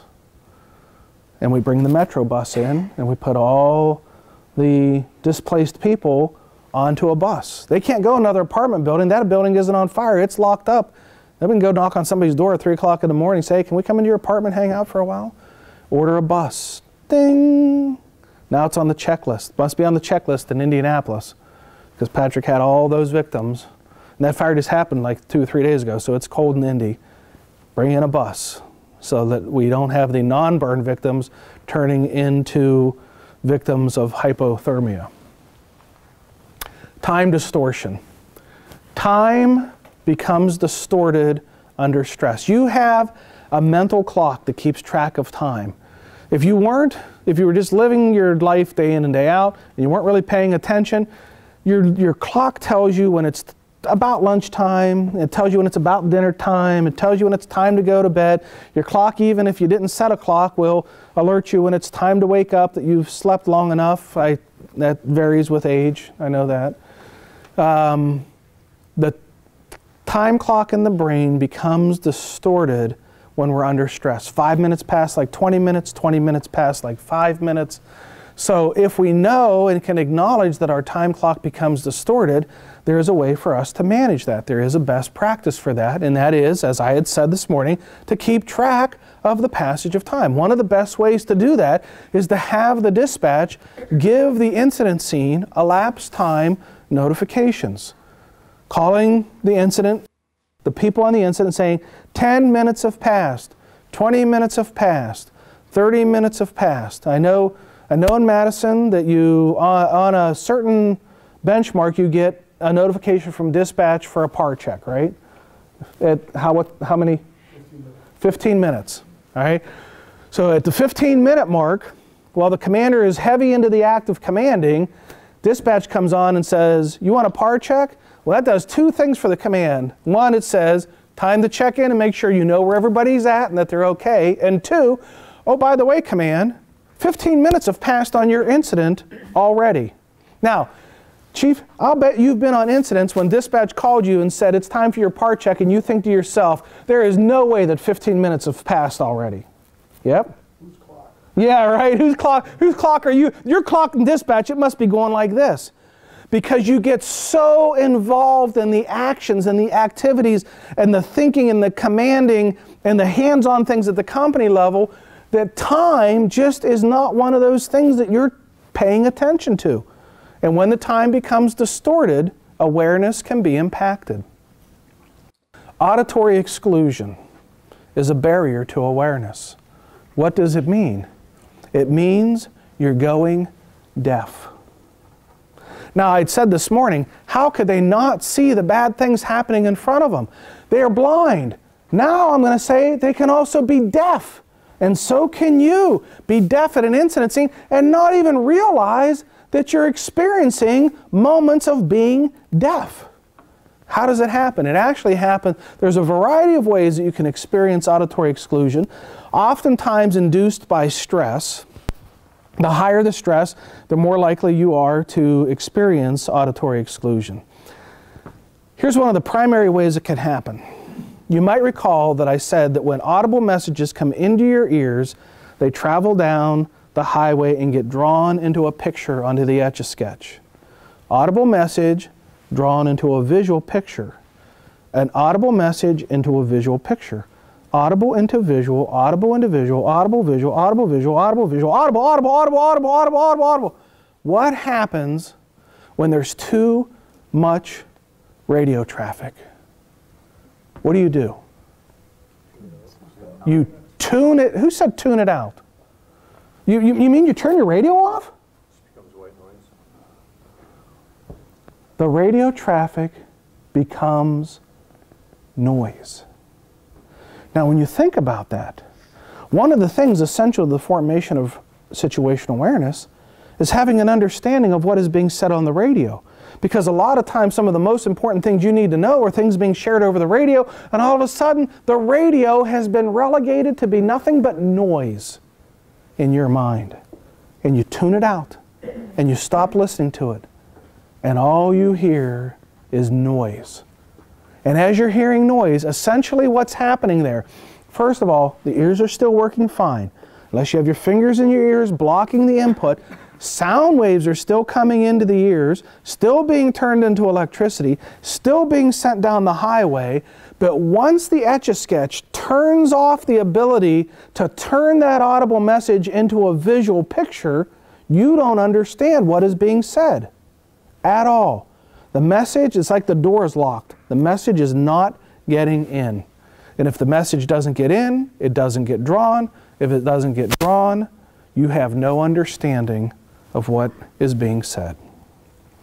If you're, if you're in the presence of somebody having a conversation, they could be looking right at you, talking to you, and if your mind is drifted off task, you're going to hear every word I say, but not a word of it is going to mean anything to you because your etch a sketch is in another sphere.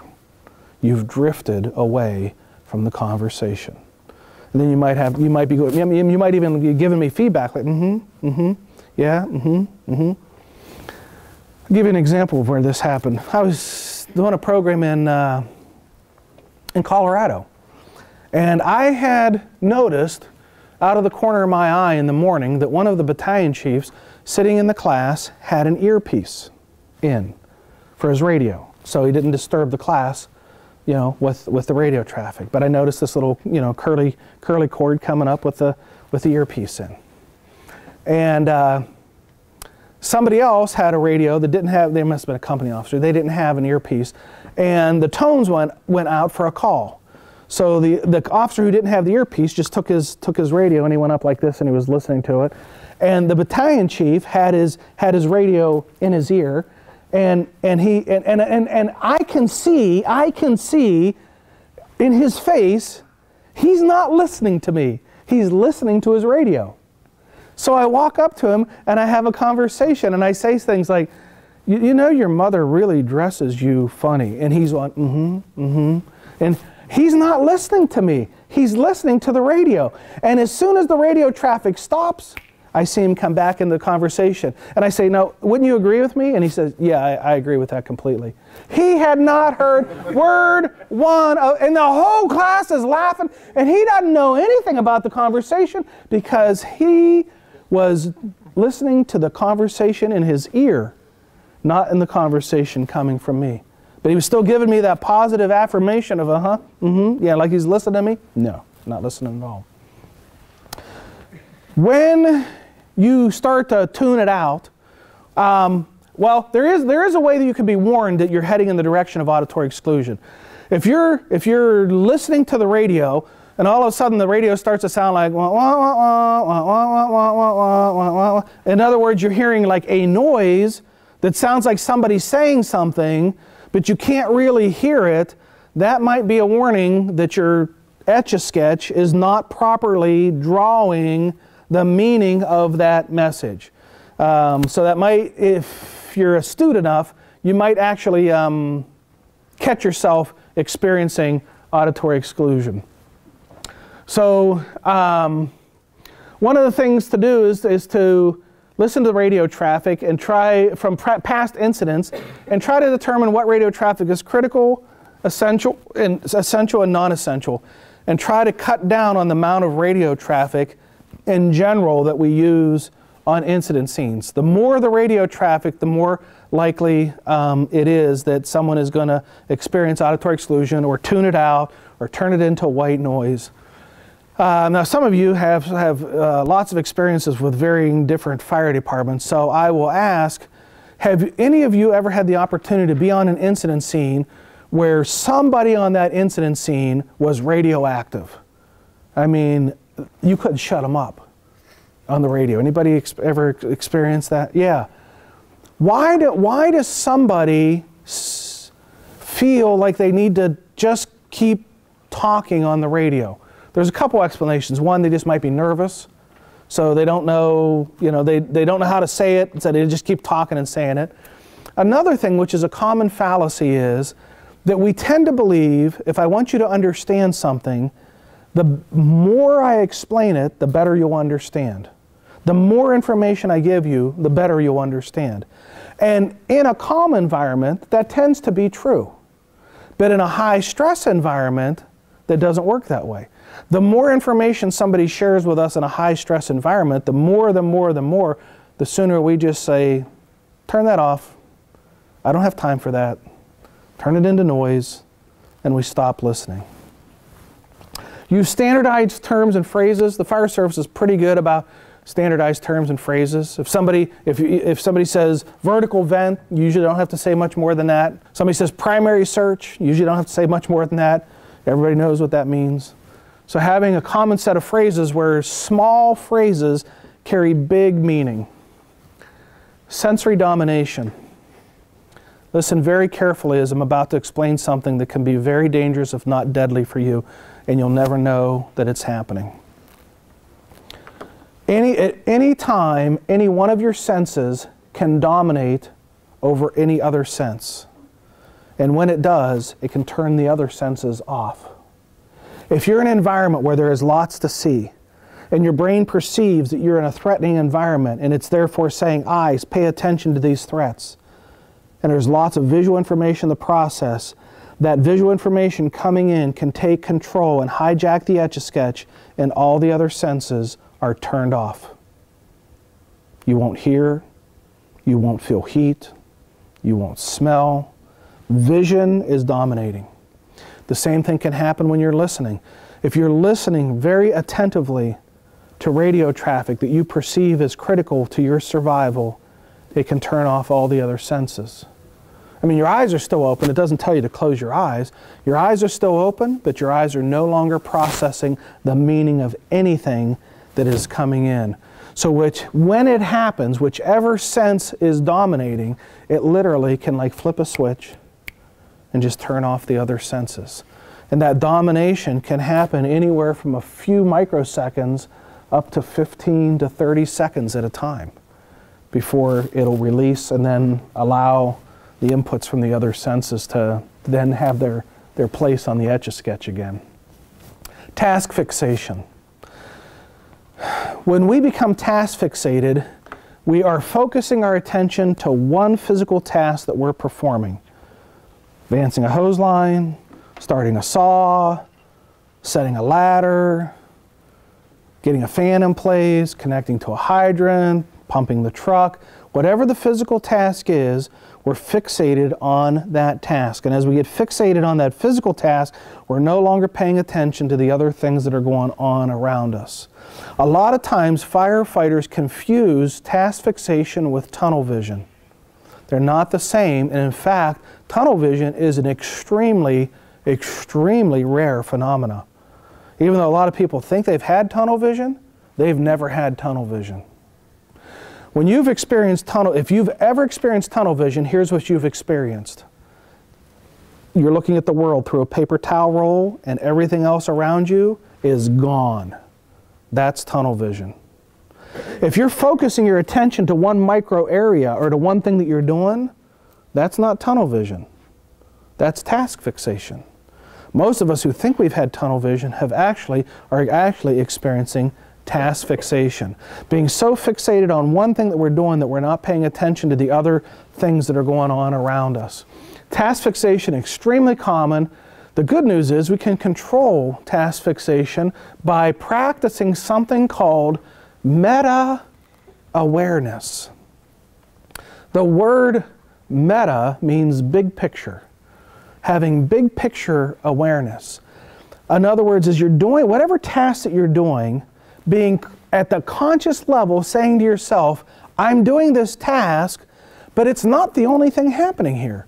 There are other people doing other things, and what they're doing impacts what I'm doing, and what I'm doing impacts what they're doing. In other words, the whole world isn't revolving around the fact that I'm advancing a hose line down a hallway, because at the same time there may be another crew searching, another crew venting, another crew doing this, someone else doing this, and what I'm doing is just one piece of a bigger picture. And being consciously aware of the fact that no matter how micro my task is, there are bigger things going on around that I need to be aware of beyond just my task. Make sense? Mission or goal, myopia. Where does this come from and what does it mean? I borrowed the term myopia from medicine.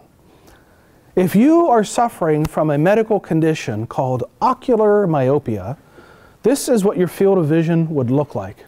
Like a fisheye. And all you see is this tiny circle in the middle and everything else around would be blurry. Now I'm not talking about the medical condition of ocular myopia. I'm talking about the fireground condition of mission myopia. Being so narrowly focused on the mission that we're not paying attention as to whether the fire conditions fit the mission. I'm on a mission to save lives. Whew, that's my focus. Get on a scene, save lives. Wait a minute. Are the fire conditions right for that to happen? I don't care. I'm on a mission. And get so focused on the mission that you lose sight of the fact that that mission might not be supported by the conditions. Now, some would say well, Rich, mission myopia and task fixation seem like the same thing. Well, they're not. The task fixation is, is a physical activity, hands on a task. Mission myopia is psychological. a commitment to the big picture strategic mission. Let me give you an example. The mission that I could get myopic on is saving lives. When I get on the scene of a fire, my primary mission save lives, and that's what I'm going to do. If there's a life to save, I'm going to save that life, regardless of the conditions. Mission, myopia. Task fixation might be I'm going to go in on a left hand wall search and search each room till I find the victim. I'm hands on task level. Mission, save property. When I get on a scene, I'm going to save property no matter what, even if the conditions are not right. Task, advance a hose line through the door, go to the right, extinguish the fire. Mission, vertical ventilation. We're going to do a vertical ventilation to get on the scene. The mission is, I'm on a truck company. What do truck company people do? They ventilate. So we get on the scene, what are we going to do? Ventilate. Well, what if the conditions aren't right to ventilate? We're going to ventilate. That's our mission. The task would be set the ladders, go to the roof, cut the hole. Mission myopia is actually taught and reinforced in our training. Really? Really. It is. You're actually taught to be mission myopic in our, in our well, I won't say you are because I don't know how you were trained individually. The behaviors can be changed though by teaching and coaching and practicing and mentoring. We need to teach firefighters the process of decision making. We do a really bad job of that in general. One of the two leading ways that firefighters die in the act of firefighting is collapse.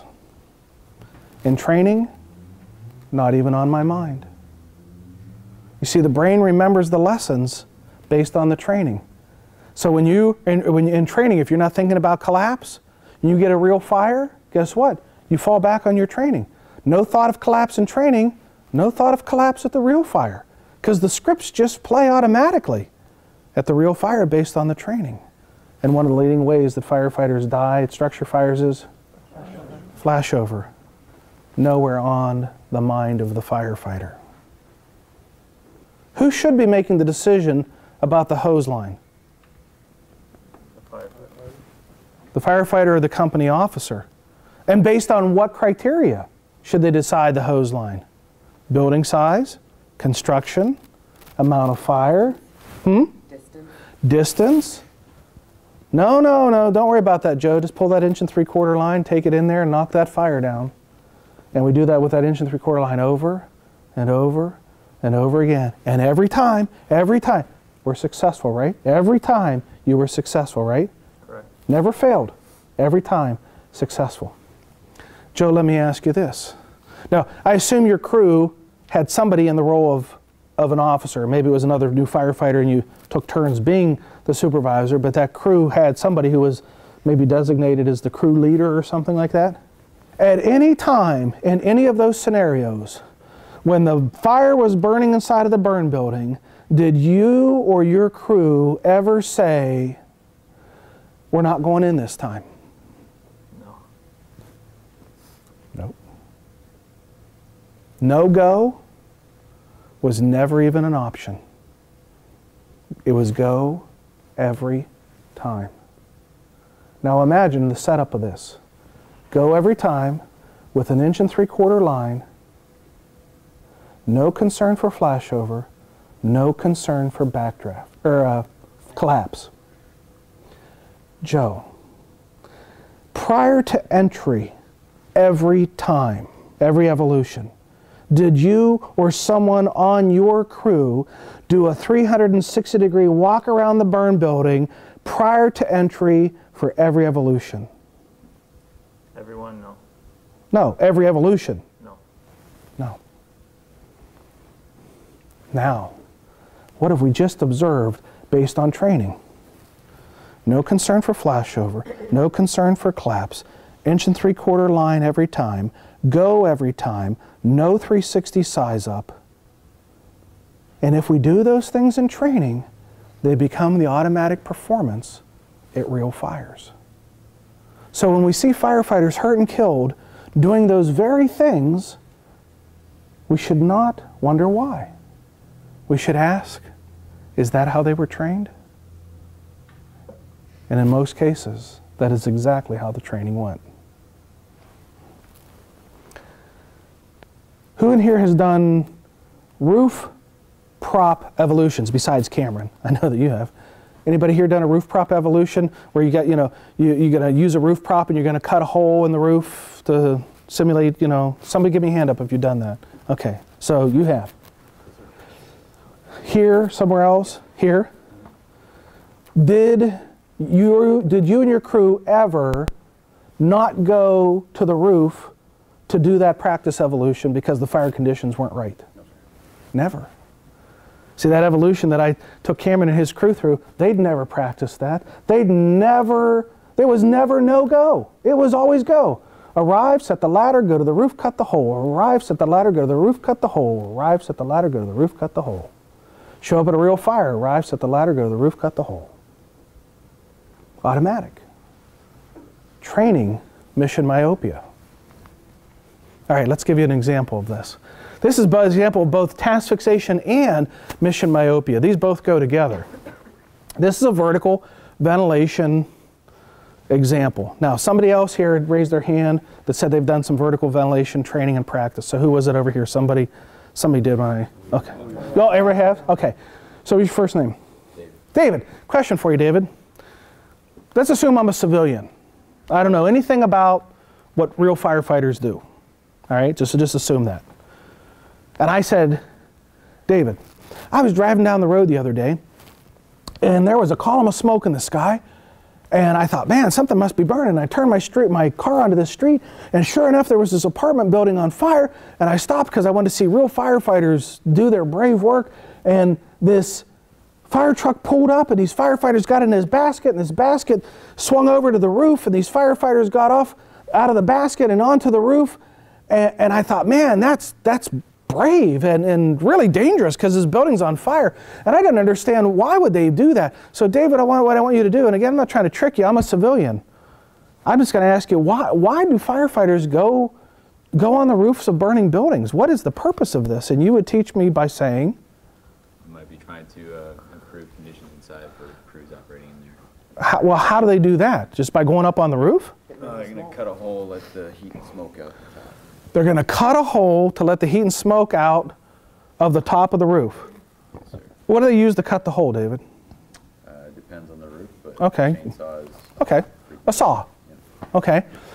And how does that improve conditions down below? What's going to happen that's going to make things better down below when they do this? Hot air rises, so as they make that hole, it's kind of like a chimney.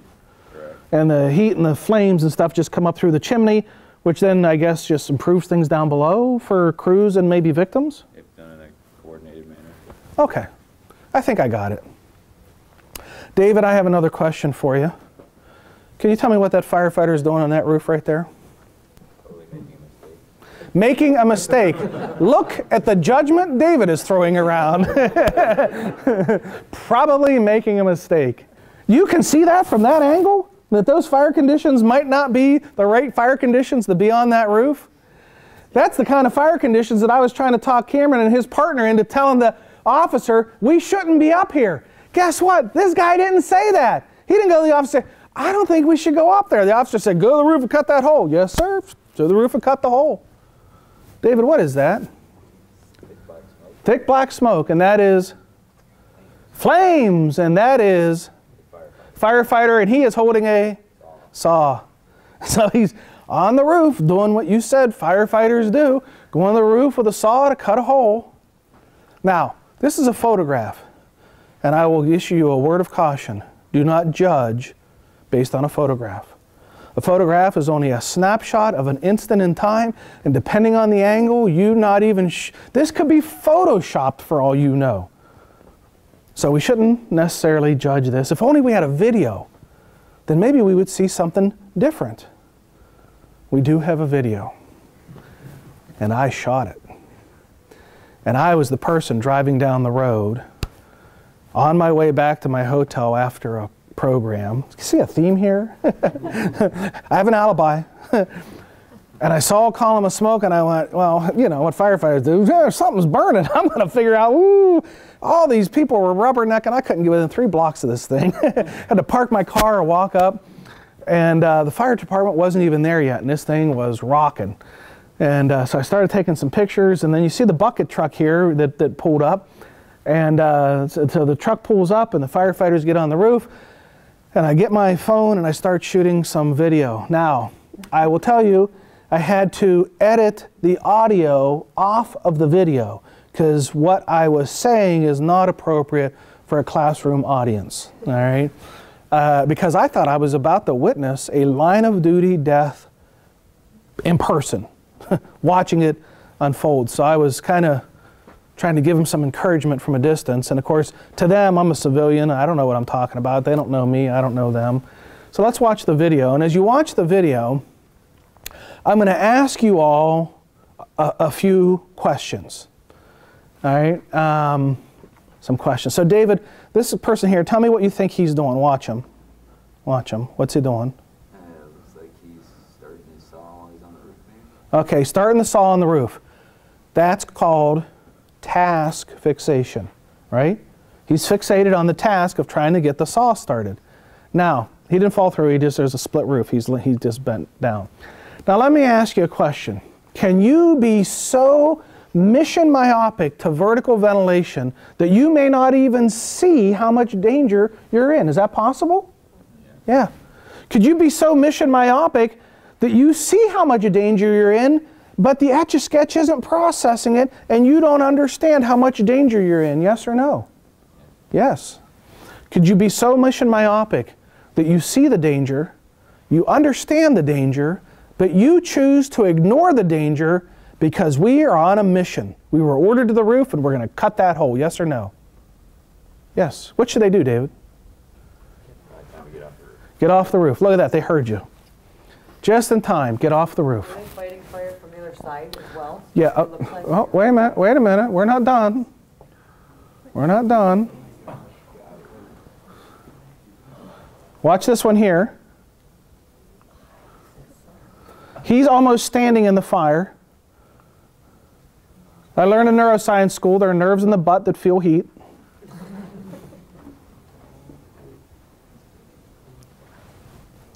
Is that a garage?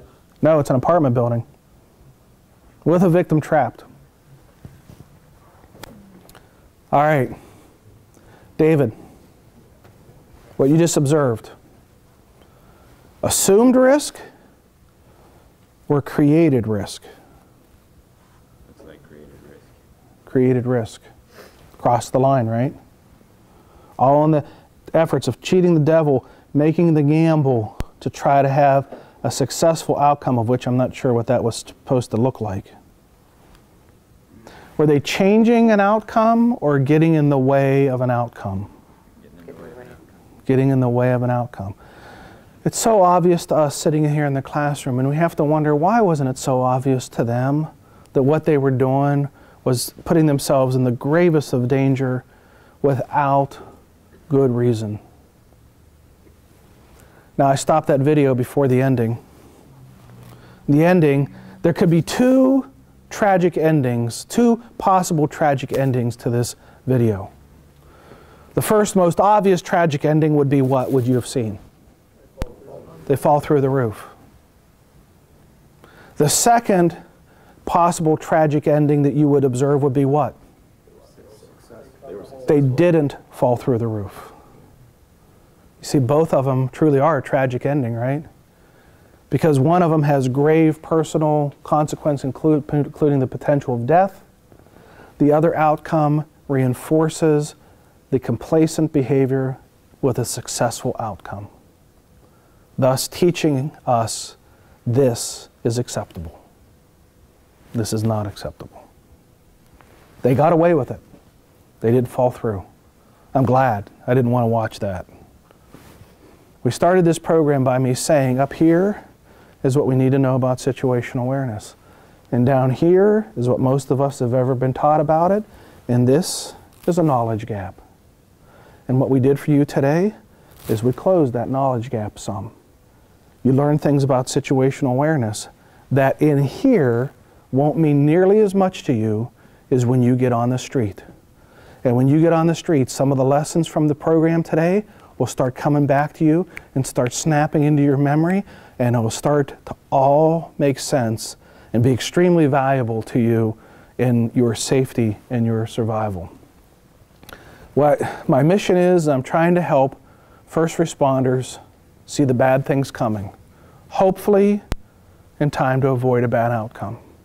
I think as we close the knowledge gap and responders get smarter about situation awareness, we'll be better critical thinkers and better decision makers. And when that happens, we'll all be far more likely to accomplish goal number one. Always, always goal number one. Go home to the ones who love us. And that's what I want you to do now. Go home to the ones who love you. Thanks for sharing your day with me. I appreciate it. Thank you.